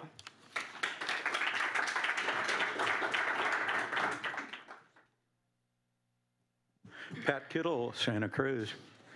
I'm wearing this uh, little flower sticker that's passed out tonight because I'm told that it merely calls for civility, and I'm all for that. It does not promote any other agenda beyond civility. That's why I'm wearing this. Um, Where do I start? We've got, uh, I can always count on somebody to bail out when I come up to speak because they don't want to hear what I'm going to say, although, of course, they have to go wee-wee. I typically will introduce a very tab, probably, possibly the most taboo subject of all, and that is the undue influence that the Israel lobby has on all of us, both domestically and uh, in our foreign policy. Uh, for years now, the Democrats have been going after uh, Trump, who I'm no fan of, incidentally, because of his alleged collusion with the Russians. Well, the Israel lobby has orders of magnitude more influence on both uh, Trump and the Democrats. Nancy Pelosi actually said that even if our capital crumbled into ruins, she, her top priority would still be aid, and she says, I don't even call it that, our cooperation with Israel. Can you imagine that's, that's outright treason? Who called her on it? No one, no one, but she said that. Everything I say up here is the absolute truth to my best ability to say it. Garrett uh, Hardin took a cheap shot at me recently, and I responded by saying, show me where I'm wrong. Just simply, if you don't like what I say, I'll be glad to discuss it with you. Show me where I'm wrong. Because the fact is, uh, each Israeli gets 7,000 times per capita more foreign aid than the average inhabitant of the world. That Next is a speaker, your fact. time is up. Jim Jensen, uh, Mission Hill, and that's a tough clown show to follow. Um, I'd like to comment on a project on North Pacific that Go I. ahead and pause the time. I'm going to go ahead and remind the community that this is an opportunity to listen to the person who has the microphone for two minutes. We may not always agree with each other, often we don't, but we will respectfully listen and hear to them. Go right ahead. Thank you. Well, I found out in the uh, Sentinel earlier this week that there is a new development proposed on North Pacific Avenue. And as a resident of the Mission Hill neighborhood, we were not noticed on said development. Um, It's very close to us. It's a, a easy underhand throw from my house. And the um, people that are, uh, maintain the hill who, that, the- and the article said the hill would have to be ma- uh, modified, they found out about it in the paper as well. So what I'd like to do is ask that when the planning department notices about the North Pacific project, that Mission Hill gets noticed as well. Thank you.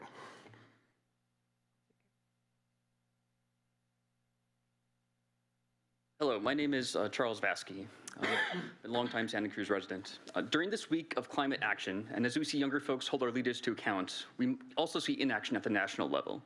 And though we, we must resist nationally, we can and must act locally. Transportation is our largest source of emissions. Both Santa Cruz's climate action plan and the California Air Resources Board agree we must reduce the number of vehicle miles traveled. Only systematic action can change this. Local governments plan where people can live and work and what modes of transport are allowed. And only you, our local government, can change this. Every day we go without dense housing in Santa Cruz, we force more of our workers to live further away from town. Every day we disallow dense low carbon living, we build more housing on green fields where nobody files CEQA lawsuits. We cannot claim to be environmentalists and also deny dense infill housing. Future councils or future generations look to this city council to ask why it has not been done already. I urge you to please take speedy action on our land use, um, not eventually, not next year, but this year. Thank you.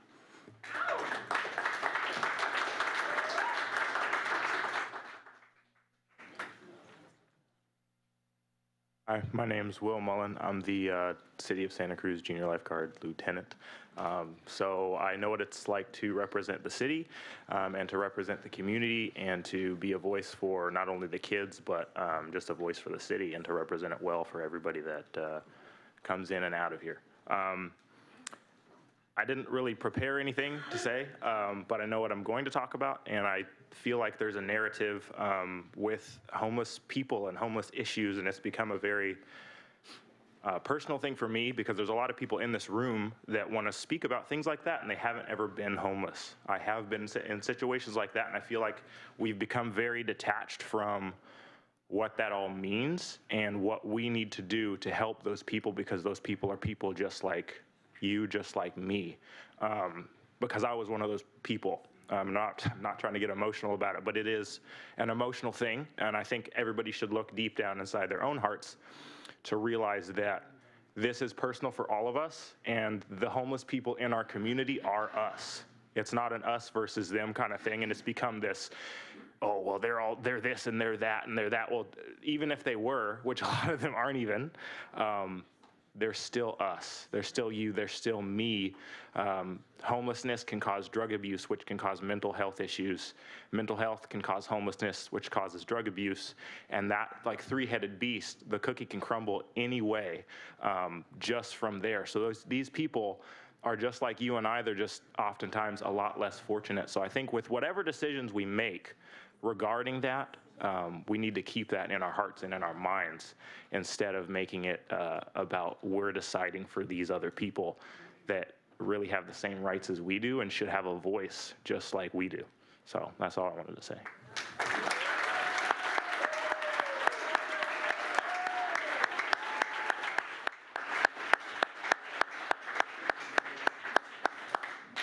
I realize I am going to speak because it's not on the agenda tonight. Um, my name is Olivia Boyce Abel, and I'm here to talk to you about the recall petition. And it's just come to my attention in the last hour and a half that there are actually people who are coming from San Jose being paid eight to nine hundred dollars to come table and then leave. And they're trying to break apart our diverse community. And I love the representation that we have right now. I really appreciate each one of you. And I want to say that piece so that you have that piece of information. And I really support my friends.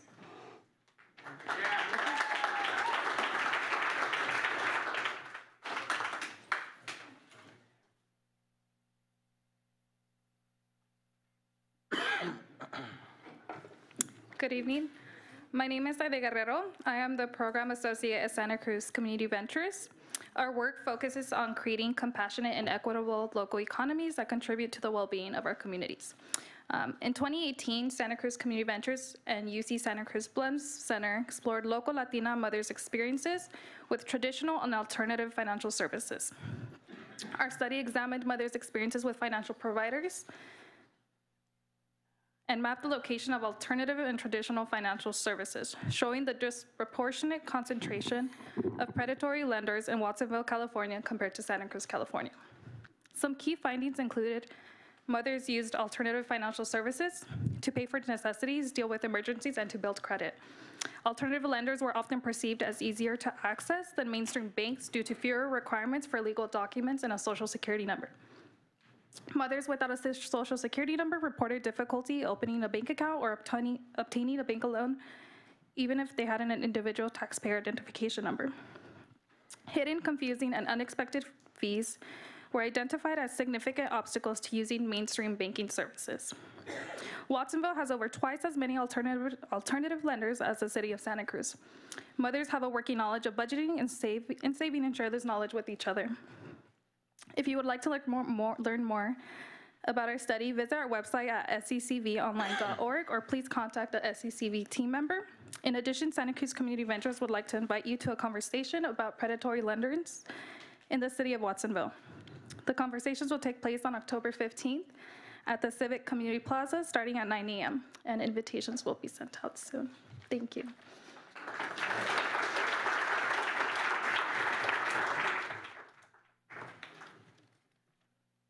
Good evening, Mayor Watkins, members of the council.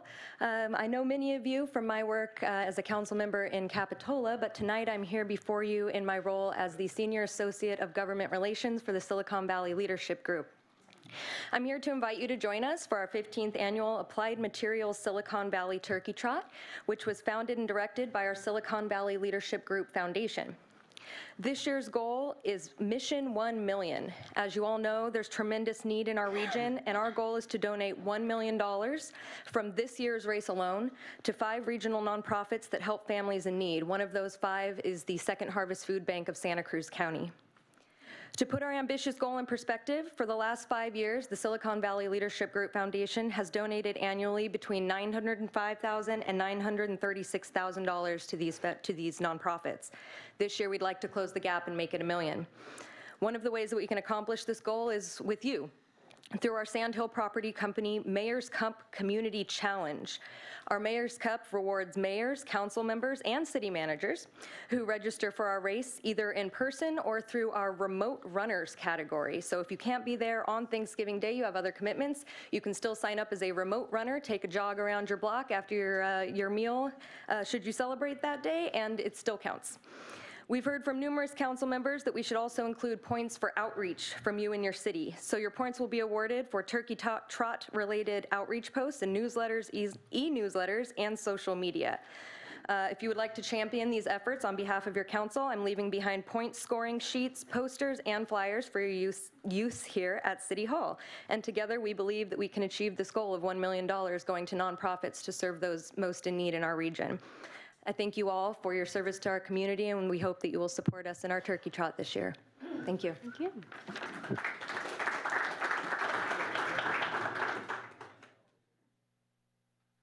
Hi, Darius Mosening. Before you get started, I just want to go ahead and, we are going to come towards the end. I will go till 7:35 with oral communications. If we don't get to everybody, I apologize. If there's those that are still here at the end of the night, we could revisit that potentially, but um, you're always welcome to get your information, but we'll go to 7:35 this evening before we start our evening item. Go right ahead. Oh, excellent segue. I'm just here to ask the mayor and the future mayor-to-be to um, we, the public, a city of 60, over 62,000 people, over 32, whatever, thousand registered voters, we have precious 60 minutes per month to address you directly when you're in session.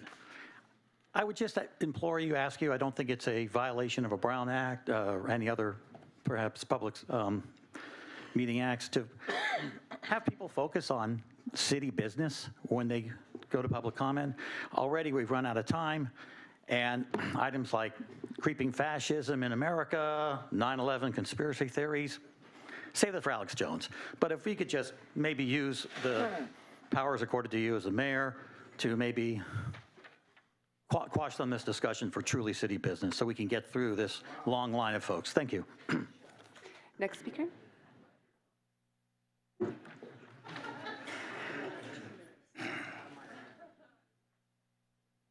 I make a motion to dissolve this council for ineffective government. I make a motion to appoint Councilman Glover mayor of Santa Cruz. Councilman Glover, Councilman Glover, we know you're our leader, and you be putting in good work.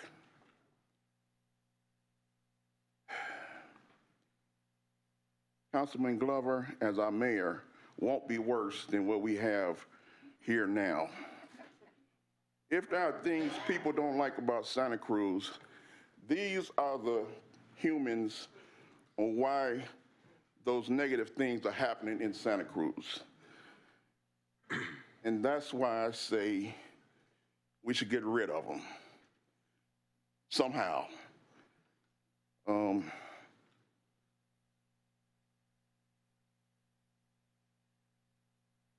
Councilman Glover. I hope you'll be our mayor real soon.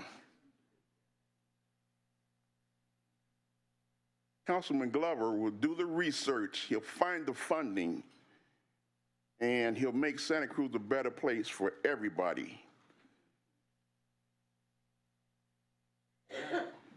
Can you feel my yearning for good government? Councilman Glover, save us.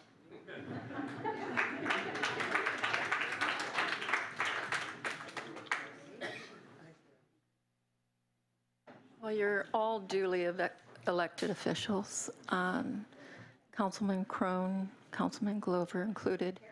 And there, I want you to know that there are residents in the fluent areas of town that are appalled at the public shaming that you intend to follow through with tonight of these two individuals.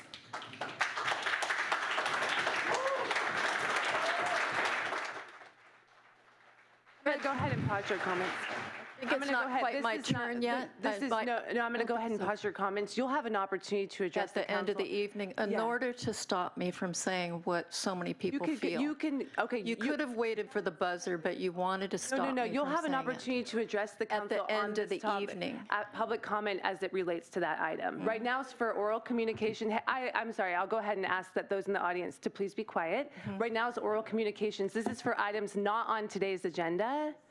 And so this is an item that's on tonight's agenda, which you'll have during public comment to address the council. So if you don't have any other comments, we'll go ahead and That's invite you the up then. subject. Okay. We'll go ahead and have uh, maybe the last two uh, here as our final, and go ahead and come forward for oral communications, items not on today's agenda. Go right ahead. No, this is not. Well, okay, this is, thi- if you wanted to address the recall, which is not on today's agenda, you're welcome to do that. The censure item is coming up next. Okay. Go right ahead. Hi, uh, good evening, Mayor and council members. My name is Beverly Deshow. Um, I wanted to say, I get it about if somebody speaks to you in a way that you find not okay, and that you wouldn't be okay to meet with them in private because it might continue. And um, because I've been in that situation among many people who claim to be feminists and who claim to be nonviolent communicators and all of that, and they still do that. But anyway, so uh, I'm glad that there's a process in place now. But what's happened, so I appreciate also, Mayor, that you came around and listened to various groups on health and all. And I didn't say this at the time, but in a room of 14 people, there were three others who did say it, and I wanted, because I wanted to say more, and I didn't want to call you out in public, but right now, um, what's happening with the recall, it's like a runaway train. It has taken on a whole life of its own, having nothing to do with the original uh, complaint. And um, I think that we who feel victimized by something need to do better and be really powerful and just take it on. And I think that if you were to come out, and I don't know if you've been advised that it might be political suicide, but to come out and say, I renounce what's going on with this crazy recall. I know you didn't make it, but somebody, people are making it. I have been personally harassed unbelievably just trying to go to the grocery store, and they're going around and telling big fat lies so they can get paid. So I ask for you to publicly renounce it. Uh, Thank you. Okay, I'm going to go ahead and close oral communications.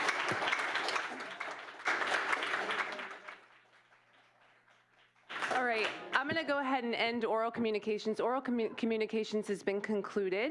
We are going to now move on to our evening item. And uh, Councilmember Glover.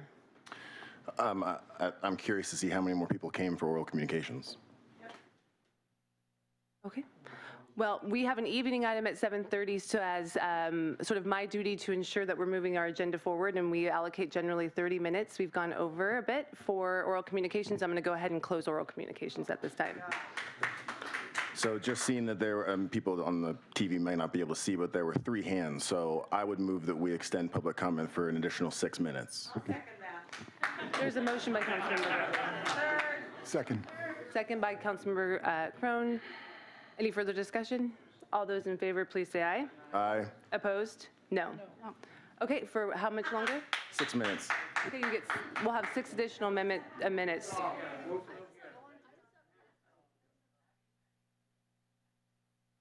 Before you get started, who are the additional two?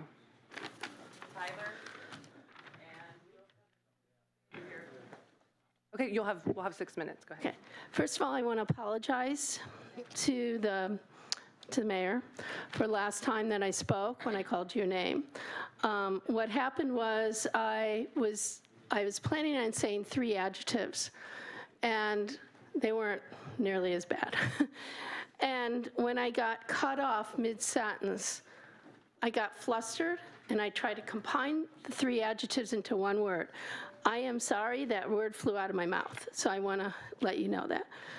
I want to speak about um, your report on your, your, on homelessness regarding preventing homelessness.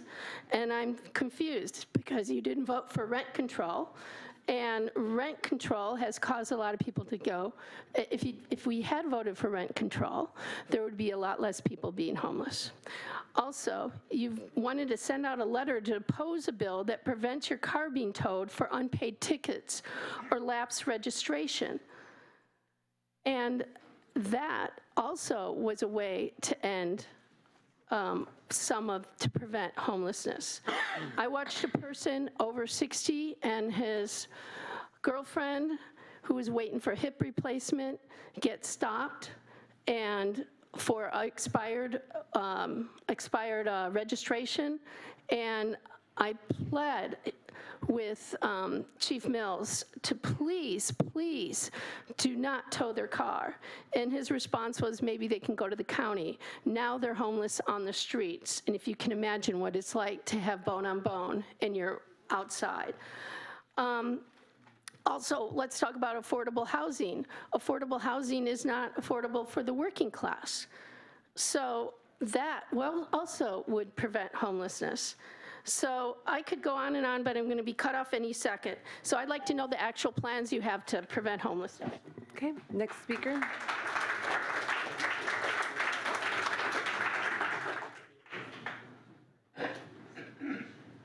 Hello.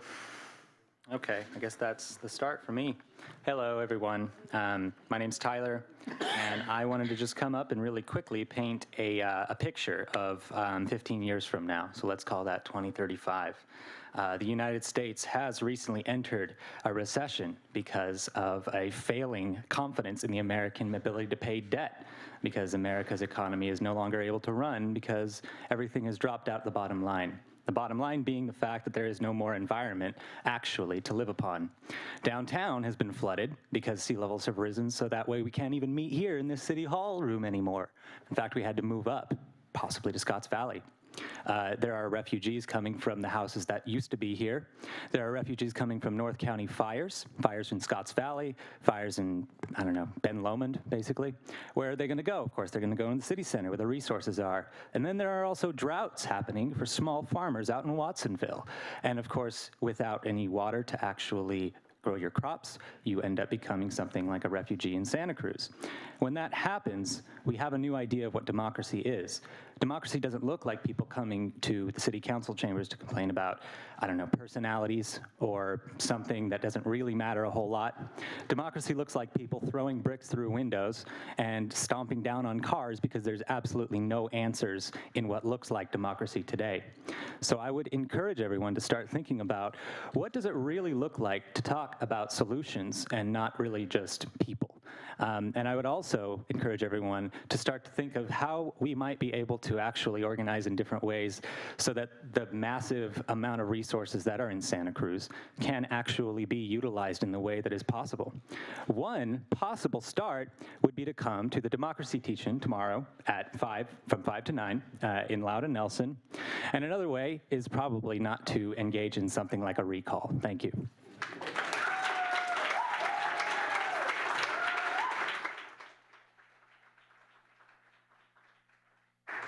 My name is James Ewing. I live in the Live Oak near- neighborhood. Um, About the last five weeks, I've really been making an observation of how much cleaner the city of Santa Cruz is. And I know there's still a lot of messes to clean up, but I know everyone in this room, in front of me and behind me, is for everything getting kind of cleaned up. Just what I want to say. Thank you. Okay. Right. I think that's our last speaker. So before we start this evening's um, item, I have a brief announcement. Next week on October 8th, our meeting um, for oral communications will take place at 6 p.m. to end at 6:30 p.m. in observance of Yom Kippur per Council Policy 14.6. So just a, a note.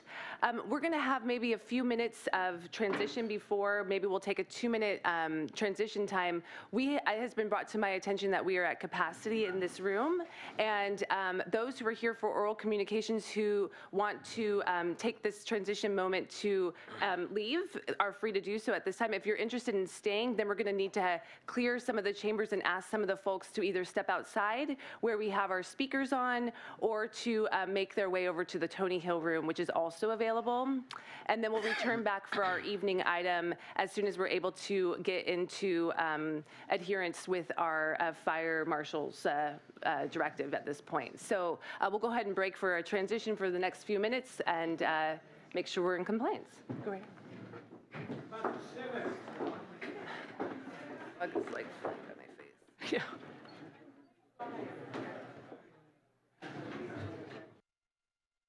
All right, I'm going to go ahead and call uh, our meeting back into session. If I could get your attention. Okay. Councilmember Krohn. make I'm sure gonna- Okay, sure. the gavel. I know. I was about to say, yeah, exactly. True. Just every once in a while. I'm going to ask for your attention. We're going to go ahead and call the meeting back into session. Okay?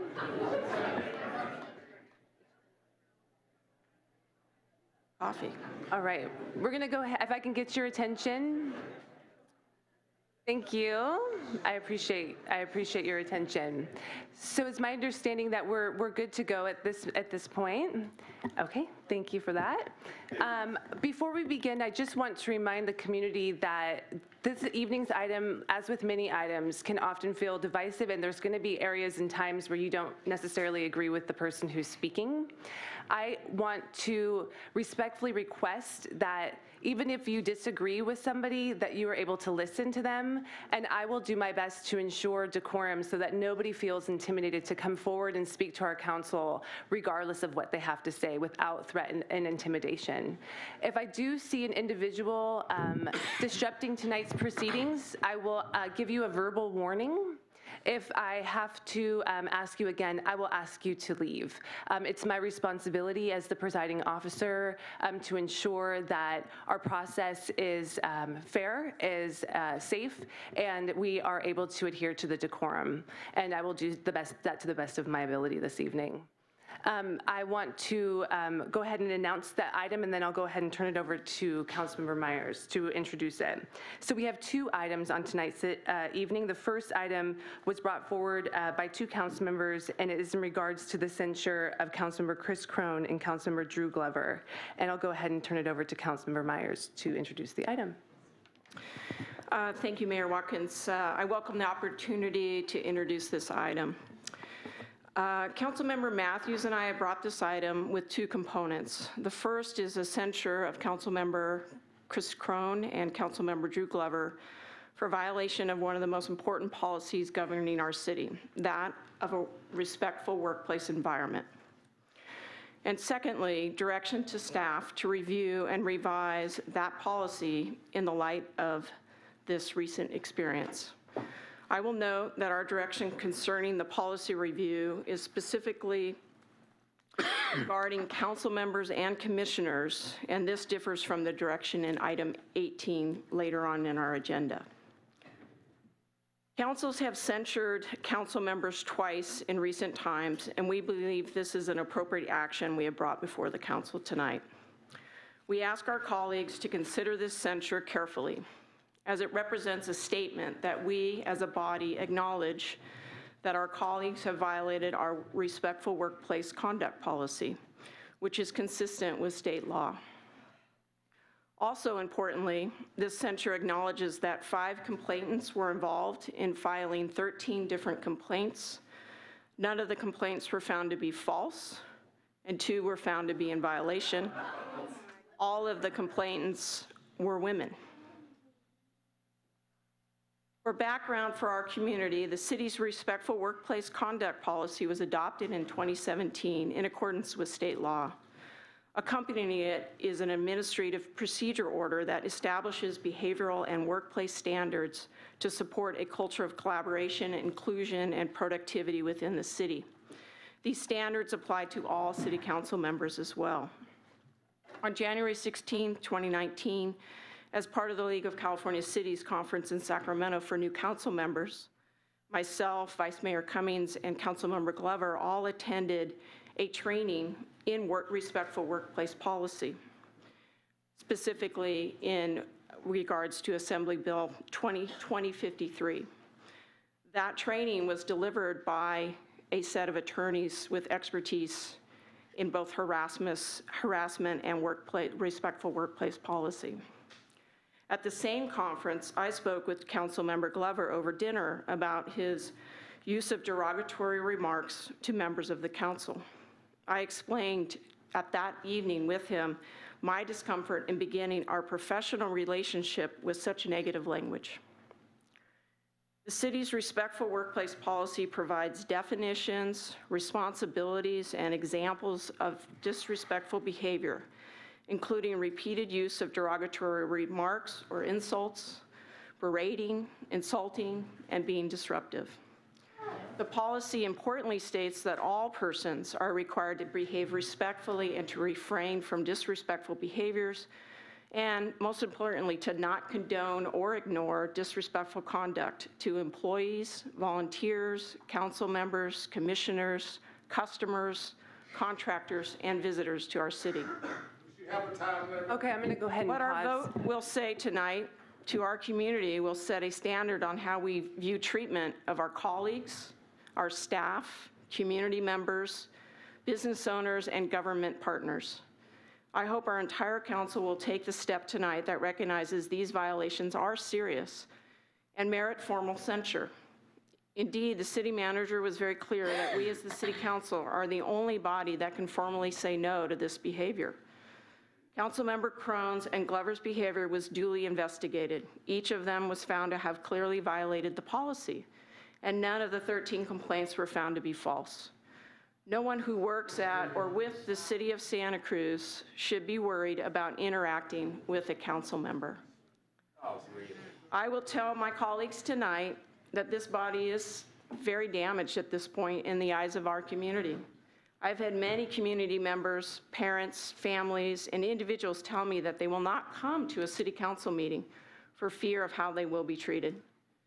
Our democracy is at risk in this very chamber when our community, our staff, parents, families, and our business and government partners do not feel safe engaging in our democratic process. I believe strongly that this item deserves an up or down vote, um, that this item deserves public comment, and we have had, we have many members of the public here to speak on this island, item. Uh, If there are any efforts to table the item or postpone it, not only would that be improper misuse or misuse of procedure, but would be a cynical effort to squash debate and silence women in our community.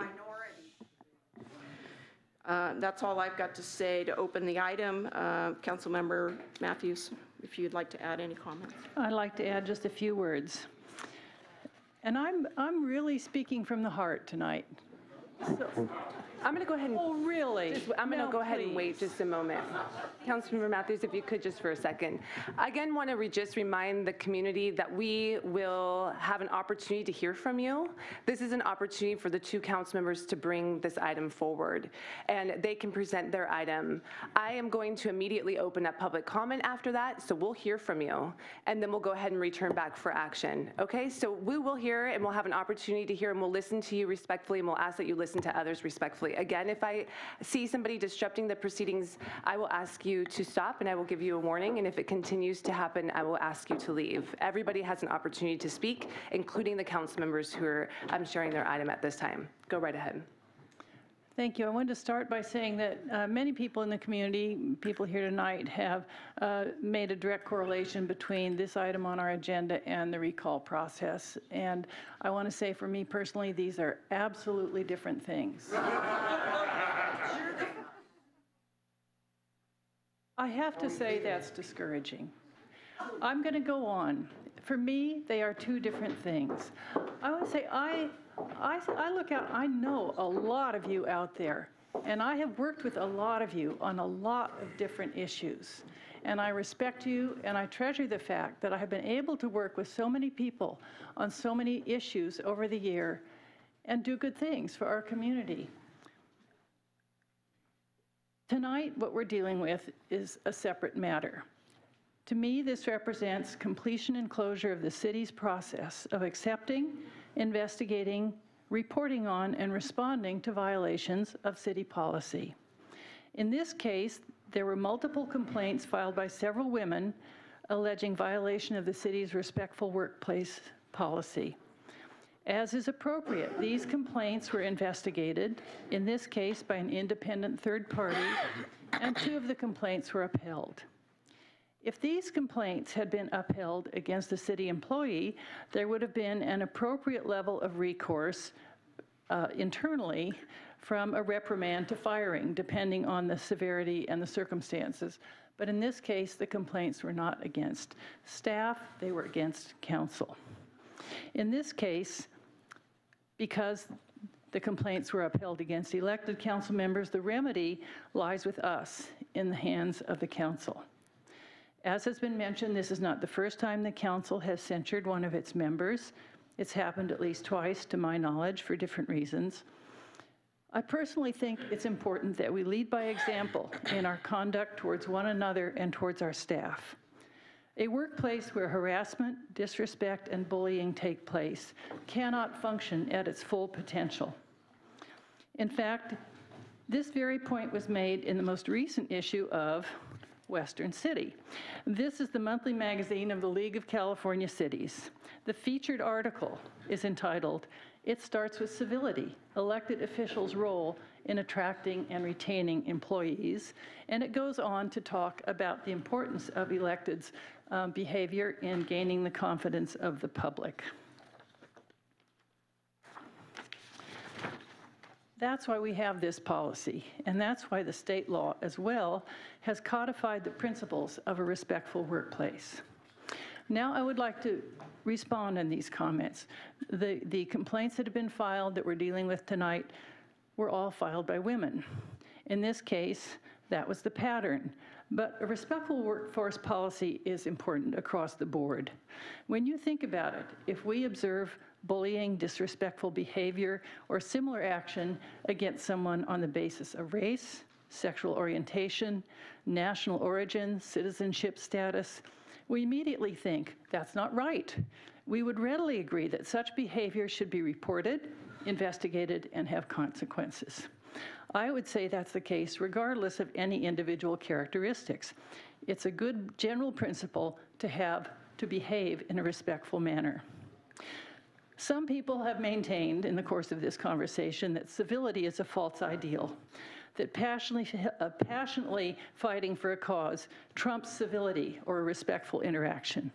That may be true in some cases, but here we share a common workplace and we live together in a community. We run into each other in the course of daily life at the grocery store, walking along Westcliff Drive, at our kids' soccer games.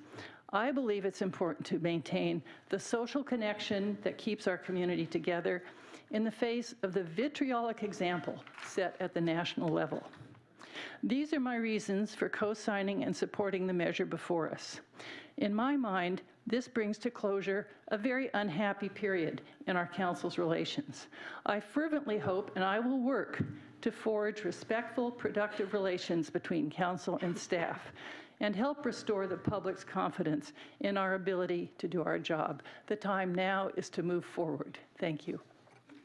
I'd like to make a motion to table this so that we can acknowledge move you. on. I didn't acknowledge Yeah, I had a you. feeling that would happen. as I'd like to make that motion, officer, though. I didn't um, acknowledge you. So as the presiding question? I'd presiding like to make an appeal then. I'm going to go ahead, uh, you, I'm going to go ahead and ask. I- the- I'm sorry, but I've um, consulted with the city attorney and City I Attorney can make an appeal to that. I will go ahead and ask uh, for your advice on this. Um, My understanding is it takes the presiding officer to acknowledge uh, a council member to speak. If the presiding officer does not acknowledge that person, then they can make an appeal to the council to override the presiding officer.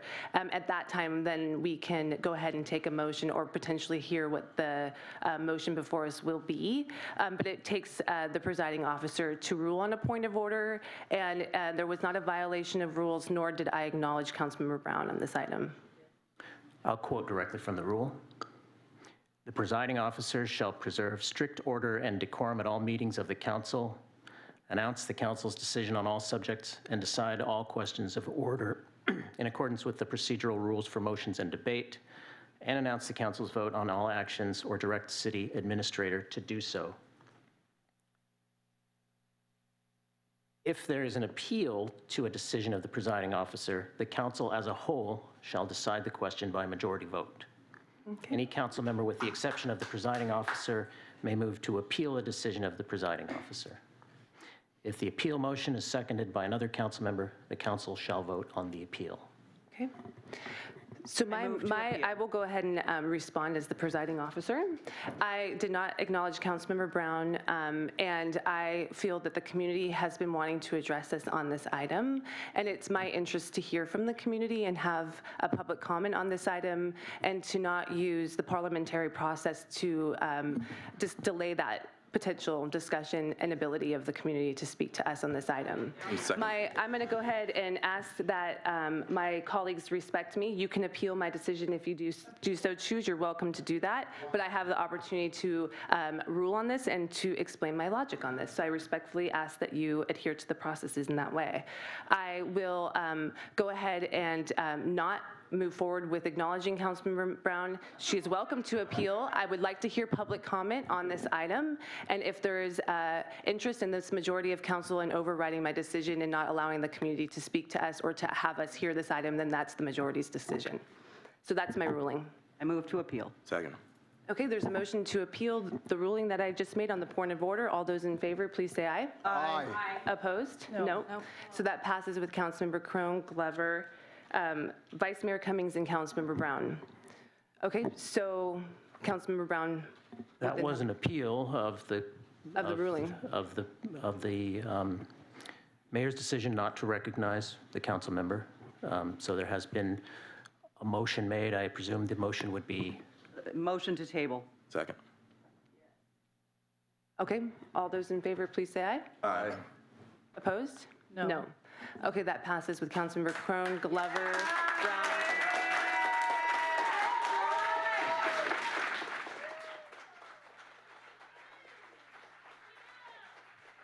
I'm going to ask for order. Okay. All right, we'll go ahead and have. All right, go ahead and, all right, I'm going to go ahead and ask everybody to, okay, if we could all just, why don't we all just take a moment? Please, thank you. We still have another item on tonight's agenda that we will be moving forward with at this time. Um, This is the second item on tonight's agenda. It's brought forward to us by the staff. I'm going to go ahead and ask those who are no- not interested in uh, staying for the second item to feel free to exit the chambers. Those that are interested in staying in um, the chambers tonight for the second item, you're welcome to stay. I will ask that you adhere to our rules of decorum. What's the second item? Good job. I'm going to go ahead and ask that you adhere to the rules of decorum and not shout out. Um, Ms. Hockman, please. We uh, will begin the second item, and I will announce the title of the item when the, when the transition has taken place. Okay? Okay.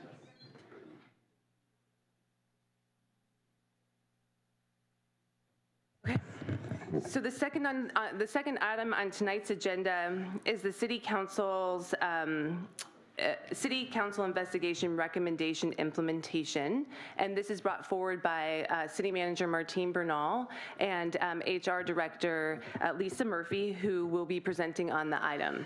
The order of this will go that we'll have a presentation from staff, we'll have questions from the council, we'll open it up to public comment, and we'll return back for action and deliberation. So I'll go ahead and hand it over to staff at this time.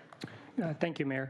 So I was going to do a brief introduction and then turn it over to uh, our Human Resources Director, Lisa Murphy, to go over the actual recommendations. Um, I simply wanted to do a a brief uh, uh, presentation on, focused really on on moving forward. Um, I ask that you please, you know, not take uh, what I'm presenting as uh, accusatory or blaming in any way. My intent is to present what we can all do to improve uh, our ability to govern, and and that'll be my focus.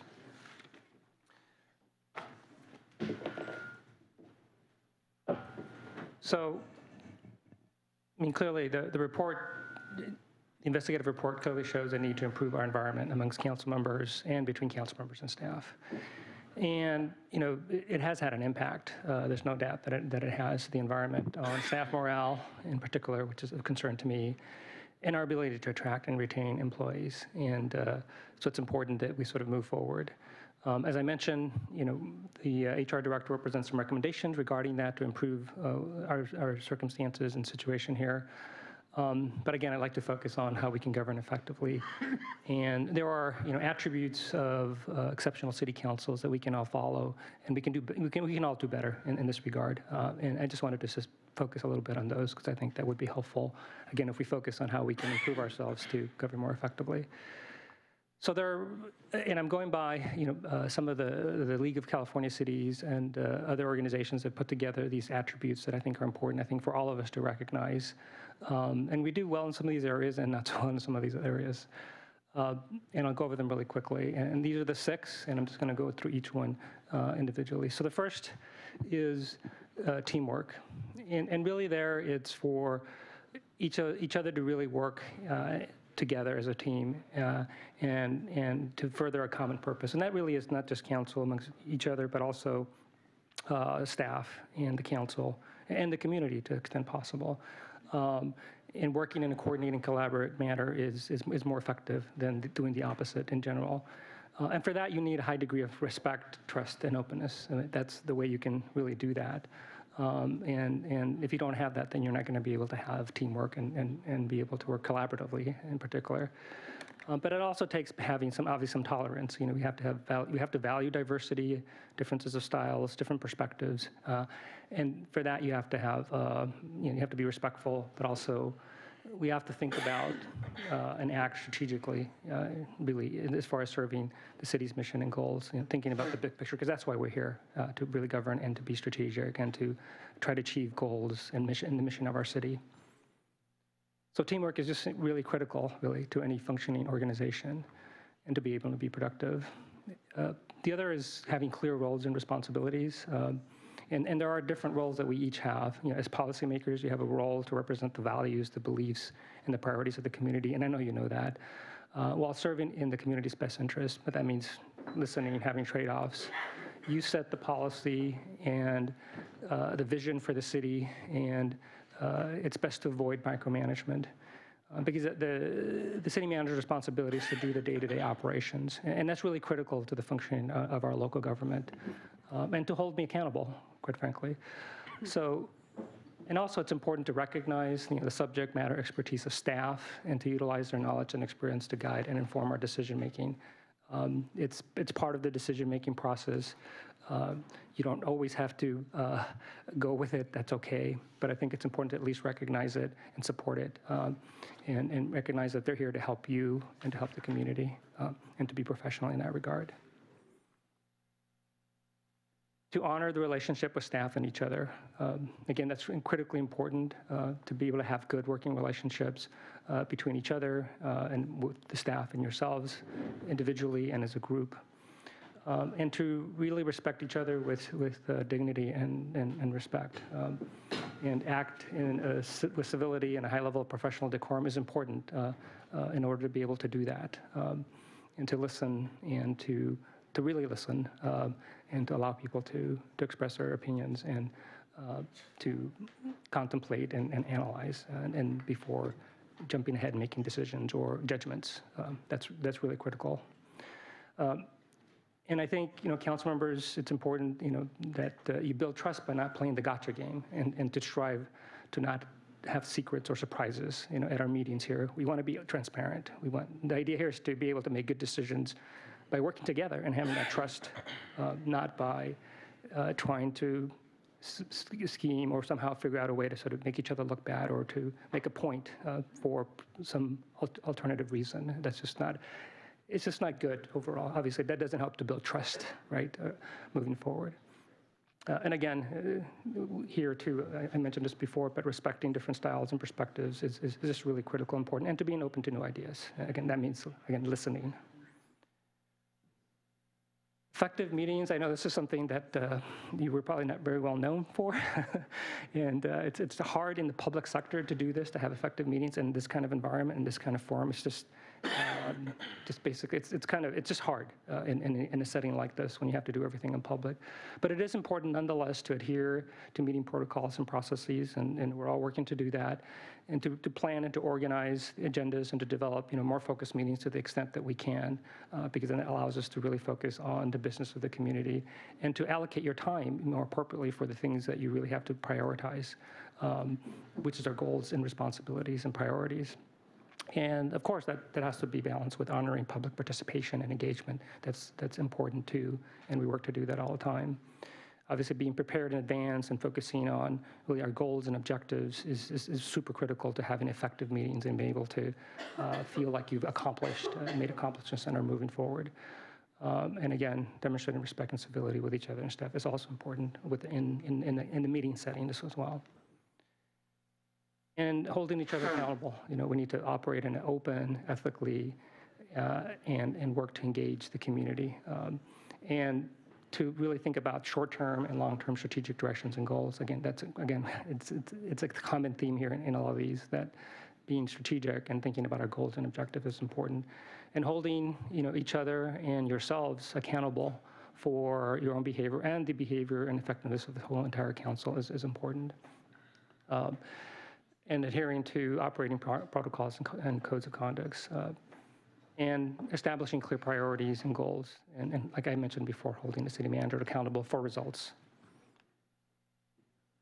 And then finally, uh, you know, it's always good to uh, really try to continue to improve ourselves, uh, and, and that means staying informed on key issues, and there's a variety of ways to do that, obviously, and the resources that are available to you, obviously speaking and engaging with the community, uh, and gaining insights and knowledge on all aspects of governing because it's ever changing and not everything is, is uh, black and white. And there's always more to story whenever you talk to somebody. So uh, doing what you can to improve and to learn and to engage is, is critically important.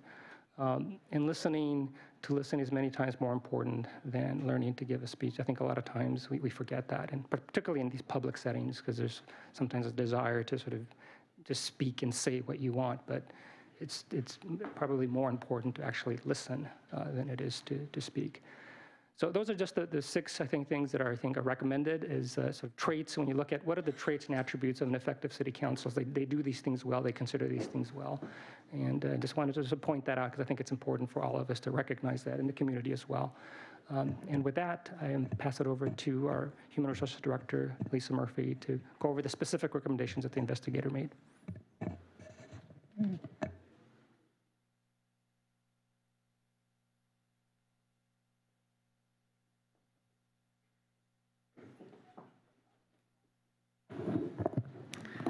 evening, Mayor, City Council. Lisa Murphy, Human Resources Director. Uh, Tonight, I'm going to go over the City Council investigation recommendations and implementation. Just a brief background, uh, as you all are aware, investigation was conducted by an independent investigator into the violations of city policies by members of the City Council. The investigation was concluded in July. The investigator made a series of recommendations. I myself have made a- several recommendations, and this report requests that the council approve those recommendations. These are all also listed on your, um, in your agenda. The first recommendation, and uh, what I plan to do is go through each one, and then what we can do is maybe come back to them and and address them individually if we want to make any alterations or clarifications. The first one is appoint a subcommittee of two council members to work with staff to develop a code of ethics and conduct policy for elected and appointed officials. This isn't unusual. This is actually very common uh, throughout many of the ICMA recognized um, cities that the councils do adopt these types of um, uh, policies. And uh, I think it would be best if we had the two, two council members participate and staff can help support, create that. I've also listed in your staff report um, timelines of which to be able to prepare these items. And I believe in this particular one, uh, I've said that we could do it within the next two months.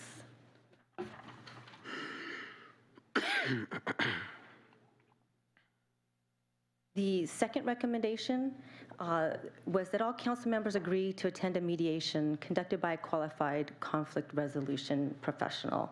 We have several, two uh, proposals that have come to us, isn't by all means the, the ones we have to go with. Um, But what I'm looking for you tonight to do is to agree to pursue this avenue, uh, look into the training and uh, participate in a mediation voluntarily, uh, and utilize one of the two consultants that have proposed on this project. The third recommendation, that all new council members attend a live training session of the sexual harassment, discrimination, and workplace conduct policies within the first 60 days of taking office, and attend every two years thereafter as required by the state of California. Although this may seem um, not, not new. What is new to this is uh, the first 60 days. Uh, Right now, the city offers those trainings throughout the year. You are required at some point during the year to take that training, and you can also take it online, which sometimes may not be the most effective. Uh, So with this requirement, from the first 60 days, and you would be able to have that attended by uh, January.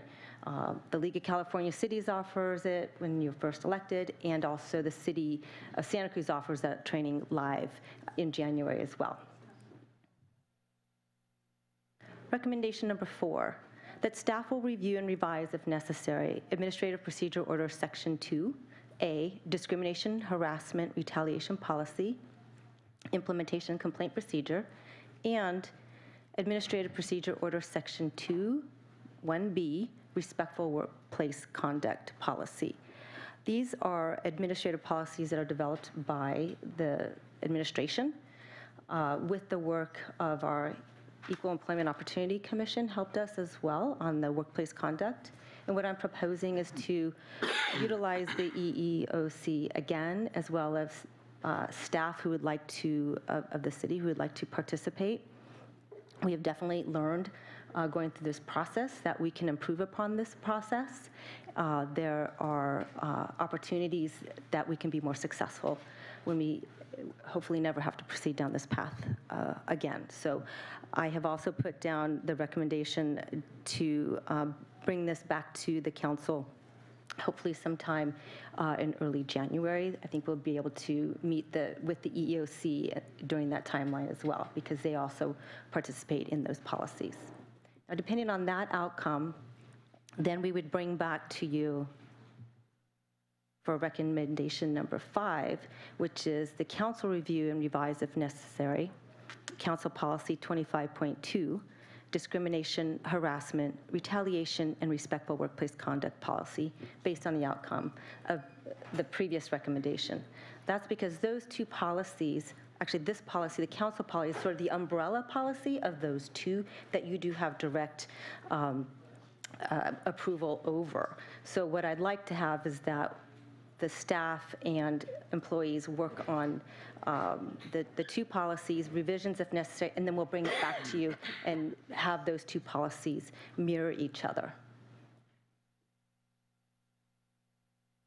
Uh, And finally, the last recommendation was uh, number six, which is to direct the staff to prepare a formal onboarding process for new city council members that incorporates these policies uh, within, again, the first couple of months of your, um, of individuals becoming elected and coming on board. There's a lot to learn, there's a lot to know, uh, and if we have a more formalized policy that would delineate uh, important council policies, your handbooks, our APOs, important projects, the budget, uh, any number of things, whether in labor negotiations or whatever it might be, uh, in land use issues that might be pressing before you, uh, that would be part of the onboarding process that would take place uh, with the intention um, within the first 60 to 90 days of being elected.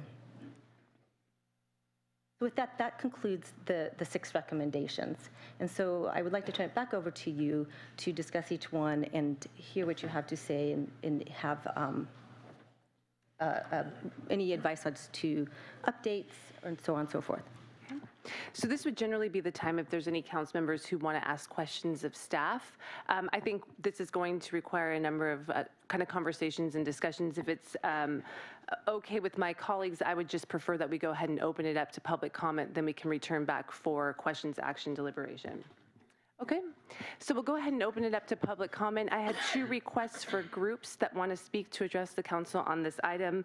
Um, The first is a city employee who is um, interested in speaking on behalf of herself and other city employees who didn't feel comfortable coming forward. I'll go ahead and invite up that city employee now, and you'll have up to four minutes. Good evening, Mayor Watkins, City Council members. I'm Susie O'Hara, Assistant to the City Manager. I stand this evening before you with my family by my side and my community behind me to share that I am City Employee Number Four. And I speak for women here at the city too afraid to speak for themselves. A few members of our city and community are here to stand in solidarity with us victims. I ask others in chamber, chambers who would like to join them to feel to please feel free to raise your hands. I'm honored and humbled to have you all here with me. I am city employee number four, but I am not a faceless number. I'm a mother of three young daughters, a wife to my husband, a devoted public servant, servant who has withstood months of abuse, and abuse that continues through Council Members Glover's persistent victim blaming and zero recognition of the harm that he has caused. I share these experiences to, to be an example of courage for those too afraid to report abuse, for victim blaming keeps from, people from speaking out, and fear keeps people from telling their stories. I'm here to tell my story in spite of that fear, because you need to hear me and you need to understand. The impact this experience has had on me is surely not news to any of you. It certainly was captured by the investigative report as I cried through most of my testimony. In fact, I've cried to each and every one of you, except for council members Glover and Krohn over the last several months, right here at City Hall. No one should feel this way at work. Even though the investigator uh, couldn't prove my claims to violate a city policy, he proved th- those events happened.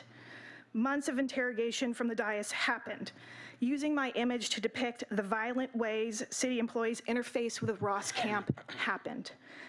Sending interns to stand physically over me alongside activists as they slung hateful speech to me happened. Recording me while mimicking those same activists' abusive questions at Camp Ross happened. All these things happened and they hurt me.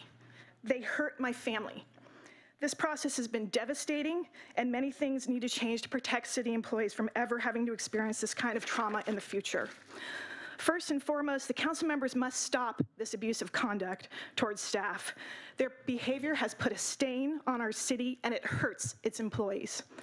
The respectful workplace conduct policy must be rewritten, rewritten to standardize the investigation, investigation process and protect complainants to the maximum extent possible.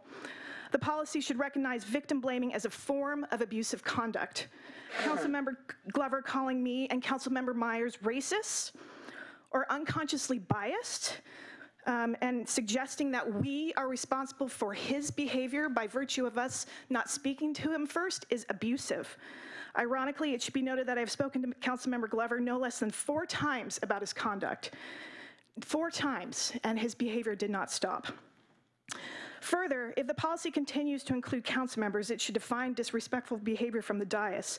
Quietly snapping in approval or laughing, smirking, or nodding one's head while a member of the public berates staff is demoralizing, abusive, and wrong. We see you even when the camera doesn't, and it hurts. It hurts us. And lastly, council members Brown and Cummings, your decision tonight is no less than heartbreaking for me. You have told me that my voice does not matter. You have told me that I do not matter. These processes must incorporate a, some element of restorative justice. Vis- victims must be given an opportunity to share their experience with their abuser and those that can hold them accountable. You just took that away from me. And what I can tell you is that while I may be one woman, one mother, one trusted city colleague, I represent many more city staff and community members that have been impacted by this abusive conduct. Abusive conduct that has shaken the city to its core and left us completely demoralized. One sentence. You must take that into consideration during your deliberations tonight. Thank you, Susie. I got to stop you. I, I thank you very He can- much. he can finish it. We'll have you go next. We'll have you go next after we have one more presentation, and that is um, for former and current members of CPOC.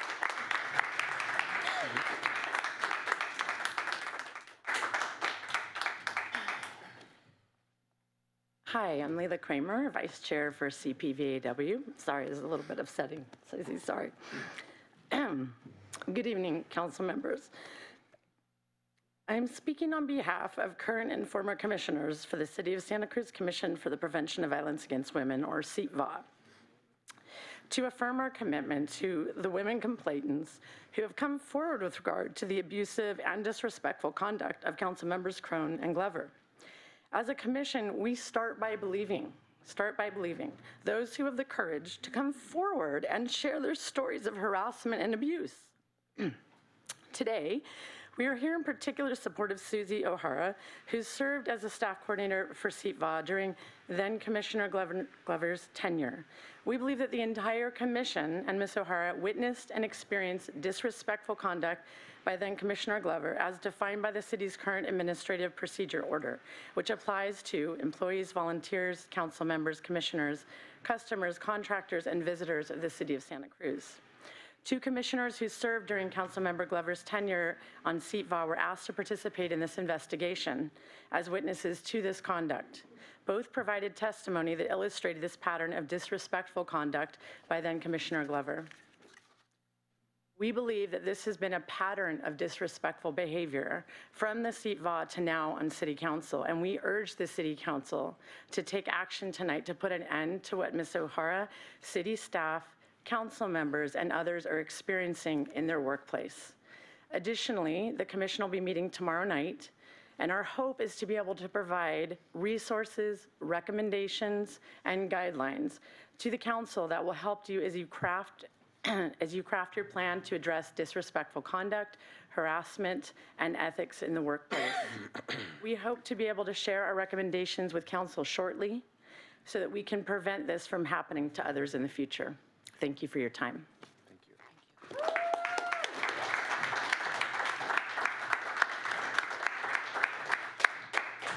Now open it up to public comment. We'll go ahead and have uh, folks who want to address the council on this item, please line up to my left, and you'll have up to two minutes. My name is Alain de Souche. First, I want to acknowledge each council member here for your dedication to public service and for the sacrifice that this service entails in your personal lives.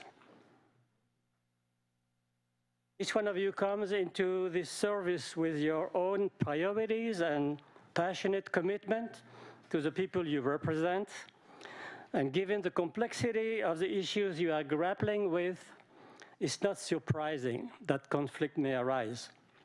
And we should be thankful for your willingness to work through this conflict. The Rose Report details for each council members, Krohn and Glover, one allegation that was substantiated, while the others were unsubstantiated.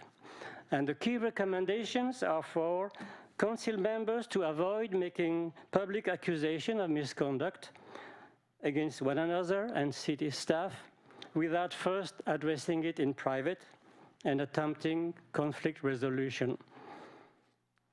Other recommendation is for all members of the City Council and selected staff members to attend and participate in professional mediation. In view of these positive recommendations, the censure is contrary to the spirit of improvement in city governance promoted in the report.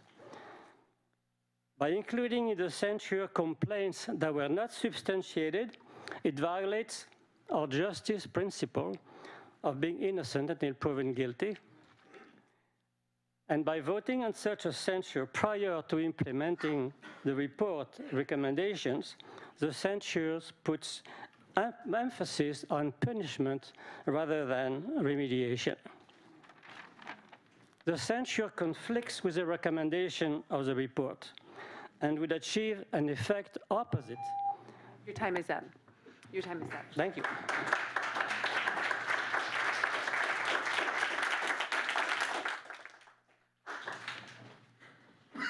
I had some prepared remarks, but events that occurred here today make me want to preface them. I read from the Administrative Procedure Order, Section 2, Number 1B of the Respectful Workplace document. Examples of disrespectful behavior.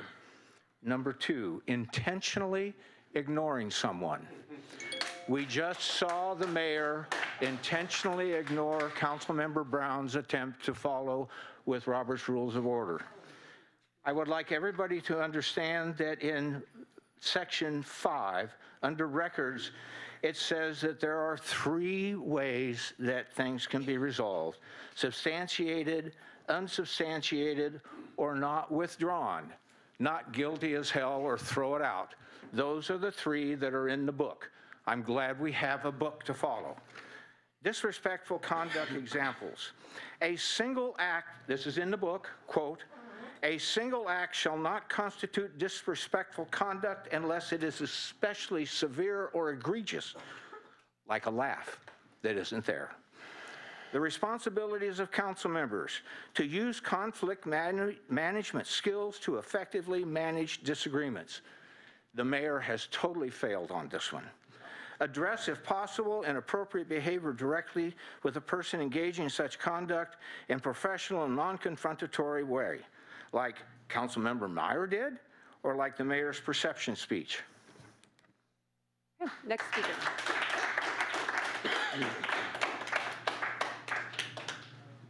Good evening. I'm Matt O'Hara, finishing for Susie O'Hara, just a little bit. You must take that into consideration during your deliberations tonight and try to rebuild this organization for the sake of the future of this city. Thank you.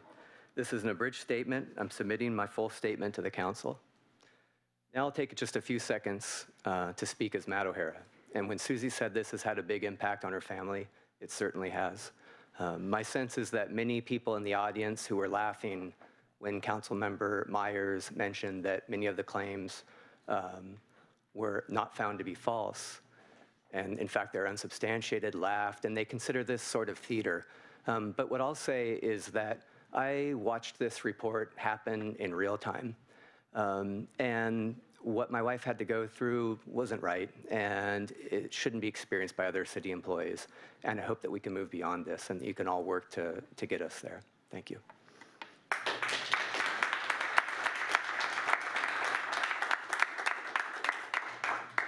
Good evening. Uh, good evening, City Council, and good evening, good evening everyone. Uh, my name is Io Banjo. Uh, I am the uh, former student body president at the University of California, Santa Cruz, uh, serving and representing about over 18,000 students. Um, also, one third of the population of Santa Cruz. Um, and I'd like to take this moment here to talk about uh, the reflection and the representation that both council members uh, Krohn and Glover represent as the student body president, as the former president. Um, they are here to represent our voices and to fight for our causes and uh, to really be supportive. So I want to say thank you for, uh, to both of you for your service and for everything that you've committed to this uh, to this uh, town.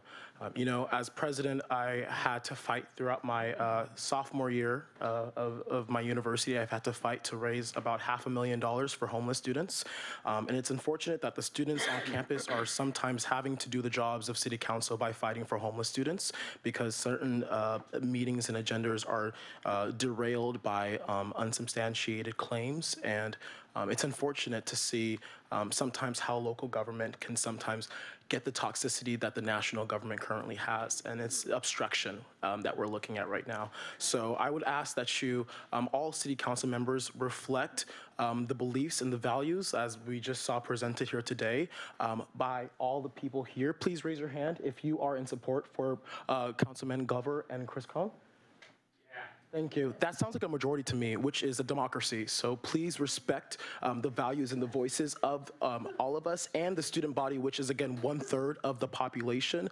Um, this is really unfortunate, and I will be here to make more remarks as we go forward. But the only way to establish a community to be someplace, a place where people feel like they belong, people like me, who is a, the first black male at student body president at UCSC, even though uh, Santa Cruz is less than 1% black, is by being able to have these voices reflected. So I thank Who you.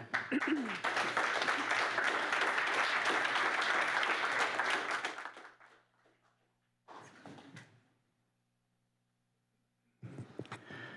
Daryl Darling. Um, The rose here, uh, for me, means hope.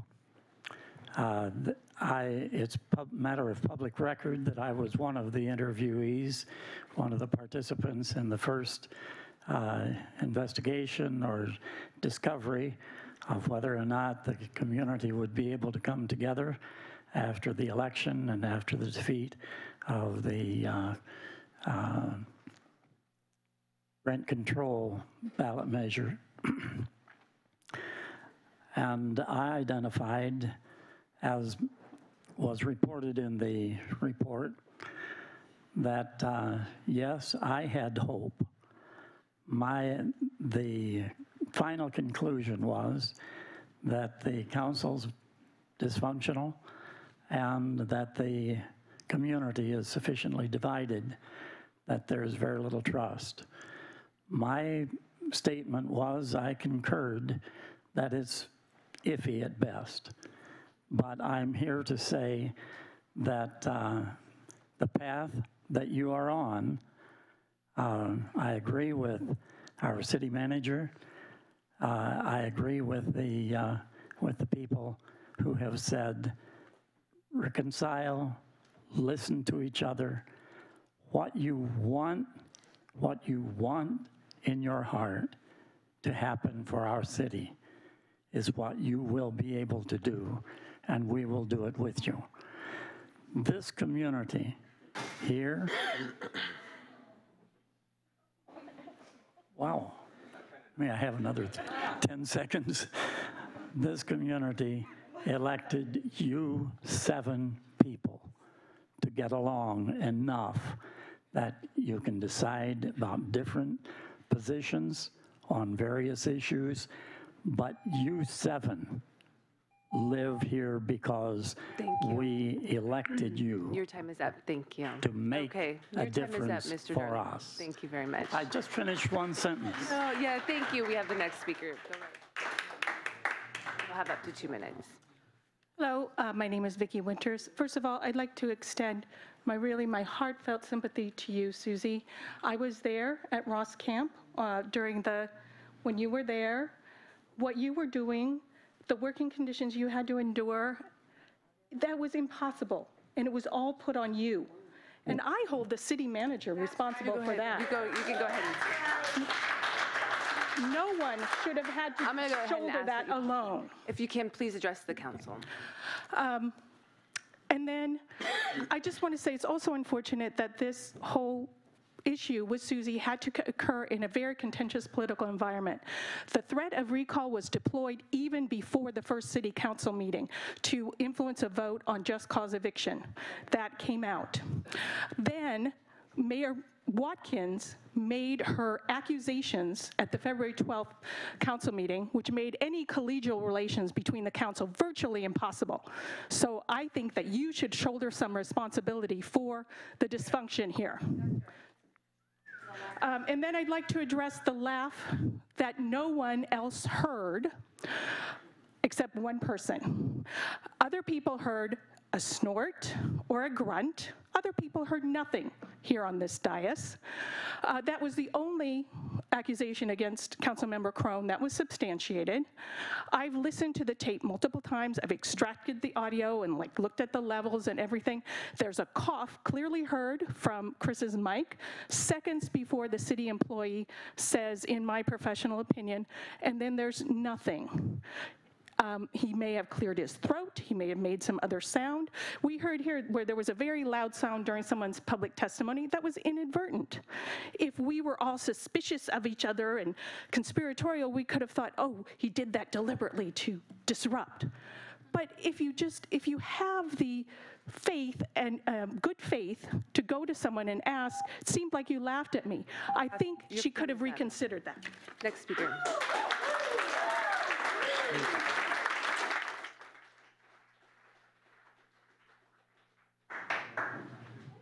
Hello, Mayor Watkins and City Council. Civility is a tool for marginalizing, for silencing marginalized voices. Historically, it's been used to justify the genocide and enslavement of indigenous, black, and other non-white people. Imposing civility makes it impossible to respect the diversity of styles and perspectives of others that were outlined tonight. I recommend a training for city employees, including city council members, that addresses the impact of institutional racism.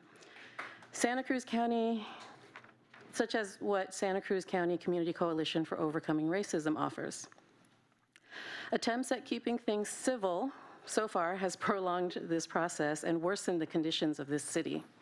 The issues at hand require passionate discourse and challenging of the status quo if there's going to be any effective change.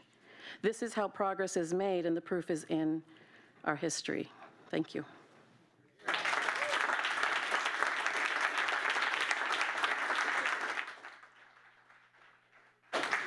Hi, I'm Paula Leroy. It seems a little strange that somebody could bring accusations publicly where the person is not able to um, talk about them themselves. You know what I mean? There's sort of like a one-way thing, and so I think that's um, something unfortunate. Um, What I wanted to say is I see a lot of rulemaking in the recommendations, but I didn't see as much mediation, although you talked about that in the beginning. And I'd like to see, because lots that I heard today, tonight, especially from the two people that spoke about censure, from them I heard derogatory remarks, berating. I've seen a lot of bullying. I am worried about the working of this body. I see democracy at risk when people that we have elected are being shut down um, and disenfranchising an election. I feel there could be leading by example. I don't see a lot of kindness or inclusion from the two leaders. It is an unhappy period, and I wonder really who all is responsible. I am not diminishing any you know, investigation or issues. I mean, and there's lots of ways those things happen in workplaces that leadership especially, I think, could help those people who have different backgrounds, styles, ideas, work together, work things out, come to some kind of healing. And I really think that's what leadership is supposed to be doing. Um, and like, I think if there's mediation, and I hope there will be, that everybody holds themselves accountable. Am I bullying? Am I not hearing other councilmen? Am I working as a team member? Am I making an agenda? With all the other team members, or am I just deciding the agenda on my, myself? And so it has been an unhappy period. I hope the recommendations will be followed. I hope the wonderful thing that you were talking about goes through. And I have um, worked with Chris and Drew for many years, known them very many years. They are amazing people, and we need them. We need them. We need you all. Thank you. Thank you. I want to address you this evening as a professional mediator. I've been doing that for 25 years. What I've seen often happens is there's what's called a spiral of conflict, and someone perceives a hostile intent. They have a perception of that, and then they do defensive counterattack. It's really important for this council and all of the staff to have training in conflict resolution and communication skills, not just mediation, because you want to know how to say to somebody, wow, did you just roll your eyes at me? And they can say, no, I was thinking about, oh my gosh, I didn't feed the parking meter. You never know what it's going to be. But when you actually check in with somebody, something totally different than what you're making an assumption about is happening usually. And if it isn't, great to call somebody on their behavior. And I really encourage you to do work on race, class, gender, and power issues. I've been in that work for over 15 years. And there are these subtle things that we perceive by somebody that don't have anything to do with their race, their class, their gender, or their power. Or they may, and they may need to be called on it. They may need to be aware of it. So not just doing mediation, it's great that you're gonna, you know, have those conversations, but you've got an incredible resource here. here. The Conflict Resolution Center of Santa Cruz County has been teaching these skills on active listening. How do you listen to somebody in a conscious and present state? How do you not, you know, make a comment because you don't agree with them? You know, it's disrespectful when someone is speaking not to listen to them. And we don't know how to listen. We're not taught how to do that. We're taught how to ride a bicycle, maybe balance our checkbook, but not how to actively listen and take away everything that's distracting you and say, what's really going on for you here in this moment? You know, and we have people who are overworked, we have stress, we have all kinds of things. So I really urge you to make another recommendation, which is for conflict resolution, communication skills, and for race, class, gender, and power training, so that you can see. Thank you. Yeah.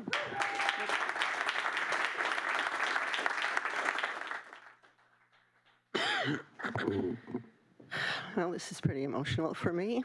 Um, as you all know, I'm a long-time woman, 81 years old.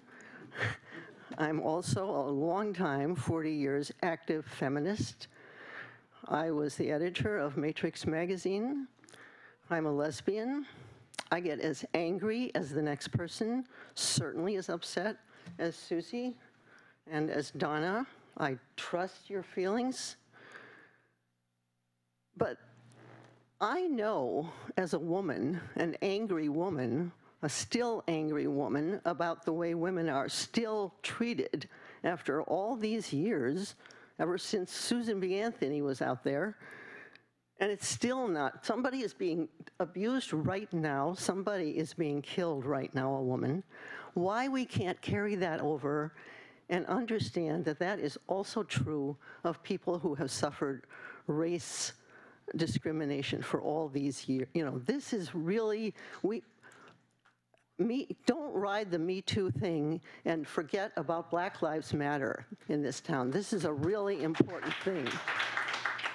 Um, I've known Drew and Chris for many, many years personally. I don't know Drew as well. I've known Chris well. I've been in so many meetings with Chris, so many places. They are such good people.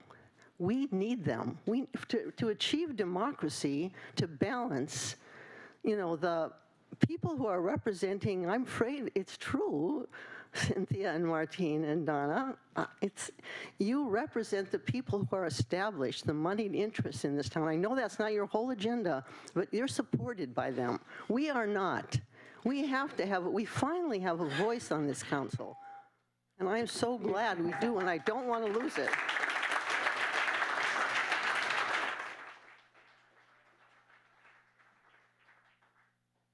Hello, Council. My name is Satya O'Ryan.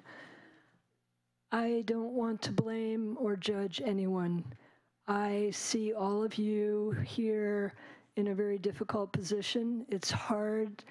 Personal interactions are hard. Conflict is hard. I think when things fall apart, it's a wonderful opportunity. Um, what I see in my own personal life is whatever shows up on my path is my path.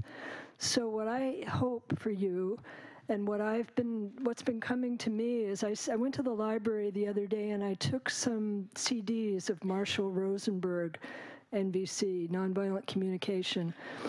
And he was talking about his mediation work with, with um, gangs and with uh, warring tribes in northern Nigeria. And he helped them. It took a while, but he helped them find a way to uh, understand and find empathy for each other. And I, my feeling is if that's possible in a situation that difficult, it should be possible here too. And I, I think that, you know, I get triggered in my own life. We all get triggered. We get into our own pain. I see a pain, people feeling hurt and upset, and I get that happen in my own life too. But if, unless we're willing um, to look at ourselves, everyone, I don't exclude anyone here, all of us, the whole community, whatever you do with mediation, I hope you will consider nonviolent communication mediation. If there's room to bring in another, um, uh, someone that wants to help, I hope you will consider that. And that whatever you do to heal yourselves will heal the community as well. You will give us all benefit. And it's a gift. Look at this as a gift, not as a problem. I hope you will. Thank you.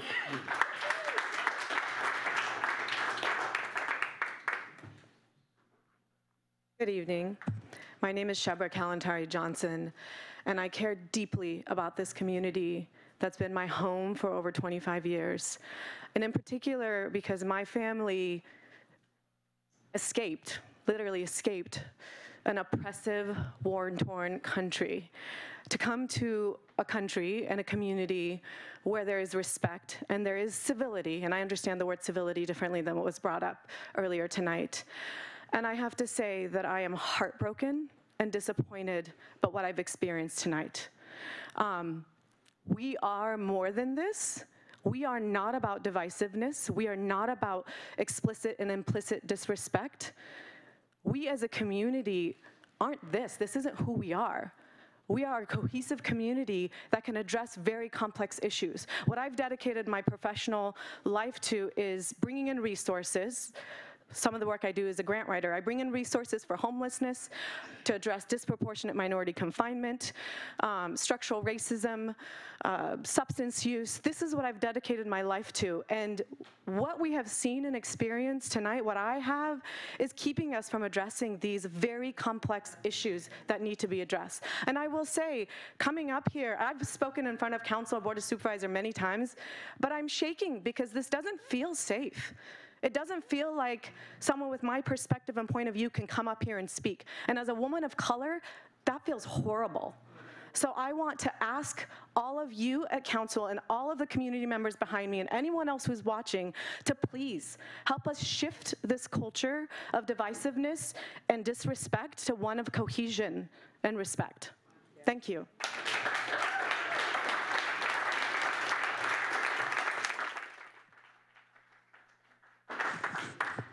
Good evening, council members. Um, I'm, I'm really encouraged that you're about to embark on a mediation, and I wish you well in that. And I'm hopeful that um, that that will become just part of the culture of, of working for the city of Santa Cruz. I want safe workplace, emotionally safe workplace for Susie and for, for everybody who works for the city. And you've got a, a leader who exemplifies that. Um, Martin Bernal and I have differed over whether to put a parking garage in downtown Santa Cruz, but I cannot imagine him ever saying my ideas are idiotic or irresponsible. I had heard, I have heard that from, from a council member. Um, what I think the city struggles with is what to do to make this workplace safe. And I think that that punishment paradigm where, you know, here's the, here's the code, right? And, you know, you get training in the code and then you, if you violate it, you know, somebody complains and somebody investigates and then you punish, you know. We know it doesn't work with our children. I have two kids fighting with each other, our, our kids, and, and we want to stop the behavior. So we punish one of them. It may force it underground, but they're still going to be at each other's throats, you know? So let's move beyond the punishment paradigm. Let's all see what kind of responsibility we can take for making this a, a better community. Thank you.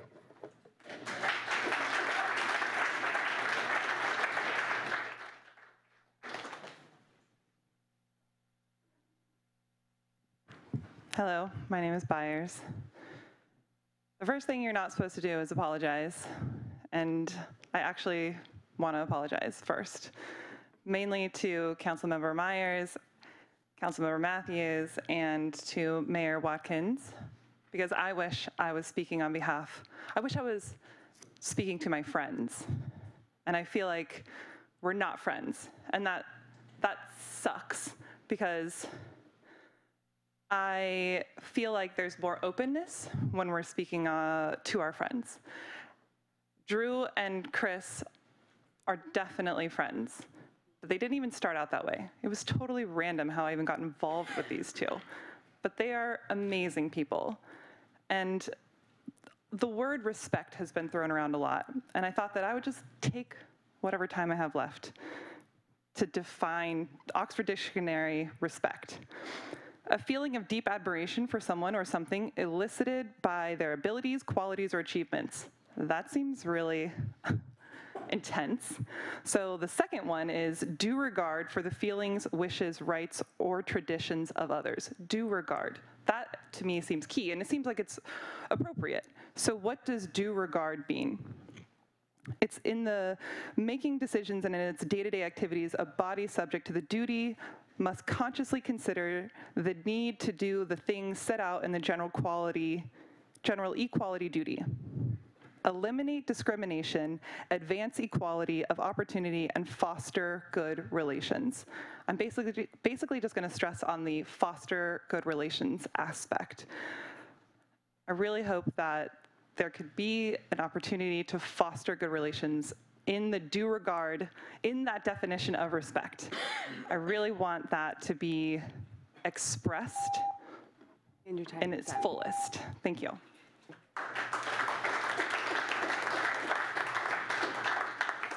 I don't know um, that whoever that lady is who put this recommendation stuff up.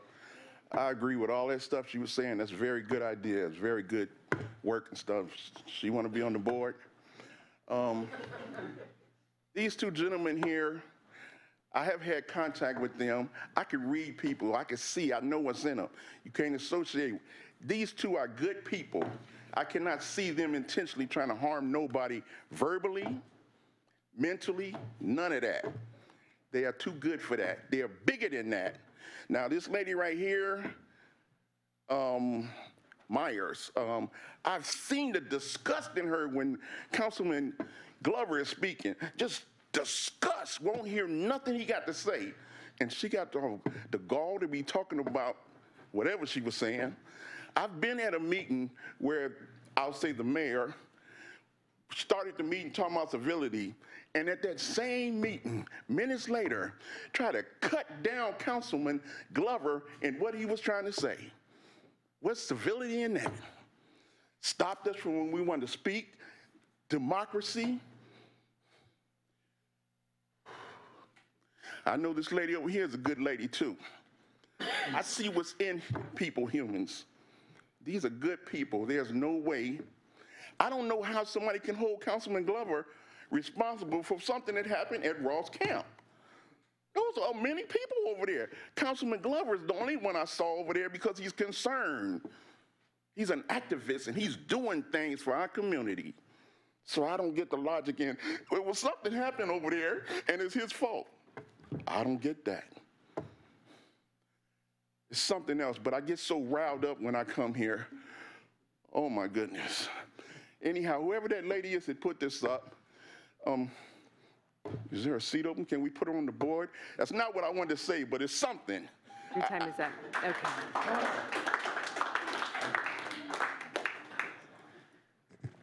Good evening. My name is Steve Schnarr. I think that it's a great idea for the council members to have some mediation. Um, Obviously, the current situation is dysfunctional and untenable, uh, which is evidenced by the fact that all of the community and yourselves and staff are are wasting an entire evening uh, talking about this instead of actual city policies that we elected you to, um, to work on. Um, Apart from that, um, I just wanted to say that it seems very um, self-interested and transparent, um, the way that certain council members are trying to frame uh, this dysfunction as just blamed on two individual people. Uh, And, and some of the same things that have been uh, thrown at them, which, for, by the way, uh, Ms. Meyers, the not substantiated doesn't mean that, it- that, yeah, that was ridiculous to try to imply that these things actually happened when they were found, when it was investigated and not substantiated. But um, Councilmember Mathews, I've been in a meeting when, after dozens of people testified to an opinion you did not agree with, you described it as idiotic. Um, And former Councilmember Comstock gave the middle finger to the crowd. Um, Former Councilmember Noroyan, at a public meeting uh, that she was attending of the Coastal Commission, was like shouting out of turn and had to be told to, to stop shouting. So I'm not saying that they should have been censured or kicked off the council.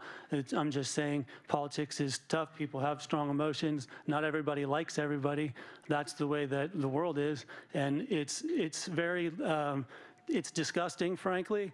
It, it's the reason why people are disgusted with politicians in Washington, and it's, and it's disgusting here to see you transparently use the same behaviors that you and your comrades will use uh, as an excuse to go after other people because you happen to disagree with their politics, and you're and you're sorry that you lost power that you had for so many years.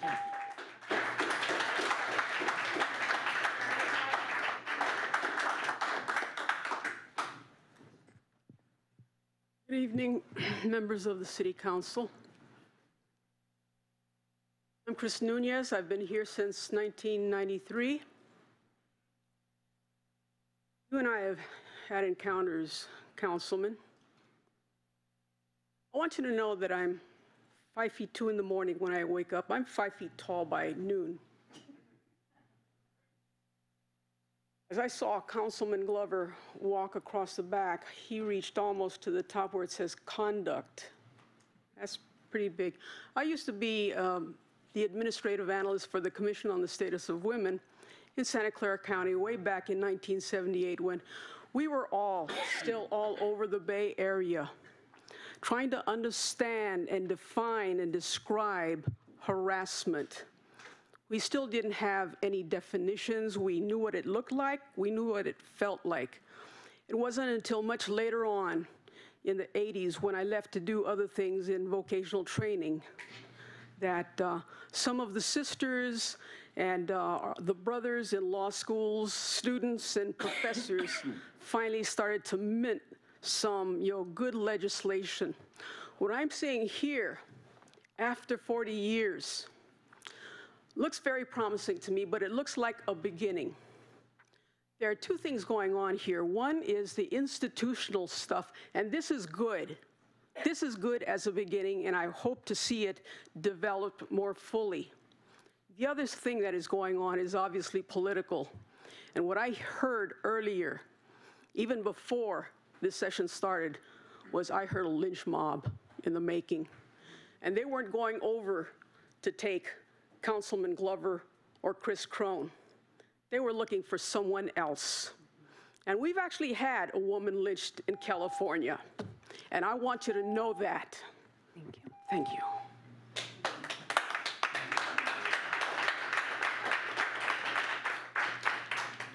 Hello. Um, I have letters from 52 people that I'm speaking on behalf of tonight. Hello, Santa Cruz City Council members and Santa Cruz community. My name is Robert Endicott Keller, and I represent a group of gentlemen who have had a history with homelessness, addiction, poverty, and recidivism. We have participated in and benefited from programs and services provided by the Santa Cruz County Sheriff's Rehabilitation and Reentry Facility in Watsonville. When we decided we needed to hold up our end of the bargain and what we felt that would look like, we started putting together a plan. Our conversations led to a transitional restorative justice program for people like us, by people like us, called Give Back to Santa Cruz. But we needed help. We wrote over 30 letters to people and groups in the community looking for guidance and support, but we only received one person's response Santa Cruz City Council member Drew Glover. He recognized our value when no one else did. He encouraged us to write down and organize our ideas, then to send them to him. He answered our phone calls, listened, and asked questions. Councilmember Drew Glover was concerned with how we were feeling and what we were thinking. He spent his personal time on his weekends on multiple occasions to come out to the program facility at Rountree to validate us as worthwhile human beings with worthwhile ideas. Councilmember Glover was willing to look past our faults to see who we really are. He has faith in our potential and ability to turn our lives around. Councilmember Glover is willing to do with us what most people don't have the stomach to do, which is really listen and believe in our intent. We support Councilmember Drew Glover because Councilmember Drew Glover supports us. And if you really want to solve these issues in our community, you should take a page from his book and listen to the people you're trying to help. And if you don't want to or you can't, please don't take the one person that does, Santa Cruz City Council member Drew Glover. Please don't take away our voice. We can do better. We will do better. Thank you for your time and thank you, Drew.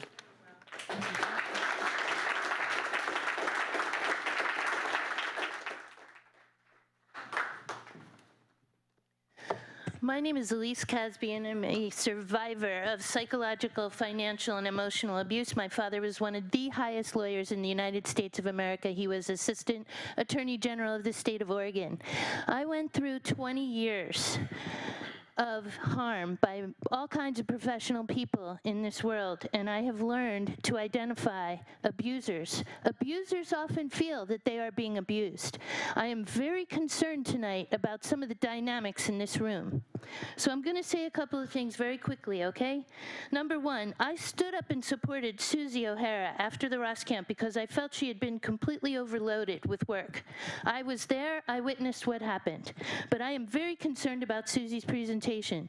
Two weeks ago, when I went to pick up a city agenda, there were two people in the room. The receptionist, I was in a corner of the room, and I had a view to the hallway. Susie was there, and there was another person there, an incoherent homeless person. He was totally incoherent. The receptionist wanted to go on her lunch break, and I didn't want to talk to the gentleman because he was too incoherent. He didn't seem to be drunk. He was just completely understandable. I mean, not understandable. I saw Susie. She was in the hallway making a face of disgust and grimacing as she stood there. And I just want to say, nobody was there to support what I saw. So you don't know if I'm telling the truth, but I'm telling you, I'm telling the truth.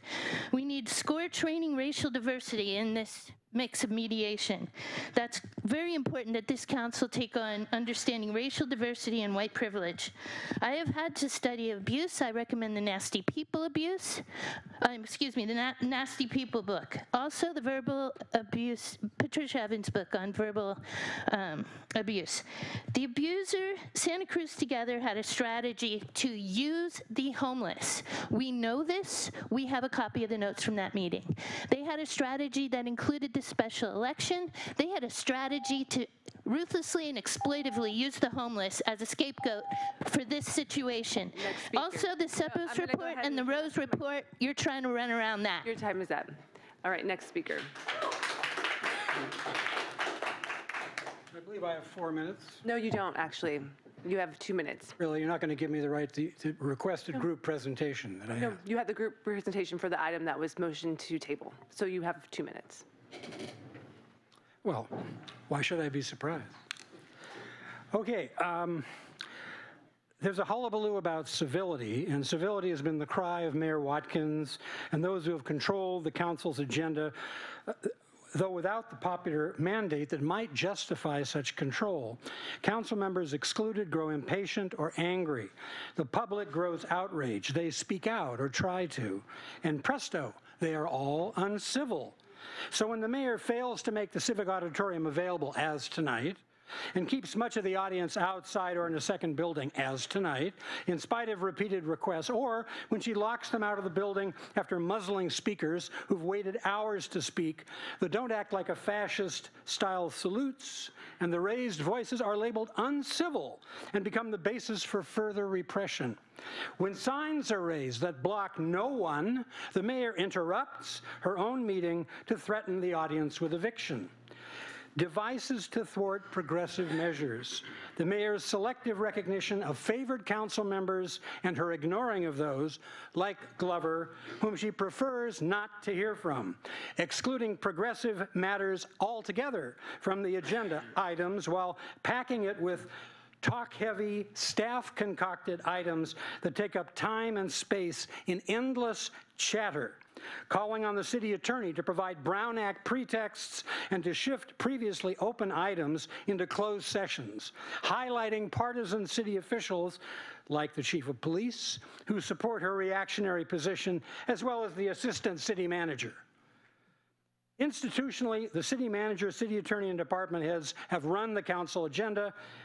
And while the city council comes and goes, these unelected, highly paid officials remain in power unchallenged, unmonitored, and for decades unaccountable. In practice, they set the agenda. That needs to be stopped. And it's not a part of this recommendation. Why not? Your time is up. Next speaker.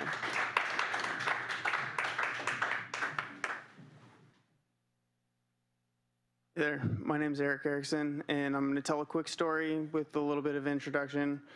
Um, I grew up here, Bayview, Mission Hill, Santa Cruz High, Cabrillo, UCSC. I worked there for a few years.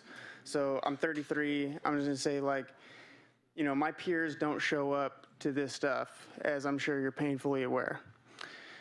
Secondly, I got involved politically after the Bernie Sanders campaign in 2016. After that ended, I got involved locally and with the Democratic Party. I was a delegate to the state party and I was appointed PDC representative to the local DCC. So the story that I want to tell is one DCC meeting right over downtown that Cynthia Mathews, you were present at.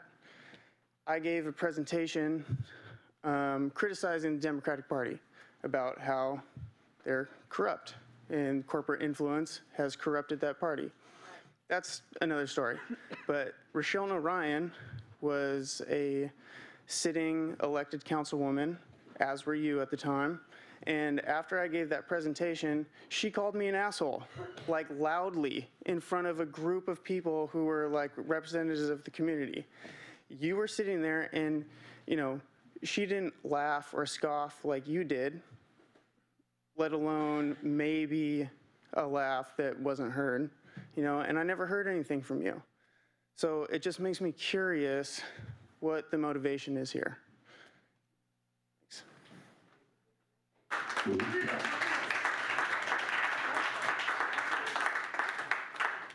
Apologize, Cynthia. Uh, I want to say first to, to Susie, and I've said it before, my heart goes out to you. I hate speaking louder. Um, nobody should go to work and like deal with that kind of stuff. Like, super true. I mean, she's smart and she has integrity and she's trying to do her job. And she and I look at things very differently, but she's trying. Um, I think that's one piece of this. I think the, I don't, I don't want to do the blame game. Uh, it's no fun, and everybody, we're all doing it. Um, the, to move forward and to actually use these recommendations to actually sit down and talk to somebody that you know you've been hurt by and you've also hurt. Like you got to you know man up and apologize too. Um, and I you know and people up too. Um, for myself, I'm, I got big personality and, you know, I'm, I have my values and I get frustrated and I mouth off sometimes too. I get it, like absolutely. Um, but it's not just them that needs to apologize and need to be able to step forward and stuff. Like that, having that motion and talking about false was not said. No, that false isn't part of that. It's substantiated, unsubstantiated, withdrawn, and somebody even gave an example from one of the policies. So to, try to do this whole thing and try to point at people and all that stuff, like, we've got so much other stuff to do. I don't want to talk about this stuff. I like people and stuff like that. I want to help with homelessness. You guys do all sorts of stuff. But let's just, just man up, woman up, whatever. Let's just apologize and move on and like see people as people. Thank you.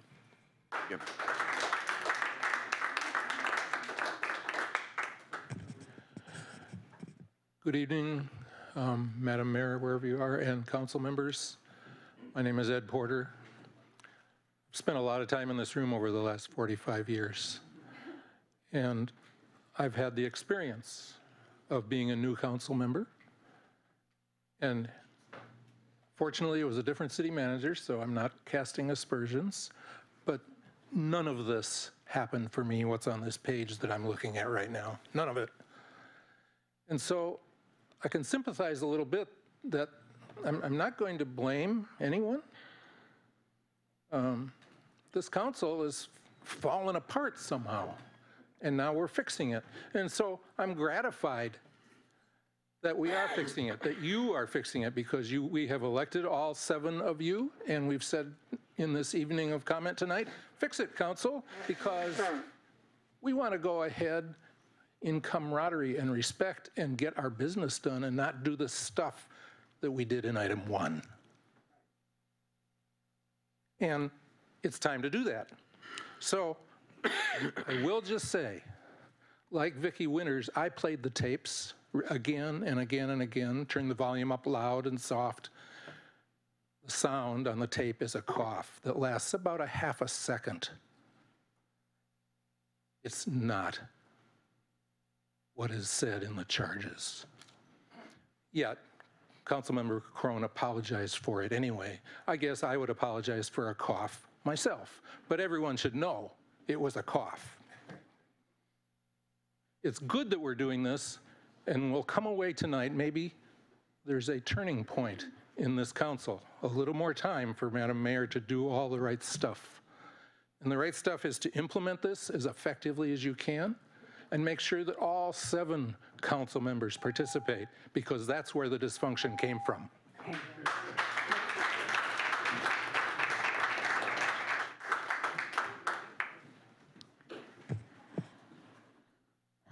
My name is Reverend Beth Love, and first of all, I just want to acknowledge each one of you because you're sitting there in the public eye and the public scrutiny. It's not an easy job.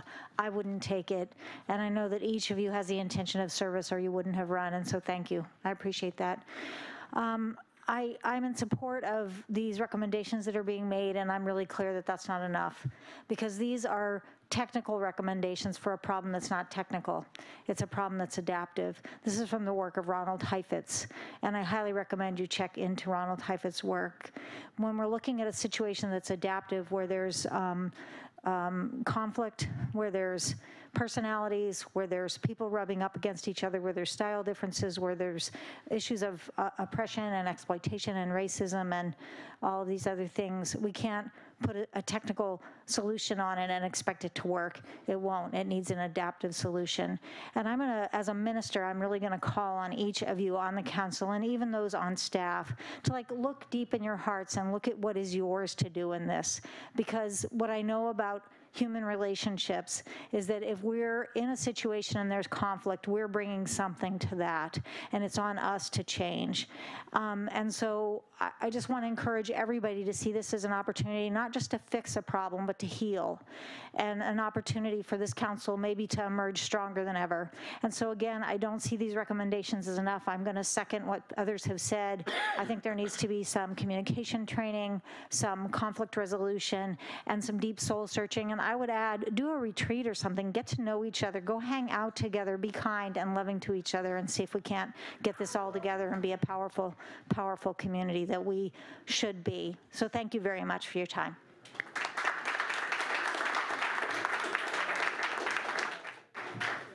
Good evening, Mayor and council members. My name is Claire. You all know me. I've really enjoyed hearing the third-hand knowledge this evening about what's been going on at City Hall and what it's felt like in this council chamber. I've enjoyed hearing the perceptions of what we've actually been experiencing, and I've enjoyed hearing how dismissive people have been about the real and hurtful processes that our city employees went through as part of this investigation, or that a simple conversation would solve an issue with an obvious power imbalance. I found it fascinating how easy it is to dismiss those experiences. There's a difference between being a bad person and being a person who has done something wrong. Nothing before you tonight was calling anyone a bad person. It was simply acknowledging that wrongs have been done and there should be a public acknowledgement of that. I've been in this chamber a lot, but I've never felt as disappointed in this group as I have this evening. I'm thankful that Lisa has brought forward next step actions to correct obvious deficiencies, and I look forward to hearing your discussion and action on those items. What I most want to say, though, this evening is I'm thankful that Mayor Watkins was brave enough to step up first. In being a leader and setting that example that we as employees would be listened to, it gave the rest of the women the faith that they in turn could be brave enough to report what had happened to them. So, Mayor Watkins, I thank you for that.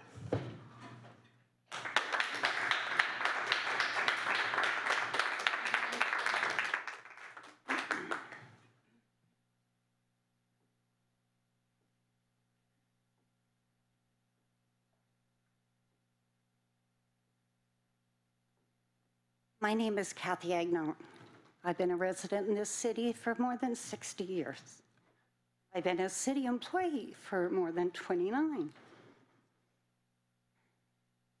I've experienced times of disrespect, harassment, uncivil treatment as a city employee, and I didn't have the courage to do anything about it.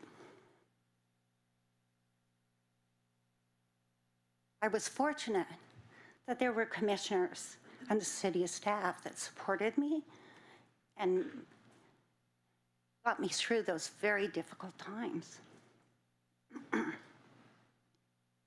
My goal has always been to make a difference. I think that's yours as well, all of you. I am sad and disappointed in the council's action to not support censure, which is defined as to express severe disapproval. Susie is my supervisor for the last two years, and I'm inspired by her.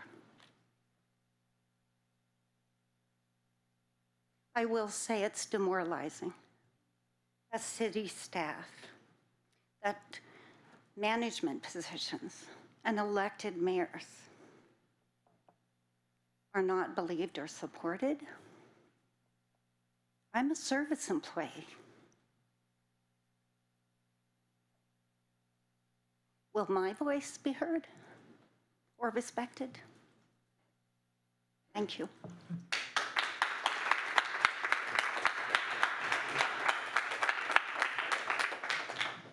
To the city council, my name is Freeman Best, and I've been living here since 94. I'm an employee of the Santa Cruz County office. I'm a Little League sports official, high school sports official for all the sports. Harassment, disrespect, I live it every day. You know, women's equal right, equal pay. And when you're working with the public, when you're working with the public, sometimes you disagree. And because a person don't speak the way you want them to speak, it's not harassment. Sometimes just a disagreement. But if you got to be strong, put on your lady's shoes, and you know, you just got just tough it up because of everything is not easy. You think it's easy for me every day as a black man living in Santa Cruz? This is a great place to live, but I, I see discrimination every day. Tonight, this lady sitting here, she went to this young lady that was sitting in the weather and asked her to move. What did she do wrong? And then you looked at the audience like, I made her move. I didn't like what you did to her. Discrimination every day. As a black person, I see it, and I saw it in here tonight. Next speaker.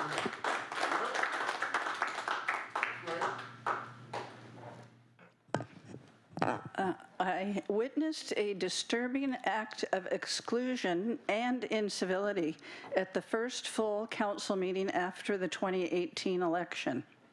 I feel that this overlooked occurrence should also be addressed when the Rose Report recommendation of mediation and conflict resolution begins. At that 2018 meeting, Mayor Watkins made the expected committee appointments, giving between two and up to five assignments to all council members except to Drew Glover. Exactly zero for Councilman Glover, something I have never seen happen before, and I don't know if any of you have either. I have never seen it happen. Over 17 committee appointments were made that night. How would you have felt if you were the one person who was completely left out? Was this an error or could it have been on purpose? If it had been an honest mistake, an apology and an explanation would have been offered pretty quickly to the new counselor who had mistakenly been slighted in the mayor's committee assignment process. Because no outreach to Mr. Glover was made, I am left to assume that it was a purposeful action, not a good foundation on which to build council camaraderie at the first full actual meeting. Mediation and conflict resolution can serve to turn a gesture of ill will into one of goodwill. Please do not choose to continue to ignore this form of bullying that I'm talking about. It's a silent but equally hurtful bullying by exclusion. That was delivered to Drew Glover at his very first full council meeting. This slight has been completely ignored for nine months, and it too should be addressed, as the Ross report advised, by providing mediation for all council members.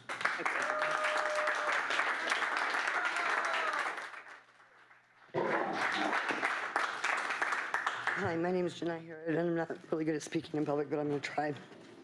Um, we live in communities, um, but we seem to be all pretty disconnected, even with today's technology and whatnot. Um, the advancements, globalizations, and all, all that. I mean, we know everything about our favorite celebrity, but we don't know our neighbor's name next door.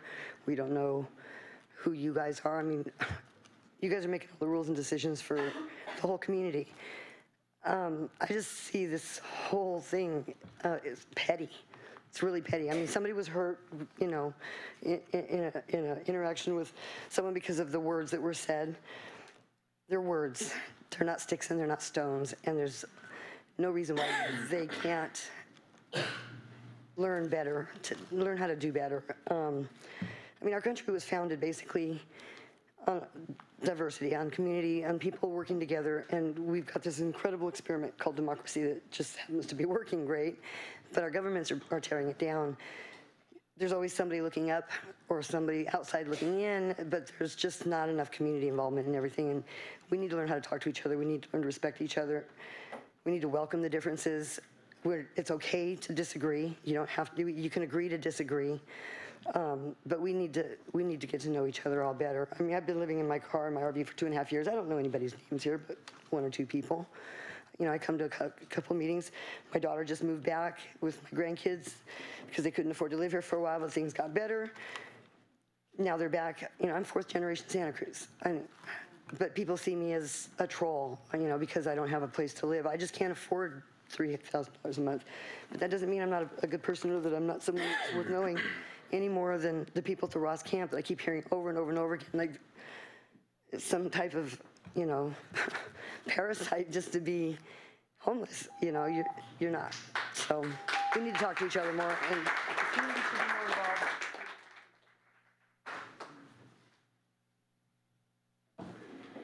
Hi, everyone. Um, I was actually just sitting at home watching this being streamed, and I felt like I had to come down just to offer my full support um, and to say I believe the women who have experienced bullying in the city workplace, full stop. Um, I don't believe any fault falls on them for not being able to overcome unacceptable work conditions.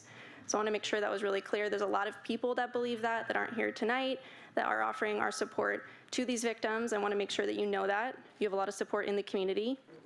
And let's not forget that two of these um, accusations were substantiated by a independent third party. I won't get into how that doesn't invalidate the rest of these complaints, but my heart goes out to those complaints as well. And it's not acceptable to have a council member acting this way. Um, I think if many of us acted this way in the workplace and were found to have substantiated complaints against us, we'd probably be fired or um, severely um, punished. And I just wanted to say that Mayor Watkins, thank you for doing your job in a hostile work environment. Um, that I, I feel that in the room tonight. Thanks for being a leader. Um, we just really appreciate you, especially as a woman. So thank you.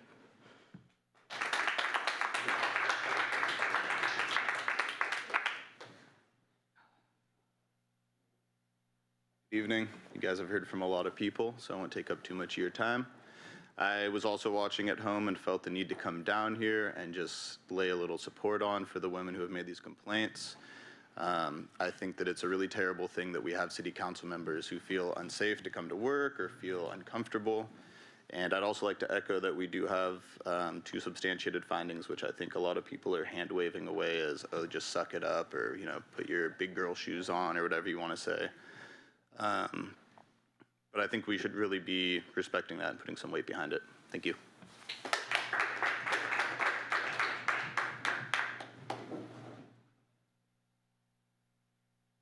I just want to say a few things. Um, I'm really happy about uh, a lot of the recommendations. That's good. Uh, The mediation could have been done before the investigation, before spending $18,000. Um, But I'm happy to see that it's in there. I also agree with some of the people that said um, conflict resolution is really important, as well as um, something on institutional racism. I don't think a lot of people realize what that means. Um, and um, the other thing is the false, using the word false, that wasn't part of any of the words that Ali Brokaw had mentioned. So I'm, everyone is switching everything around. It was only two items. And both of those were so minor, but no one wants to look at those. And one of them was a laugh that no one can, I think the woman that was just up here, she spoke about, that. she was the one who observed a laugh. So that wasn't even, I, I, I, I, he just believed, I, from what I gather from the report, it was believing someone's word against someone else's word. And the other one was over a small conflict of a room being in the room too long than the, the time that was allotted, and a remark was made. I mean, my goodness, all this, I think it's much deeper than this. I really think it's about something else, and it, it's more about getting our most progressive candidates off. And I just, I'm looking forward to the mediation. I'm looking forward to doing other things, because I really hope you can work together.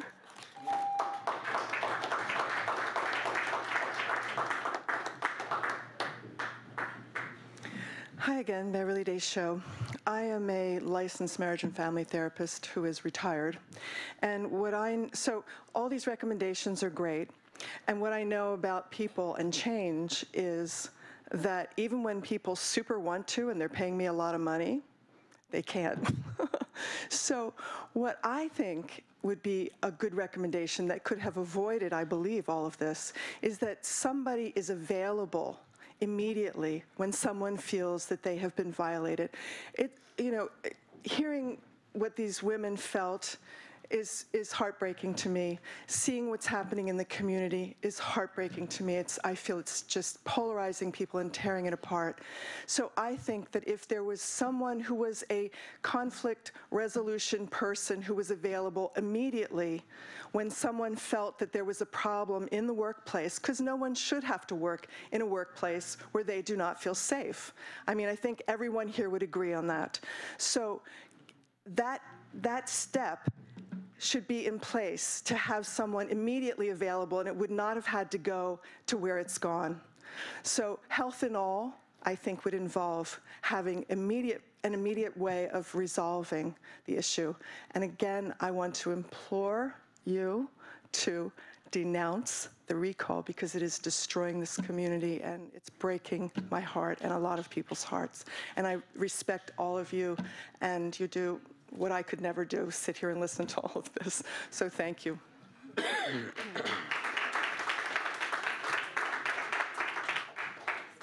Good evening, um, Mayor Watkins and council members and city staff and community. Um, I'm sorry if I'm a little scattered. I wasn't going to speak this evening, but I felt really compelled. Um, so I work as a social worker with the county. I've been bullied at my workplace myself, so um, you know I'm not trying to say my experience has been the same as these these women who have um, you know, put themselves out there and shared their story this evening. Um, and I, I hope that we can recognize these women's experiences that they've felt as well as working towards resolve and mediation. Um, I interview people for a living. Um, I ask people about some of the most difficult times in their life. I work for um, Child Protective Services. Um, and, you know, everyone's perspective on situations and um, incidences is, is differs.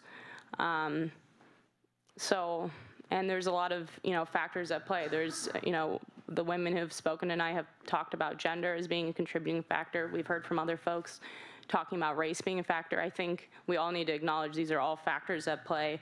Um, and as the um, woman who's a conflict resolution um, specialist or medi- mediator, I can't remember her title, um, said, you know, we need to look at all these issues and put them in context. And um, yeah, I hope we can recognize everyone's experience and, and move forward. Thank you.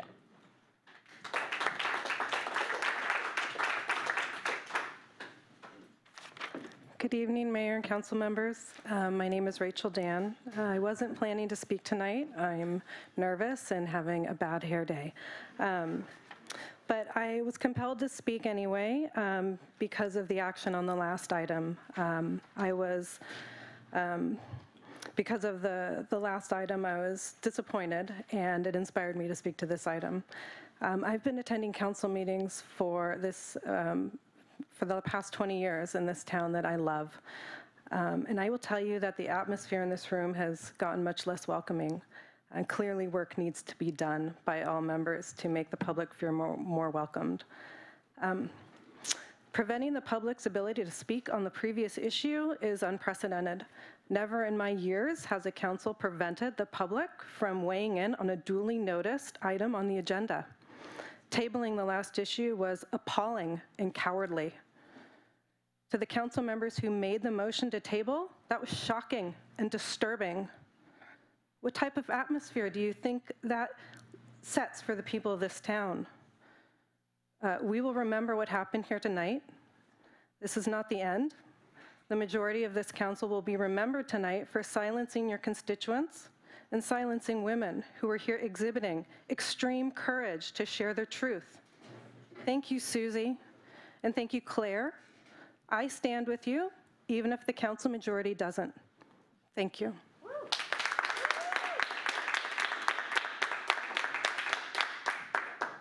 Next speaker.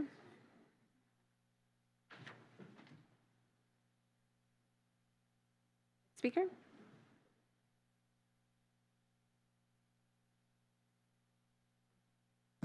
Hi, my name is Jane. I was here this afternoon being a very straight-laced professional public health person, and now I just want to talk about being marginalized. I was so moved by the woman who got up and said, civility is a way to marginalize certain voices.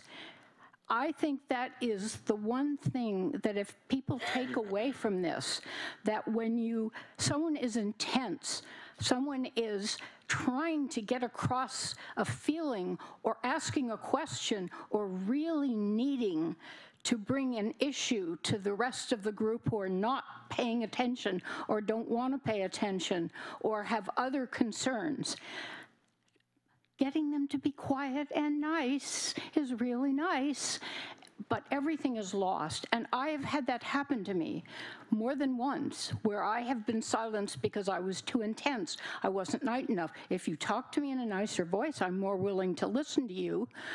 I mean, this is not what we need when you are representing your community. Maybe, yes, sir, there are times for being civil. I'm not opposed to civility. But please remember that if someone is intense, someone really cares.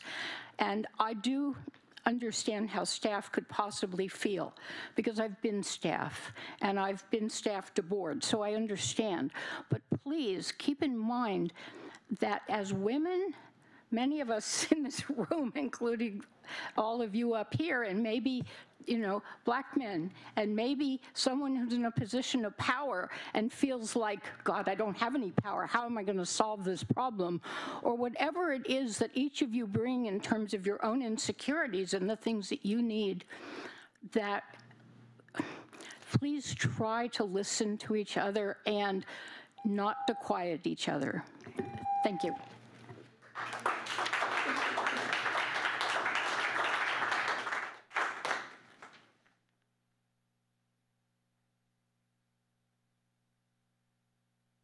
Hi, I'm Brett Garrett. Um, feeling really heartbroken tonight. Um, I want to suggest one more recommendation that um, uh, there may need to be some kind of procedure that makes it equally possible for each council member to get items onto the agenda um, when they want to get something on the agenda. I've, I've understood, I'm kind of heard rumblings that that may be a very contentious process that's very difficult for some of the council members. And I would hope that all of the council members can easily get items on the agenda when, when, uh, when called, when they feel it's necessary. Um, and I just, I kind of feel like there's a war happening when I- really believe all seven of you sincerely want what's best for our city. Um, but if if you don't each hear all six of the others, it just becomes really, I don't know, I'm just heartbroken. I, I support mediation or whatever it takes to really hear one another. Um, and I'm not saying that there's two people that need to hear one another. I'm saying there's seven people that need to hear one another. Thank you very much.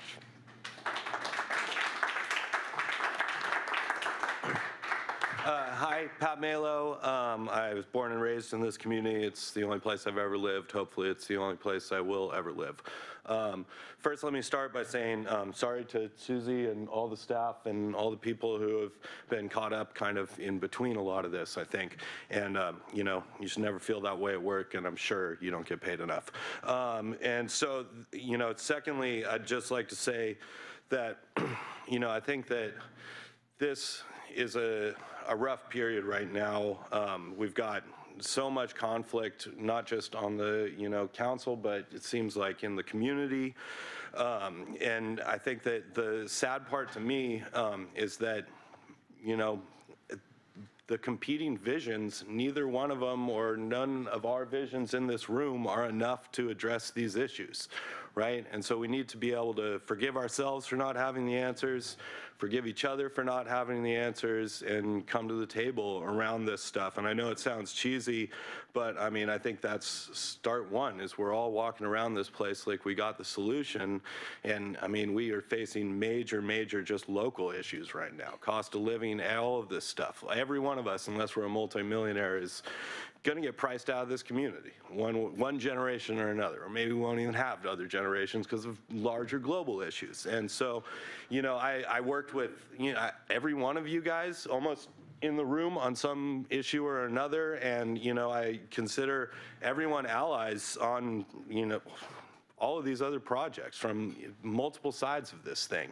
And so, you know, usually I'm like entertained watching the TV show, but tonight I'm, you know, struck by the real life of this and just the, it's like, you know, there's plenty of projects I'd like to see done. We're all putting them aside because of this mess, and I think we all need to forgive ourselves and each other for this. Oh, and if we can send the public to this stuff too, it might help a little. Thank you.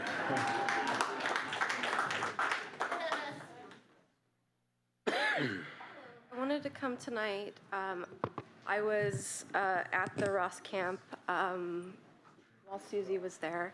Um, and I, am speaking as someone who, there's been a lot of conflation. People have talked about people having different viewpoints from Drew Glover. It seems like there's been an idea that there's been this assassination attempt against him because of different uh, political views. But I really like your politics. And but I was there and I felt like what you did was disruptive. It did undermine our attempts. You know, we had a job to do.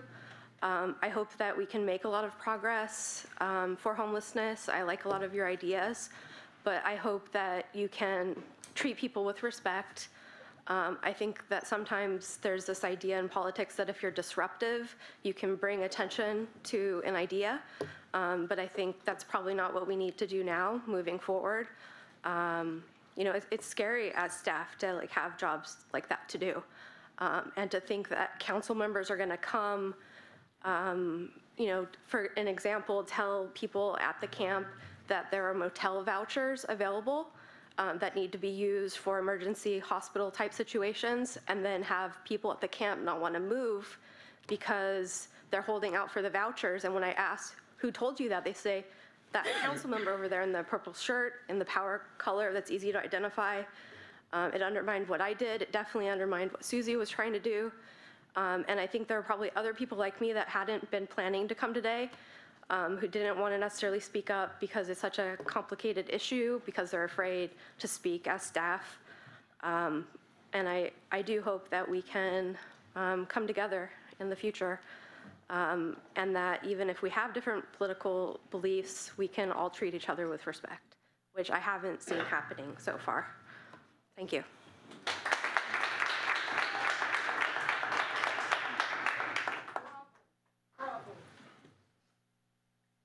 Good evening. I'm Scott Graham.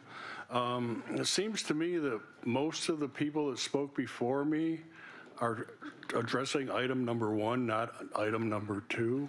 So I'd like to address item number two. Um, I think probably just two of these recommendations would I go along with if I was sitting up there, which would be number two and number three.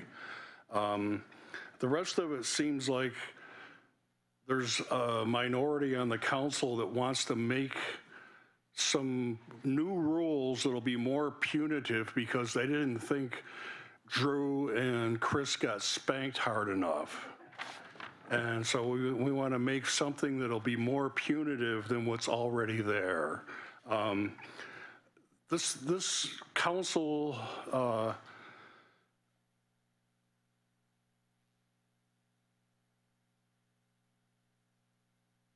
um,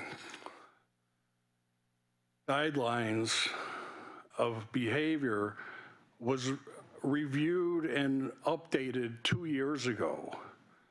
And so just because Drew and Chris did something that was looked upon as being wrong, now we want to reopen it up and try to put more punitive measures in there because we want to make sure that the next time they get out of line, we can really smack them down.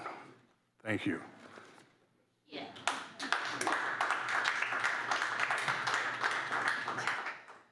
I'm not sure if, I don't think there's any additional members of the community who wants to address the council at this time. Um, We'll go ahead and bring it back to council action and deliberation. I guess I'll just say, um, you know, it, it is, this is, this is very difficult. And to some of the comments that were brought forward, we are better than this, absolutely. And we as elected leaders need to be held to a higher standard. And we, as an institution and a governing body, need to ensure that every employee, commissioner, person who is working here or participating in our government is doing so in a workplace that's free of harassment, intimidation, and, um, and, and that's unacceptable, completely unacceptable. Um, part of the healing process is accountability. My understanding is that is not on the table for discussion. And um, we'll go ahead and move forward with how we can institute some policies at this point to improve our processes so that we can ensure that no individual feels intimidated or has had had experiences as some of the city staff who spoke up and had the courage to speak up this evening. I have um, a lot of admiration and respect for those folks. So with that, we'll go ahead and bring it back to the council for action on these items. Um, I'll go ahead and acknowledge uh, my colleague to my left. I just want to acknowledge as well the people who came up and spoke tonight, um, because I know that um, it takes courage to speak up when uh, you feel like you've been wronged. Um, and as the mayor said, you know, no one deserves to be discriminated against in at all in our community, let alone in the workplace. Um, we need to behave respectfully. We need to all try to work together. Um, and that is something that has been expressed multiple times um, on the city council. One thing for me that has been really challenging is that um, ever since February, when the initial bullying allegations came out, and then throughout this entire year, there have been multiple times when members of the city council have asked for mediation and conflict resolution to try to bring ourselves together. We've had two retreats. One was in March. I think the other one was around May, June. Um, the first of which we talked about communication with one another and how we could effectively communicate. We also discussed shared values for an entire workday. And one of the things that was very much strongly expressed at that meeting was that we wanted to have conflict resolution and some mediation to try to overcome the differences. At the second meeting, we again spent the morning discussing shared values and priorities uh, over the six-month term. Again, one of the number one things that came up was conflict resolution and mediation among tension that was in the city council. Um, I feel like, you know, the fact that we haven't addressed this by now has led to more divisiveness within our community. After the election in November and when we became, when we were seated and started the city council in January, what I felt came with being seated on this dais was the same energy that was put into both the no on M campaign and the yes on M campaign. That tension within our community came up here, and little has been done to try to resolve it and to try to bring us together. Um, I feel like some of the members of the city council, we've been able to try to overcome our differences and work together effectively, but it hasn't been all of the members of our city council. And so from my perspective, before we go censuring our city council members and creating more divisiveness within our community, we need to first start by having a conflict resolution process and trying to see where we can overcome our differences and bring ourselves together. Because if we don't, we're just going to continue to see more, to, more, more and more divisiveness within our community. Um, everyone has said at these meetings that they honestly wanted to work together and work with one another. Um, everyone said they wanted to work in good faith, and we need to be held accountable to that since we all said that we were going to do that. And I think that's the first step for us to try to address these issues. Um, and uh, I'm happy to discuss some of the other issues as they come up. Mr. Condotti. Before the council gets further into the discussion, I just want to remind the council that because a motion to table has been made um, under your meeting guidelines, once a motion to table has been adopted, um, the motion requires that all discussion of the item under consideration at the time of the motion be halted immediately without further discussion. So I would just caution council members to direct your attention to the item that's before you and not the prior item. Okay, agreed. Okay, so if there's any um, questions, comments, we can maybe just move forward. Councilmember Brown?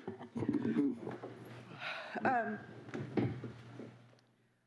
I, I do want to make a comment uh, that is kind of leading into uh, moving forward, which is what I have been hoping for a long time that we would be able to do. And I want to say I'm really sorry to the city employees who feel like um, this is not a safe work environment for you. Um, this is seriously a priority for me, and I'm sorry that you feel that my um, interest in having a conversation about how we move forward um, eh, rather than um, focusing on, um, you know, punitive uh, measures is in any way an indication that I don't support you because I absolutely do. Um, I so I just wanted to say, I, I did want to say that. It's, I'm not, don't want to talk about the previous item, but I did want to say that. I too, um, you know, I want to echo Vice Mayor Cummings' remarks about the failure of, uh, to, to get any responsiveness on moving forward with mediation and conflict resolution after months and months of this brewing um, tension that has been, um, it has not made this uh, a safe you know, a, a, work environment that feels safe for me and I think for many people at this dais, um, in addition to our staff, in addition to people in our community. And I just want to see us find a way to move forward. I think that the recommendations that have come before us um, are, are a good place to start. I do want to see us um, commit to some kind of conflict resolution training and not just mediation, um, because I think that is really at the root of our challenge, that we, we have not been willing as a body to do that despite um, multiple members requesting that that happen. And so we are now at a place where we can actually try to um, move forward on that, and I'd like to see that happen. I hope it does um, this evening, that we can move forward in a spirit of collegiality in that regard. Okay, now's the time for action, and um, so I don't know if you wanted to take these bit by bit, and then we, or if we wanted to have a council member make a motion. Um, I, I do have an addition I'd like to request at that time when that comes forward, but I can't make a motion. Councilmember Krohn.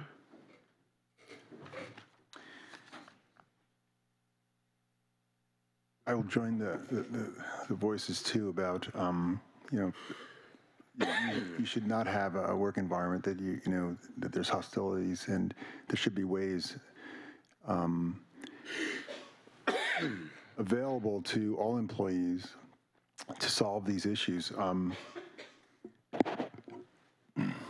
On March 10th of this year, I wrote a letter. It's part of the, uh, the Rose Report. It's in the packet.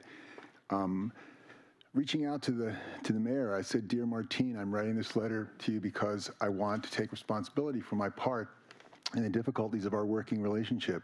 I want to try to reconcile and work together in the future in a mutually respectful way." When you said there are perceptions that my colleagues, both Councilmember Krohn and Councilmember Glover, are intentionally bullying me because I am a woman, I assume that you agree with those perceptions. I am taking those perceptions seriously because I have undoubtedly learned attitudes of inequality towards women simply by growing up in our culture. For a long time, I have attempted to unlearn these beliefs. I take to heart your comments, and I will redouble my efforts at self reflection. It would be helpful if you would let me know what I said that you found to be bullying behavior. I want to be aware of what language I used that contributed to your negative experience. In the meantime, I want to assure you that I respect you as a person and a woman in a leadership role. I wrote that on, on March 10th. Um, I've yet to have a, a response, and I, I again reached out to the mayor uh, and asked for mediation, for conflict resolution, and again, I, have had no response, and so I, I'm just uh, a bit frustrated um, about the, this, the, the whole process as, as it's rolled out. So I, I, I think that it's when we do the shame and blame before we get to the um, reconciliation part, it's it's really difficult for to take the reconciliation part, you know, in a serious way if we're doing the shaming and blaming. Maybe we should have two different meetings um, instead of putting this on the um, the same agenda. Um, I think that uh, I would like to see us take the the Rose recommendations and um, use that as our template. Uh, because I don't, I see some of those Rose recommendations missing from what, what's what's been recommended um, by Ms. Murphy. Um, one of them, in particular, the first one that he recommends in the summary and as well as at the end of the report, council members should avoid making public accusations of misconduct of bad faith against one another and against city staff without first privately and internally addressing these concerns and attempting conflict resolution and rectification when possible. Uh, and I, I think that there's a lot of politics going on here. And, you know, it's very difficult having this kind of discussion even in the atmosphere we're existing right now, just in, in, in our community. Uh, and somebody just said it about, uh, Vice Mayor said it had to do with Measure M and, and, and anti-Measure M, and we saw some of that tension at the, at the microphone tonight. Um, I would like to incorporate the Rose recommendations, there's five of them, um, into um, uh, the recommendations that are before us as well. Um, and I wouldn't mind um, people voting on that as, as, as well. And I, I'm going to pass it out. Thank you, Mayor. So I guess, I mean, one thing I will say as we move forward with next steps is, you know, in February, it was a time, it was a different time, and in, and at that time, um, I, I felt it was re- it was my responsibility as a leader to to say something, um, and beyond then, um, I don't think anybody could predict that multiple uh, folks would come forward after that, and an investigation would ensue. And so here we are now at a place that is um, going to move us as leaders, if we can, say we want to move forward with policies and procedures, and we want to move forward with um, next steps. That's the place we are now. So in terms of repair, it's on this council to move in the direction or to consider some of the recommendations to move forward to not only ensure that we have policies that protect our staff or council members or commissioners, but we also have next steps in terms of process. I don't think the onus is always on those who um, come forward and speak up. So with that, we'll go ahead and have um, you present your motion if that's the case. Is that where we're at? Uh, Well, I'd like us to look at um, what um, Ms. Murphy put before us and And then this would be maybe separate the, uh, you know, if, if up or down votes on each um, item, and then also up or down votes on what um, the Rose Report recommended on page 89. Because, I I mean, we did pay a a significant amount of money and went through this whole process. It seems to me that um, some of the recommendations are, are, are very good and, um, you know, worth sticking into the, the final recommendations. Okay. Okay, Councilmember Glover and then Councilmember Mathews, and then we can go ahead and start m- a motion or breaking them down. the process. So that was a lot um, from all the different perspectives. I want to start by to speaking to the staff members. I totally hear you and your uh, feelings around any interactions that may have taken place or any issues that you may feel with regards to uh, interactions with council members um, or myself included.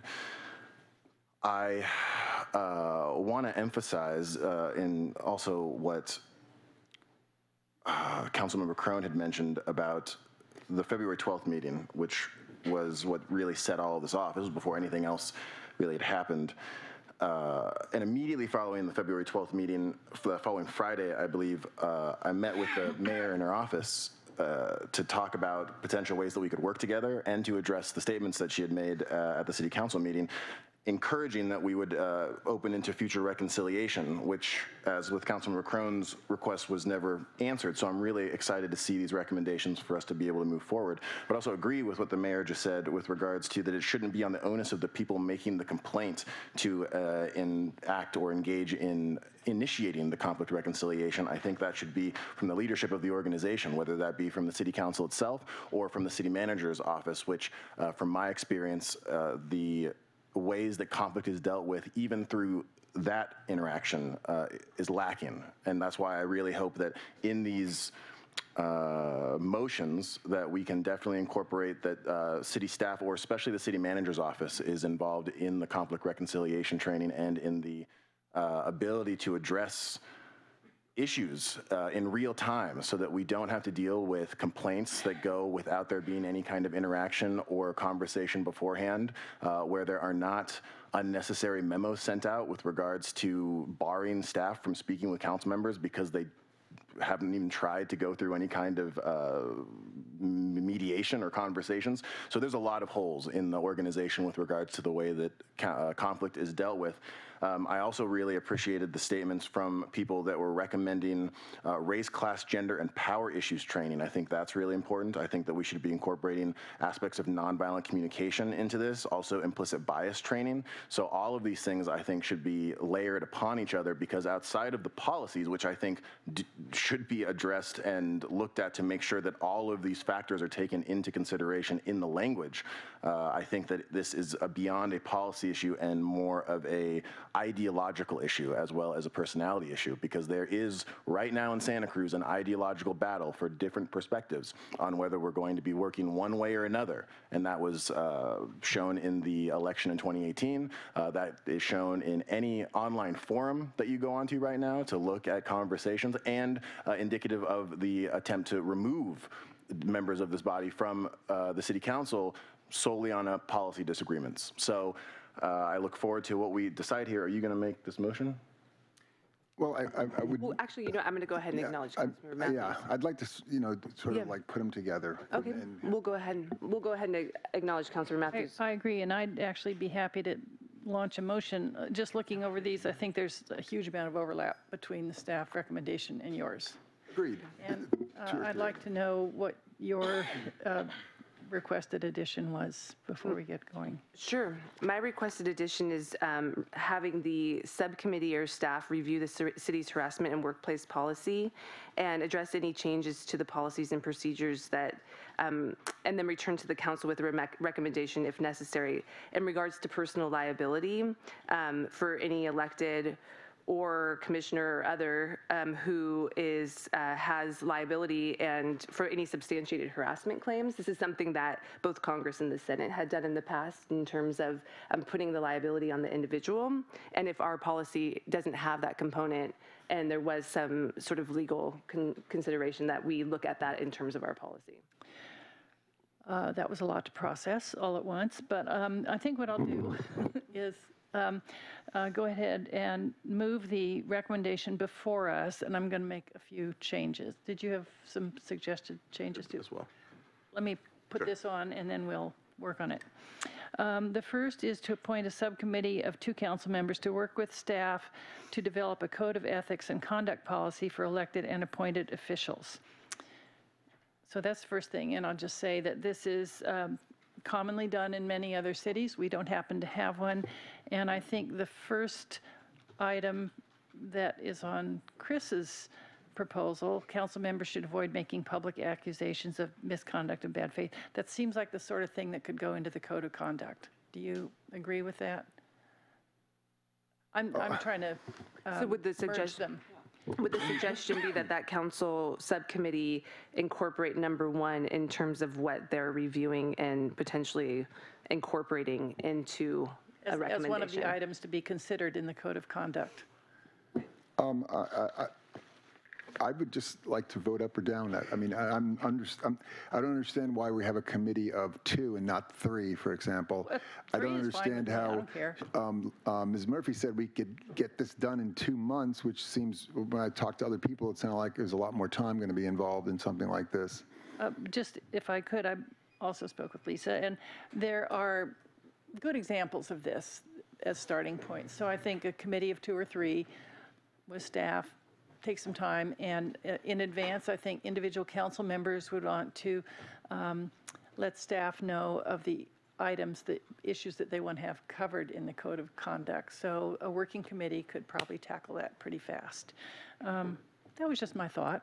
Um, So it could be, I don't care, let's call it three, you know, appoint a subcommittee of three council members to work with staff to develop a code of ethics and conduct policy for elected and appointed officials, to um, include um, accusations of misconduct or bad faith against one another, among other issues. Just trying to get it out there. Does that, does that do it for you? I'd just like that, that one statement, because I I really think that, that first statement goes to the heart of where we're at right now, um, and why, why we maybe shouldn't have come here, got here, but we did, and this is Uh, and- somebody who's looked at it, interviewed all these folks, and said as his first recommendation, council members should avoid making public accusations of misconduct or bad faith without talking, Okay. or at least looking for We some can- sort of mediation. Okay, why don't we, um, I'll go ahead and acknowledge Vice Mayor Cummings, and then we'll just break them up so that we can eventually move on them. Okay, Vice Mayor. I just want to mention to Councilmember Krohn, I think that the intention is that currently there's no code of ethics and conduct policy for appointed officials in the city.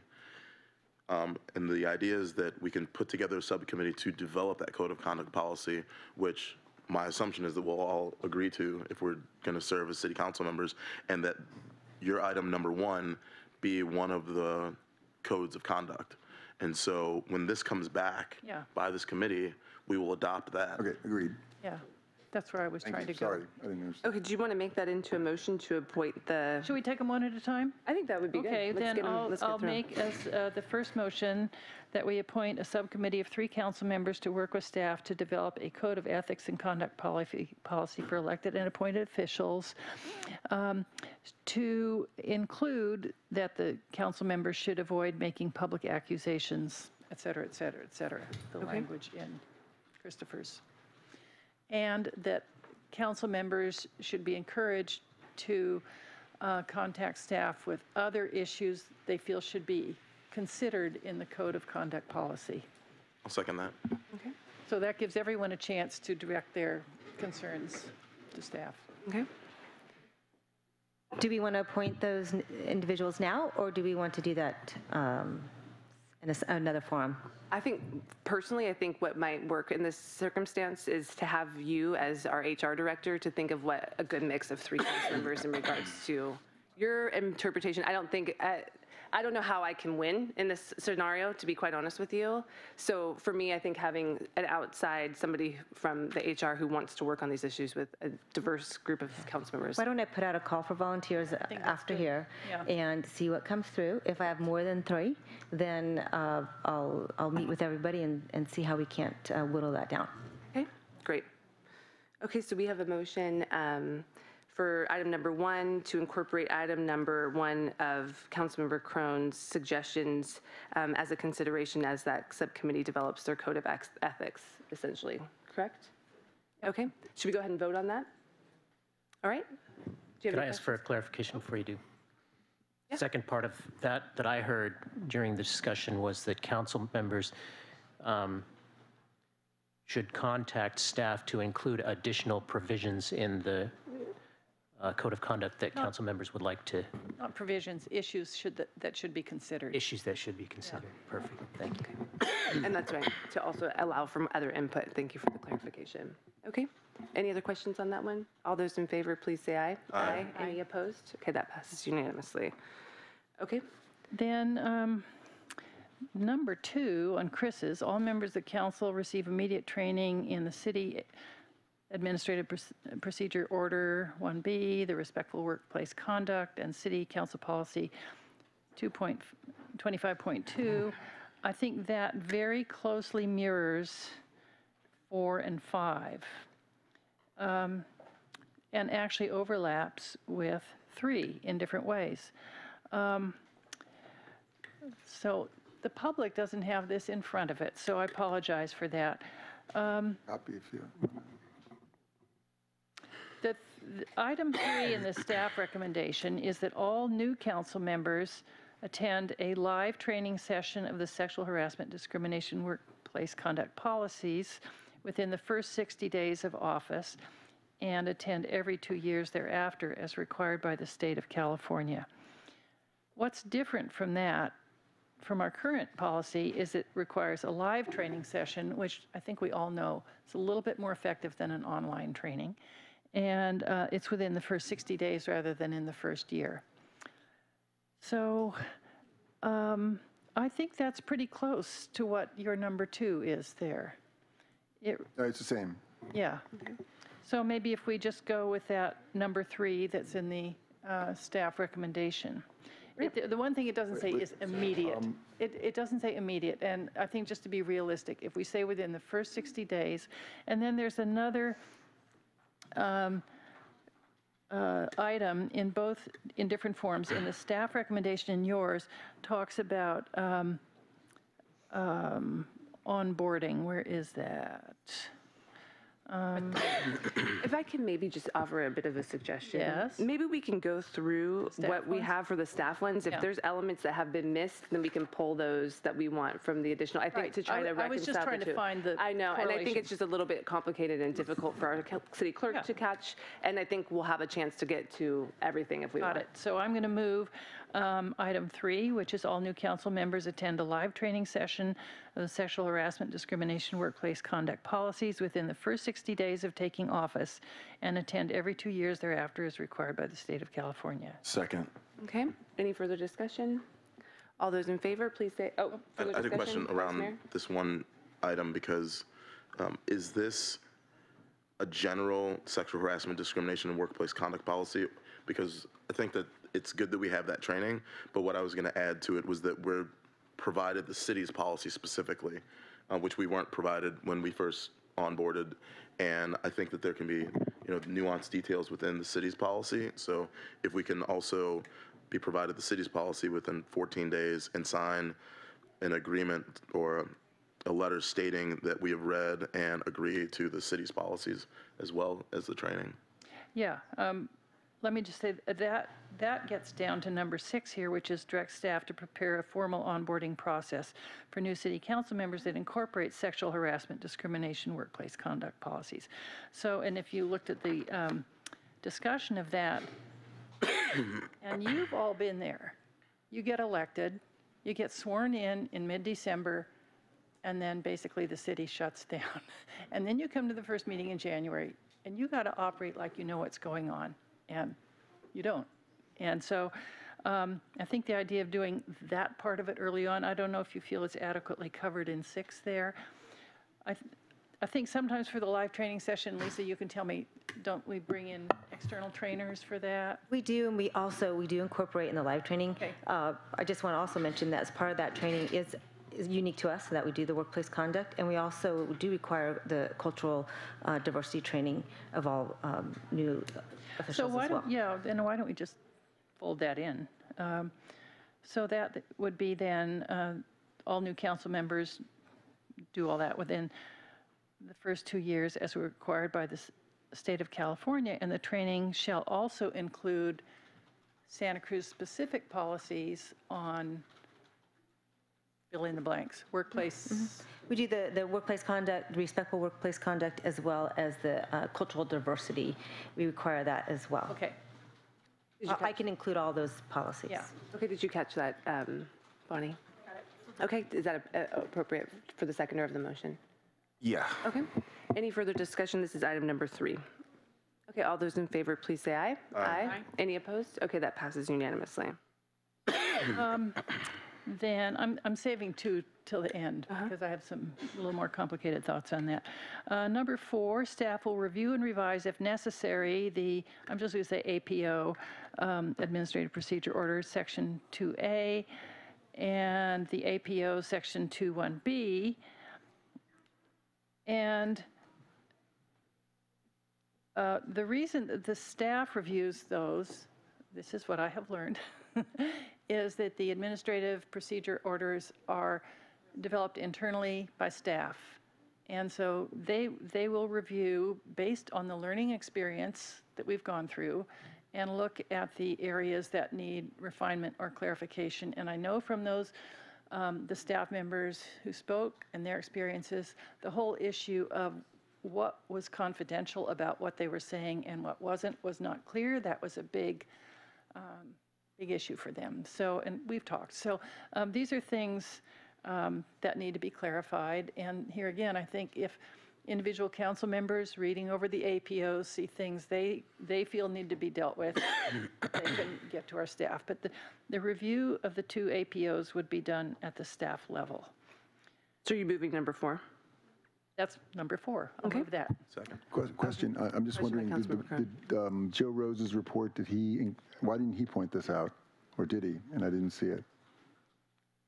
The, well, I think for, that's the, sta- that's one of my recommendations, is that now that we've had uh, a si- a significant event occur, uh, unlike any other, we have learned some lessons as we've gone through, uh, not just only whether it's- it could be definitions, but process as well, notification process. So I think a whole overlook of the, the entire policy is warranted.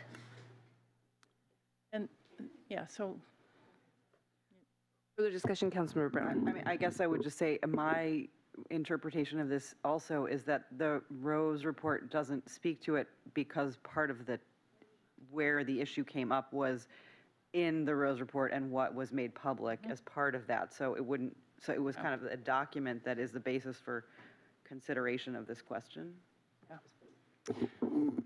Um, Yeah, uh, but during this whole thing, uh, there's been a series of press releases released by the city, and it has been very uh, defaming of Councilmember Glover and myself, and we've heard it from a lot, many people around town. And I, I, I wonder if this also, the committee could take up that also, that, that aspect of it and say, well, what, what what is a press release when you're using council members' names and you're just using innuendo that's out there? It was, um, it was really, it was, that was, was hurtful also. Councilmember Meyers. Well, I'm just going to bring up then the use of Facebook and uh, framing me as a racist. So these are things that uh, need to go on, uh, we all need to sort of realize that there was things revealed that should have been confidential. There shouldn't have been predetermined Facebook posts about the outcomes of the investigation. You should never, never call someone a racist. I've been an out lesbian for 34 years. Okay?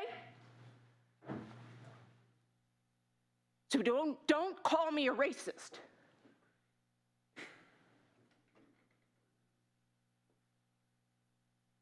So I'm sorry that a press release upsetted you, but do not defame me in this community. I think we'll take Let's a. get these motions done. I'm tired. I Let's know, go home. I know, Donna. Okay, let's, Sick of this. let's maybe take a, let's, let's maybe take a three-minute breather, and we'll come back and we'll get through the motions. I think we're really there, to be think we're quite honest. very They're almost close. exactly the same, so maybe we could expedite that. I can't make a motion, Well, so. I, I think I have a motion for, do you want to to break? Is that what you're thinking? I think we need a two, minute. let's just, are you, okay. Let's move. Okay, so I think if we could, I think that there isn't a Have- need to we have necessarily belabor number this. four, and the issue was raised about a press release. I think that's the kind of thing, when we go through the APO, that's where that should get addressed. So let's send that issue to Lisa to talk about. So you move number four, why don't you see? Okay, seconded by. as written. Okay, Councilmember, uh, Vice Mayor Cummings seconded. All those in favor, please say aye. Aye. Any opposed? Okay, that passes. I passes. want to get to number five. Number five has to do with the council's policy, 25.2, and that's the one that we act on. So the staff will develop the APOs with input and then bring forth a suggested revised council policy. So I will go ahead and move that the council review and revise as appropriate, council policy, et cetera, et cetera, based on the outcome of number four. Okay, second, uh, any further discussion? Councilmember Glover? I mean, that's a lot to take in what just happened. Uh, I- if I had done that, uh, the world would have ended uh, based off of all of these things that are going on right now. Uh, I think number one, right, right here, that was um, of the Rose Report, council members should avoid making public accusations of misconduct, of bad faith against one another and against city staff without first privately or internally addressing these concerns. I have no idea whether you were addressing myself or Councilmember Krohn. You were looking at both of us the entire time, and you just made a public accusation in bad faith against one of your colleagues without any anything. So I, I would just say I, I don't want us to rush through this because of that outburst. And I feel our speed picking up as we're starting to talk about these different issues. This requires our focus and our attention, and we need to be very thorough because if there's that response to the assumption, I have no idea what Facebook post and who you're, again, who you're talking to, but to have that response to anyone suggesting you're a racist, I think that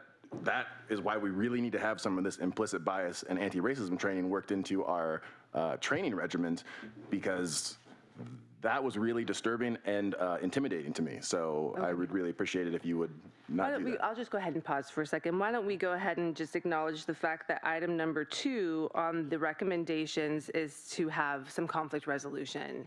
And um, I think that right now we have an opportunity to choose a path that we can move forward with trying to institute some, not only procedures and policies around improving our government structure, but we also have a path to say, we will have an opportunity to have these difficult conversations. We are going to commit in some regard to some form of, of mediation and conflict resolution in the future. But tonight at 10:20, um, after a really long and um, difficult evening, I'd say, we can take the we can let that be.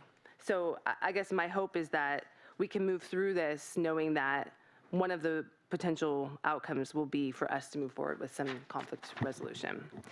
Okay, Councilmember Mathews. I think I've moved number five, which is revising, review and revise as appropriate, policy number 25.2. That's the policy on discrimination, harassment, retaliation, respectful workplace that we adopt as a council. Did you already move that, you said? Or you want to No, move that? that's, that's the next step. That's after the review of the APOs, then that would be the next step. Okay, so do you want to make that as the That's a motion? motion. It was a I'll second that motion. Um, All those in favor, please say aye. Aye. Aye. Any opposed? That passes unanimously. I will say, the whole issue that, this number one on Chris's about avoid making public accusations, I do think that's appropriate to go into the whole code of conduct decision, and I will just say about Facebook, God only knows what goes out on social media. Okay, but let's try to keep I it know, I'm directed just to the saying. content before us at this time, please. Um, Then, let's go to number six, which is directing staff to prepare a formal onboarding process for new city council members that incorporate sexual harassment, discrimination, and workplace conduct policies. I'll second that and add that we incorporate that new city council members and commissioners also um, be incorporated into that as well. Vice Mayor. I'd like to, wait, I don't know if that was, that seconded? Yeah, that was seconded I would by also myself. ask for a friendly amendment that this occur within the first 60 days of being seated or being sworn into the city council. Because there's no, the, Yes, and and we have in our, I agree. Um, It should be sooner than 60 Should be- days. should be sooner, yeah. And that's, I'm you know, um, uh, the staff report discussion says there should be a a formal onboarding process for new council members, all council members, and this is, this is where I say, come on, people, during the Christmas vacation, let's get real. It lists all this stuff. So um, s- staff will have to go off and work on this, so I think it's that issue and the real basics.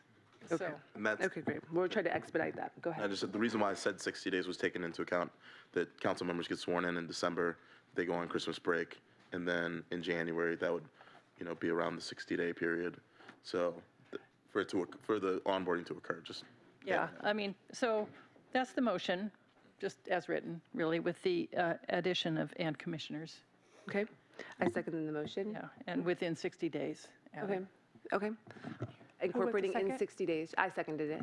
Okay, all those in favor, please say aye. Aye. Any opposed? Okay, that passes unanimously. And I'll just say, um, I've talked with Lisa about this, and um, it is a lot to digest when you're new, and so much to get a grip on things you never thought about. I mean, I'd, I'd honestly like to be a part of that process, and I prob, I think maybe someone who's brand new. So you get, you know, I didn't know this, and oh, you should know that.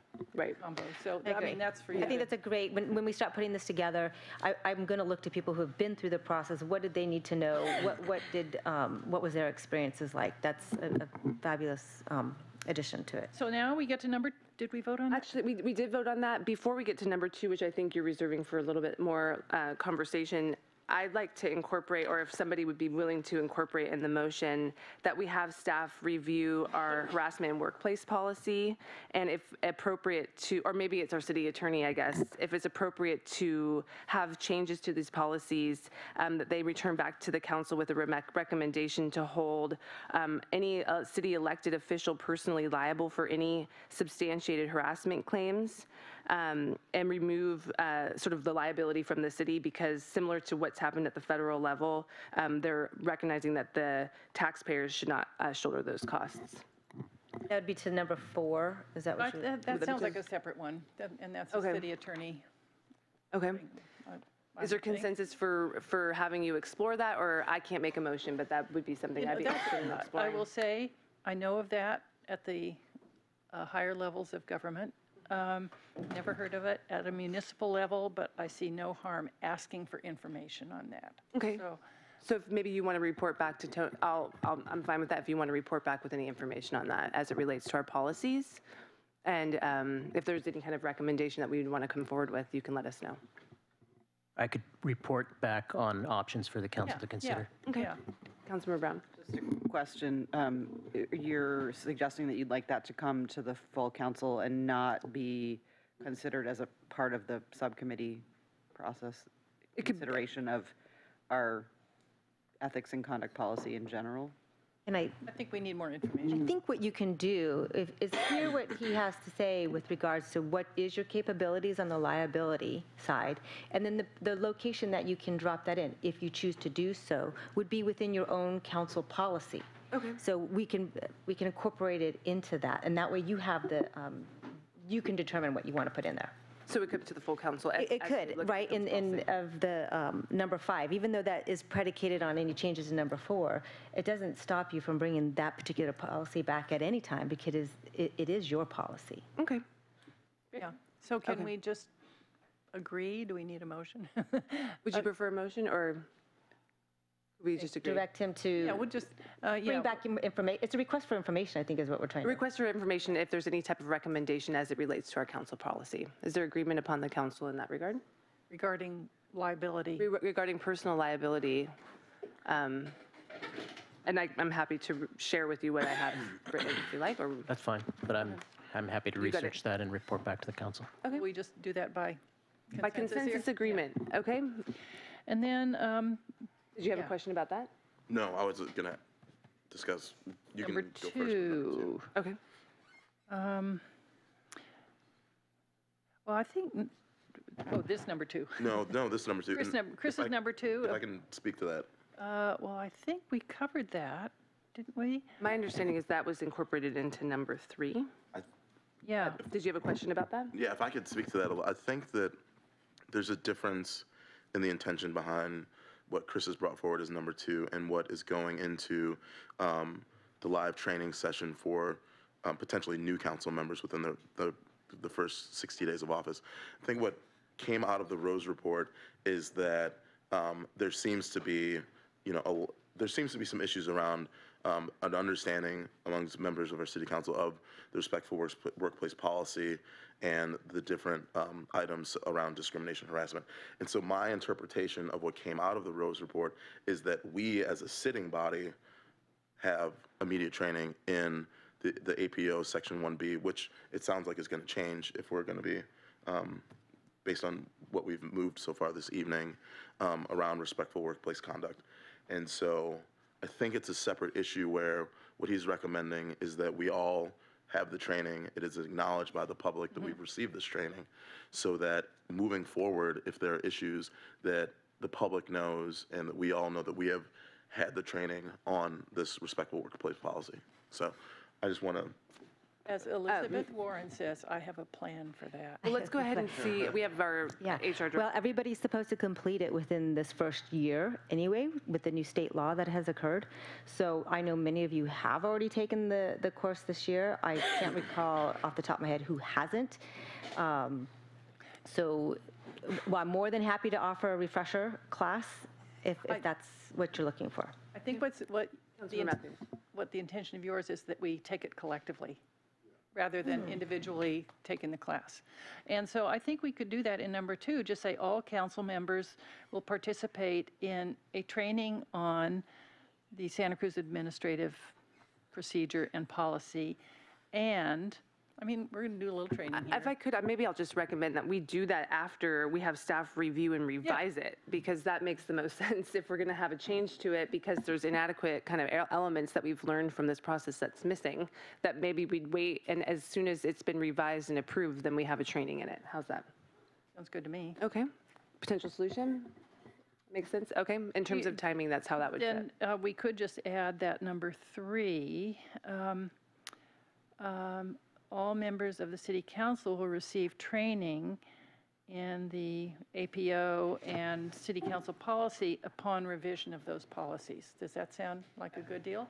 Upon revision of those policies, and it could be incorporated into the onboarding process moving forward from here. Councilmember Brown. I'm sorry to complicate, or to potentially complicate this, but I'm a little confused now because the training that I believe Ms. Murphy is talking about is a, is an already established training, mm-hmm. Um, which happens, uh, which is structured regardless of what our specifics are. This is about the state law. So having that refresher isn't going to, or, or doing it together as that training is not going to get us to looking at whatever it is that we kind of put No, together. no, I think our, our, the, when, when we- when we do it in-house, we incorporate our policies into it. So it, they're included. So if you do the, that's why the recommendation is structured that way, because our live courses include the city's policies, and that's when they're provided to employees. That's what we do with all of our employees. Okay. All that training I went to, but go- great. Um, So should we move on to two? Yeah. Okay. um, I am personally not so interested in spending the large amounts of money spelled out here um, for uh, conflict resolution and mediation um, processes. They seem very much in depth and kind of going over a lot of ground that's been done in the past by different groups. Um, Personally, I would support um, all members participate in um, a conflict resolution training uh, conducted by qualified conflict resolution professional, and by that I, I mean a collective training, and that the city then make uh, conflict resolution services available on an as-needed basis um, as situations arise. That to me is more forward-looking. Councilmember Glover. Councilmember Brown after. Uh, So while I can appreciate that, just looking at the estimate for, say, the Conflict Resolution Center, which we heard a representative from this evening, uh, their total estimated cost for a holistic, multi-tier approach to conflict resolution is $11,325. We spent over $18,000 on the report that we're talking about right now, which gave us the instruction to do holistic and complete conflict re- resolution. So I really don't think, um, well, I'm a little concerned, let me just reframe that. I'm a little concerned about us making a decision based off of price when we spend $7,000 more than the estimated total on the divisive aspect of not addressing conflict uh, re- reconciliation. And this whole concept of conflict resolution and reconciliation is near and dear to my heart because I firmly believe uh, that conflict in itself is neutral. Uh, we experience conflict every day. The, situ- the way that we determine what conflict is, is how we deal with it, whether we address it head on or through mediated conversation, or whether we let it brew up inside of us and rack up all kinds of different complaints and then uh, bring them all at once without even talking to the other person. So I would uh, encourage us, because I didn't hear second to that motion, um, that I would make a motion uh, to move number two um, and which is to engage in conflict reconciliation or resolution training with a qualified professional uh, and approach the conflict resolution center to use their uh, contract or um, proposal that they provided uh, in addition to conflict resolution training, to uh, instruct staff to come back with options for nonviolent communication training, unless that's already incorporated in the conflict resolution training. Uh, and then in addition, specifically race, class, gender, and power issues training with an emphasis on implicit bias. Second. Okay. I was, Councilmember Brown. I was going to second it. I was writing my note, but um, I would, I was going to second that. But um, I also wanted to ask uh, uh, if the maker of the motion would incorporate the um, part of the, of um, Councilmember Mathews' motion about have, making uh, services available on an as-needed basis. I think um, that doing something like what the Conflict Resolution Center has proposed, although we don't know exactly what that is because we have a price, but not a whole lot of detail on what. There's a plan. Yeah, there is, there- so there is a plan, but um, in terms of how it might get at some of the things that um, Councilmember Glover, you're talking about, I guess, is what my, what I I meant by think, that. how about, Um, That we can say, suggest, yes, that we'd like to have, I mean, I'd, I'd be interested in having all of those included. We- It would be worth asking the. Just for conflict information, Ms. Ms. Bradovic is here from the Conflict Resolution Well, Center, then- so if you have any Yeah. questions, Yeah. I'm sure she can answer your questions. Um, Maybe we could ask that question then, uh, o- and/or just provide direction that we would like to have that included in whatever um, comes, whatever training we get, as well as make, ha- making these services available as needed. And I want to make one more comment about that, because I feel like it's really important that we have some kind of accountability mechanism built into that, because part of the problem is, even if they're available and nobody's making use of them um, because not everybody's on board with doing it, we end up here. Um, And so I'd like to have, a, you know, somewhere, maybe in the subcommittee, some space for having a, uh, uh, bringing us a proposal that um, kinds of holds us, acca- holds us accountable for, for using those services as they are needed and not um, just kind of if we decide we want to take um, an up, someone up on the offer.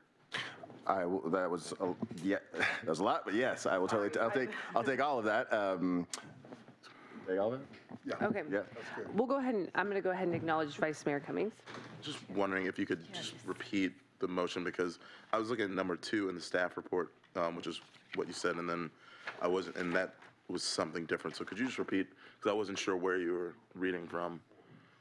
Yeah, I'm just uh, looking at the recommendations. Number two, to move all council members agree to attend mediation conducted by qualified conflict resolution professional and approach the Conflict Resolution Center um, to use the quote that they provided in the uh, agenda packet, which cites the 11,300 and change nu- number, um, but then also to incorporate, um, if it's not already in the training, and maybe the representative from the non, uh, the Conflict Resolution Center could come up and let us know, um, if there is aspects of nonviolent communication training incorporated in that conflict reconciliation, which I'd imagine there probably is, um, uh, but then also uh, where it comes down to race, class, gender, and power issues, and if they're incorporated in there. And then with the implicit bias training, and I want to make sure this is cool with the second of my motion, I specifically want the city of Santa Cruz to approach the Santa Cruz County Community Coalition to Overcome Racism uh, uh, and engage them in their cracking the codes implicit bias training, which has proven to be incredibly effective at opening up people's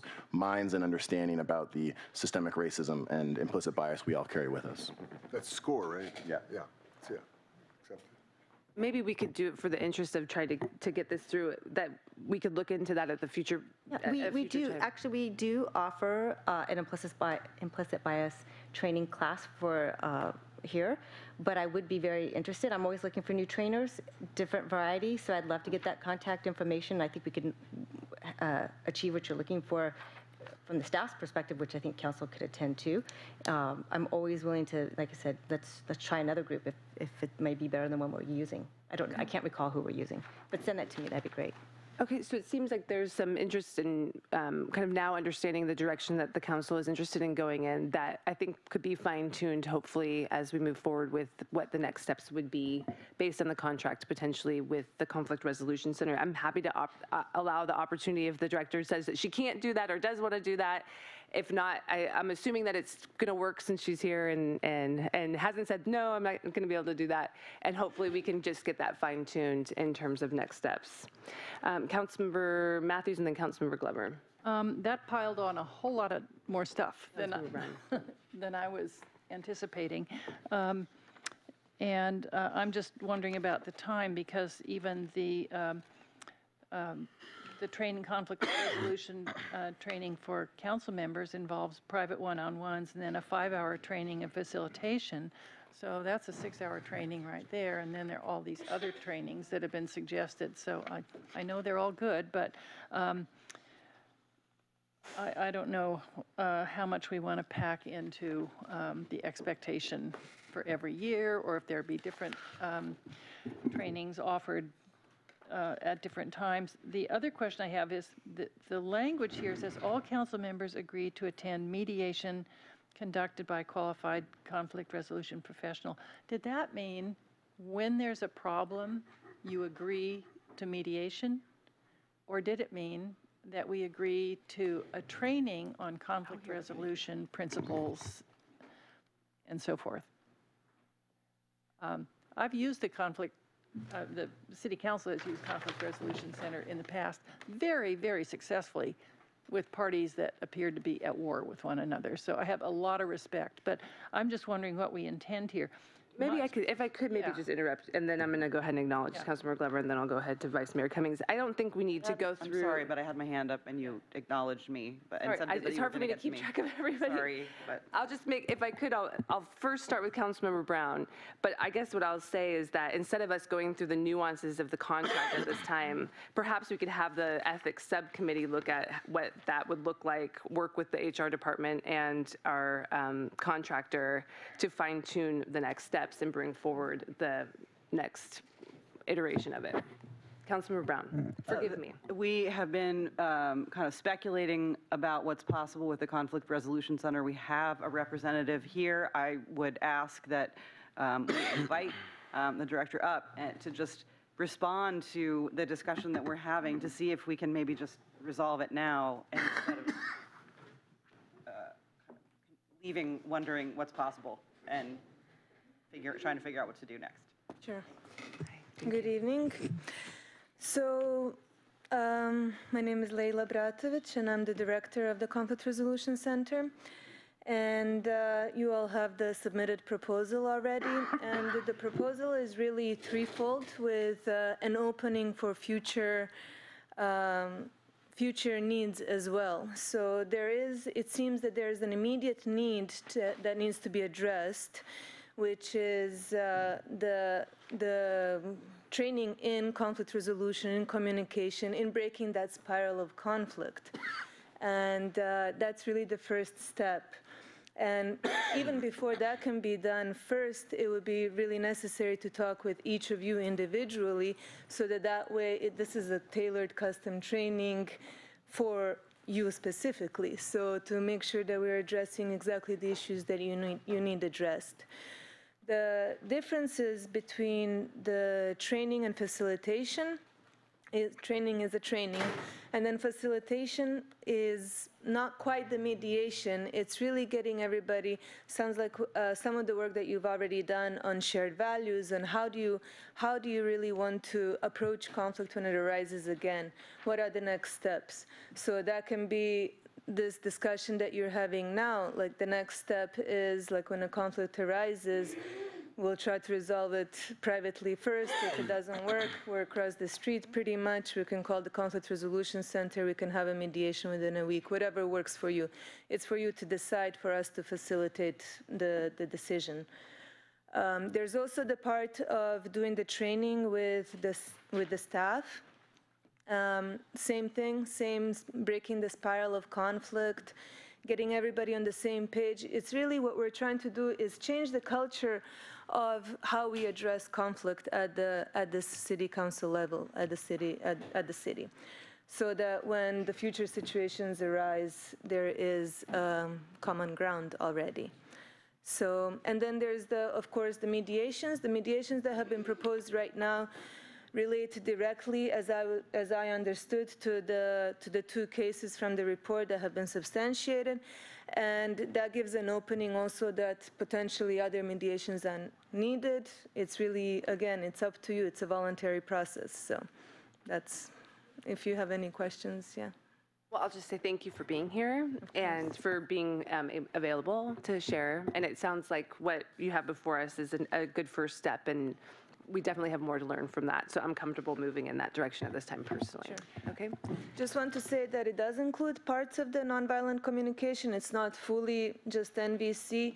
It does not necessarily include the implicit, like it touches, but it's not an implicit bias or any sort of um, racial gender training specifically. It's really communication. So. Thank you. Councilmember Glover? Thank you. Um, yeah, so as much as I appreciate subcommittees and stuff, um, I feel that this needs to be moved on uh, almost immediately, especially because we've been waiting for months and months to be able to address the situation. So um, I think that we should move forward immediately with uh, the conflict reconciliation training. Uh, To answer the question of Councilmember Mathews, I think that we should all agree to participate in this mediated uh, conflict resolution training with the professional at the Conflict Resolution Center as a group uh, and throughout the entire process, also with the individual ones, but also, as was mentioned and added to the motion, uh, make it an ongoing process so that we can have that um, available and so that there's a level of accountability to make sure people are using that as a first option before they go and file complaints or launch investigations and all this other kind of stuff. And then I also do, as much as I appreciate um, Director Murphy's uh, implicit bias training. I've heard from people that it definitely could use some updating. Um, and I am very familiar uh, because I've gone through the SCORE cracking the codes training. So I would prioritize that one uh, to make sure that all the council members receive that specific training uh, because of how uh, holistic and thorough it is. It runs about four hours. And so that gets back to the question of time. Uh, I think that this issue uh, deserves a large portion of our time because it has slowed down and impeded the ability for us to move forward on the super important issues that we should be dealing with as a city. So if that means investing 10, 15 hours of training in understanding all of these different nuanced issues and uh, different areas of interaction, I think that it is, uh, it would behoove us all and the citizens of Santa Cruz for us to invest that time. All right, Vice Mayor Cummings? Yeah, I just wanted to say that for, for clarification, I think that number two is pertaining to the current city council members and that this is, an- that, because we have issues right now that need to be reconciled and Yeah. we've been needing to, so. Yeah. I just, I think what I was hearing before, some confusion around that is something that all city council members have in the future, but I think it's just, I just wanted to clarify that it seems like that's specific for us as a body currently. Okay, so that seems to be essentially what was also affirmed by the executive director. Okay, did you have additional comments? Yeah, I just want to put it for the record that while I do believe that it's important for this group to go through the training because of the issues that currently exist, I think having preemptive training for council members, just like the other trainings potentially every two years, since that's the overlap of the time that people are on, on city council, uh, that may be beneficial because that will not only reinvigorate the knowledge in the minds of the people that are continuing after those two years, but also give a very robust and clear understanding for the new coming uh, or incoming council members. Councilmember Mathews. Um, I do want to get some clarity on the nature of the motion. Um, As spelled out here, it's um, 10 hours of training, just um, interviews and training and follow-up facilitation on the conflict resolution, and then additional training on other topics. And so So I- If I could, I think it's essentially accepting the conflict resolutions contract or proposal, and then um, Councilmember Glover was going to be working with uh, our director, Lisa Murphy, from HR on implicit bias training, and if there's a training that the council members can take as well as soon as possible, would also be incorporated that. Does that summarize your motion? Yeah, just, uh, Simply. but also the race, class, gender, and power, uh, which is kind of in the implicit bias training, so we'll start there, and then if there's more we want to expand on, we can bring that secondary training back, but Okay, so knowing that we can expand training beyond that at a certain point. That's essentially the motion. Councilmember Brown? Uh, I'm just wondering where the incorporation of some accountability to utilize um, conflict resolution and mediation as needed. Uh, I believe it, uh, I th- part of the motion, wasn't it? it was a I friendly didn't hear it. amendment. Yeah, I friendly didn't amendment hear that you it. made, and then me, we both accepted Because you it. captured, okay. Got it? Okay. Yeah, Thank you. but thanks for clarifying. Vice Mayor Cummings?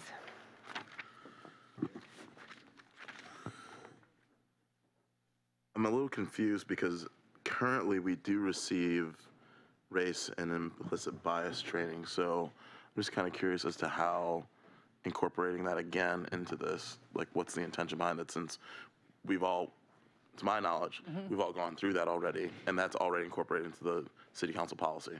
Yeah, the uh, implicit bias training is a specific and in-depth four-hour process that's paired with uh, uh, video and incorporate small breakout sessions with discussions and uh, exploration into uh, personal biases and unconscious behavior. So it's just a lot more in depth, uh, and it I think it really carries a lot more weight because I've been, like I said before, I've been through it a couple times now, but also watching people go through it and the transformation that they have just in their understanding of the situation. I guess if I could, I just think that we can look into that and move forward, but for the interest of the item before us around the conflict resolution, maybe we can, instead of trying to go in that, we can just kind of maybe focus on that tonight, and knowing that there could be more opportunities to look at what we've already had, what you're suggesting, what could be contracted with through our Human Resources Department, how it might fit in for the purposes of this evening's item, particularly as it relates to what's agendized this evening, having it go through some of that conflict resolution components at this point seems appropriate. Does that work for you in terms of the direction that's been taken in? Uh, as long as we're working on it to potentially implement implicit bias training through SCORE and cracking the codes, then sure. It sounds like that's what our, uh, our, uh, We require, like I said, we require the cultural diversity class that you have to take. And maybe it's time to update, refresh, try something new, do another look. Um, That's, that's something we can do, but you all are required to take that. And then just to reiterate again, the implicit bias, which we do have that class, it's not required to take, but we do offer it. Um, But it can be time, as as we were saying, to look at it again, revamp it, you- go another, uh, with another uh, vendor, or have you say, I have, that's absolutely fine. We don't require that class is what I'm, is, is the distinction I want to make. okay, so we can look at our policies around that. That- Does that fit? Okay. Okay, so essentially, um, moving forward right now, though, at the, at the time with the recommendation of two, and moving forward with the, um, the um, Conflict Resolution Center, excuse me, right? Okay? Do we have a, a- a time certain, uh, I mean, 60 days, are we going to, you know, that's our deadline to do this? As, as soon as we can figure it out. I'll start scheduling. You know how difficult it is for to get you all together, but that's, that's the first hurdle to overcome, but we, we can start right away. Okay, that'd be great. As long as right away. All right, And So just to clarify, with respect to the conflict resolution, we'll get started on that right away. That'll be the priority. With respect to the other trainings, we'll look at how we might incorporate that or update it within our existing uh, programs and, and, and classes, just to be clear. okay, okay, great. I had a Yes, question. Does this incorporate mediation? Because, I mean, I hear a Yes, it conflict does. resolution training. Yes, con- yes, yes, as, as described by uh, Ms. Bradovic, yeah. Packet, yeah. Okay. Any further discussion? All those in favor, please say aye. Aye. Any opposed? Okay, that passes unanimously. We'll go ahead and adjourn the meeting at this time.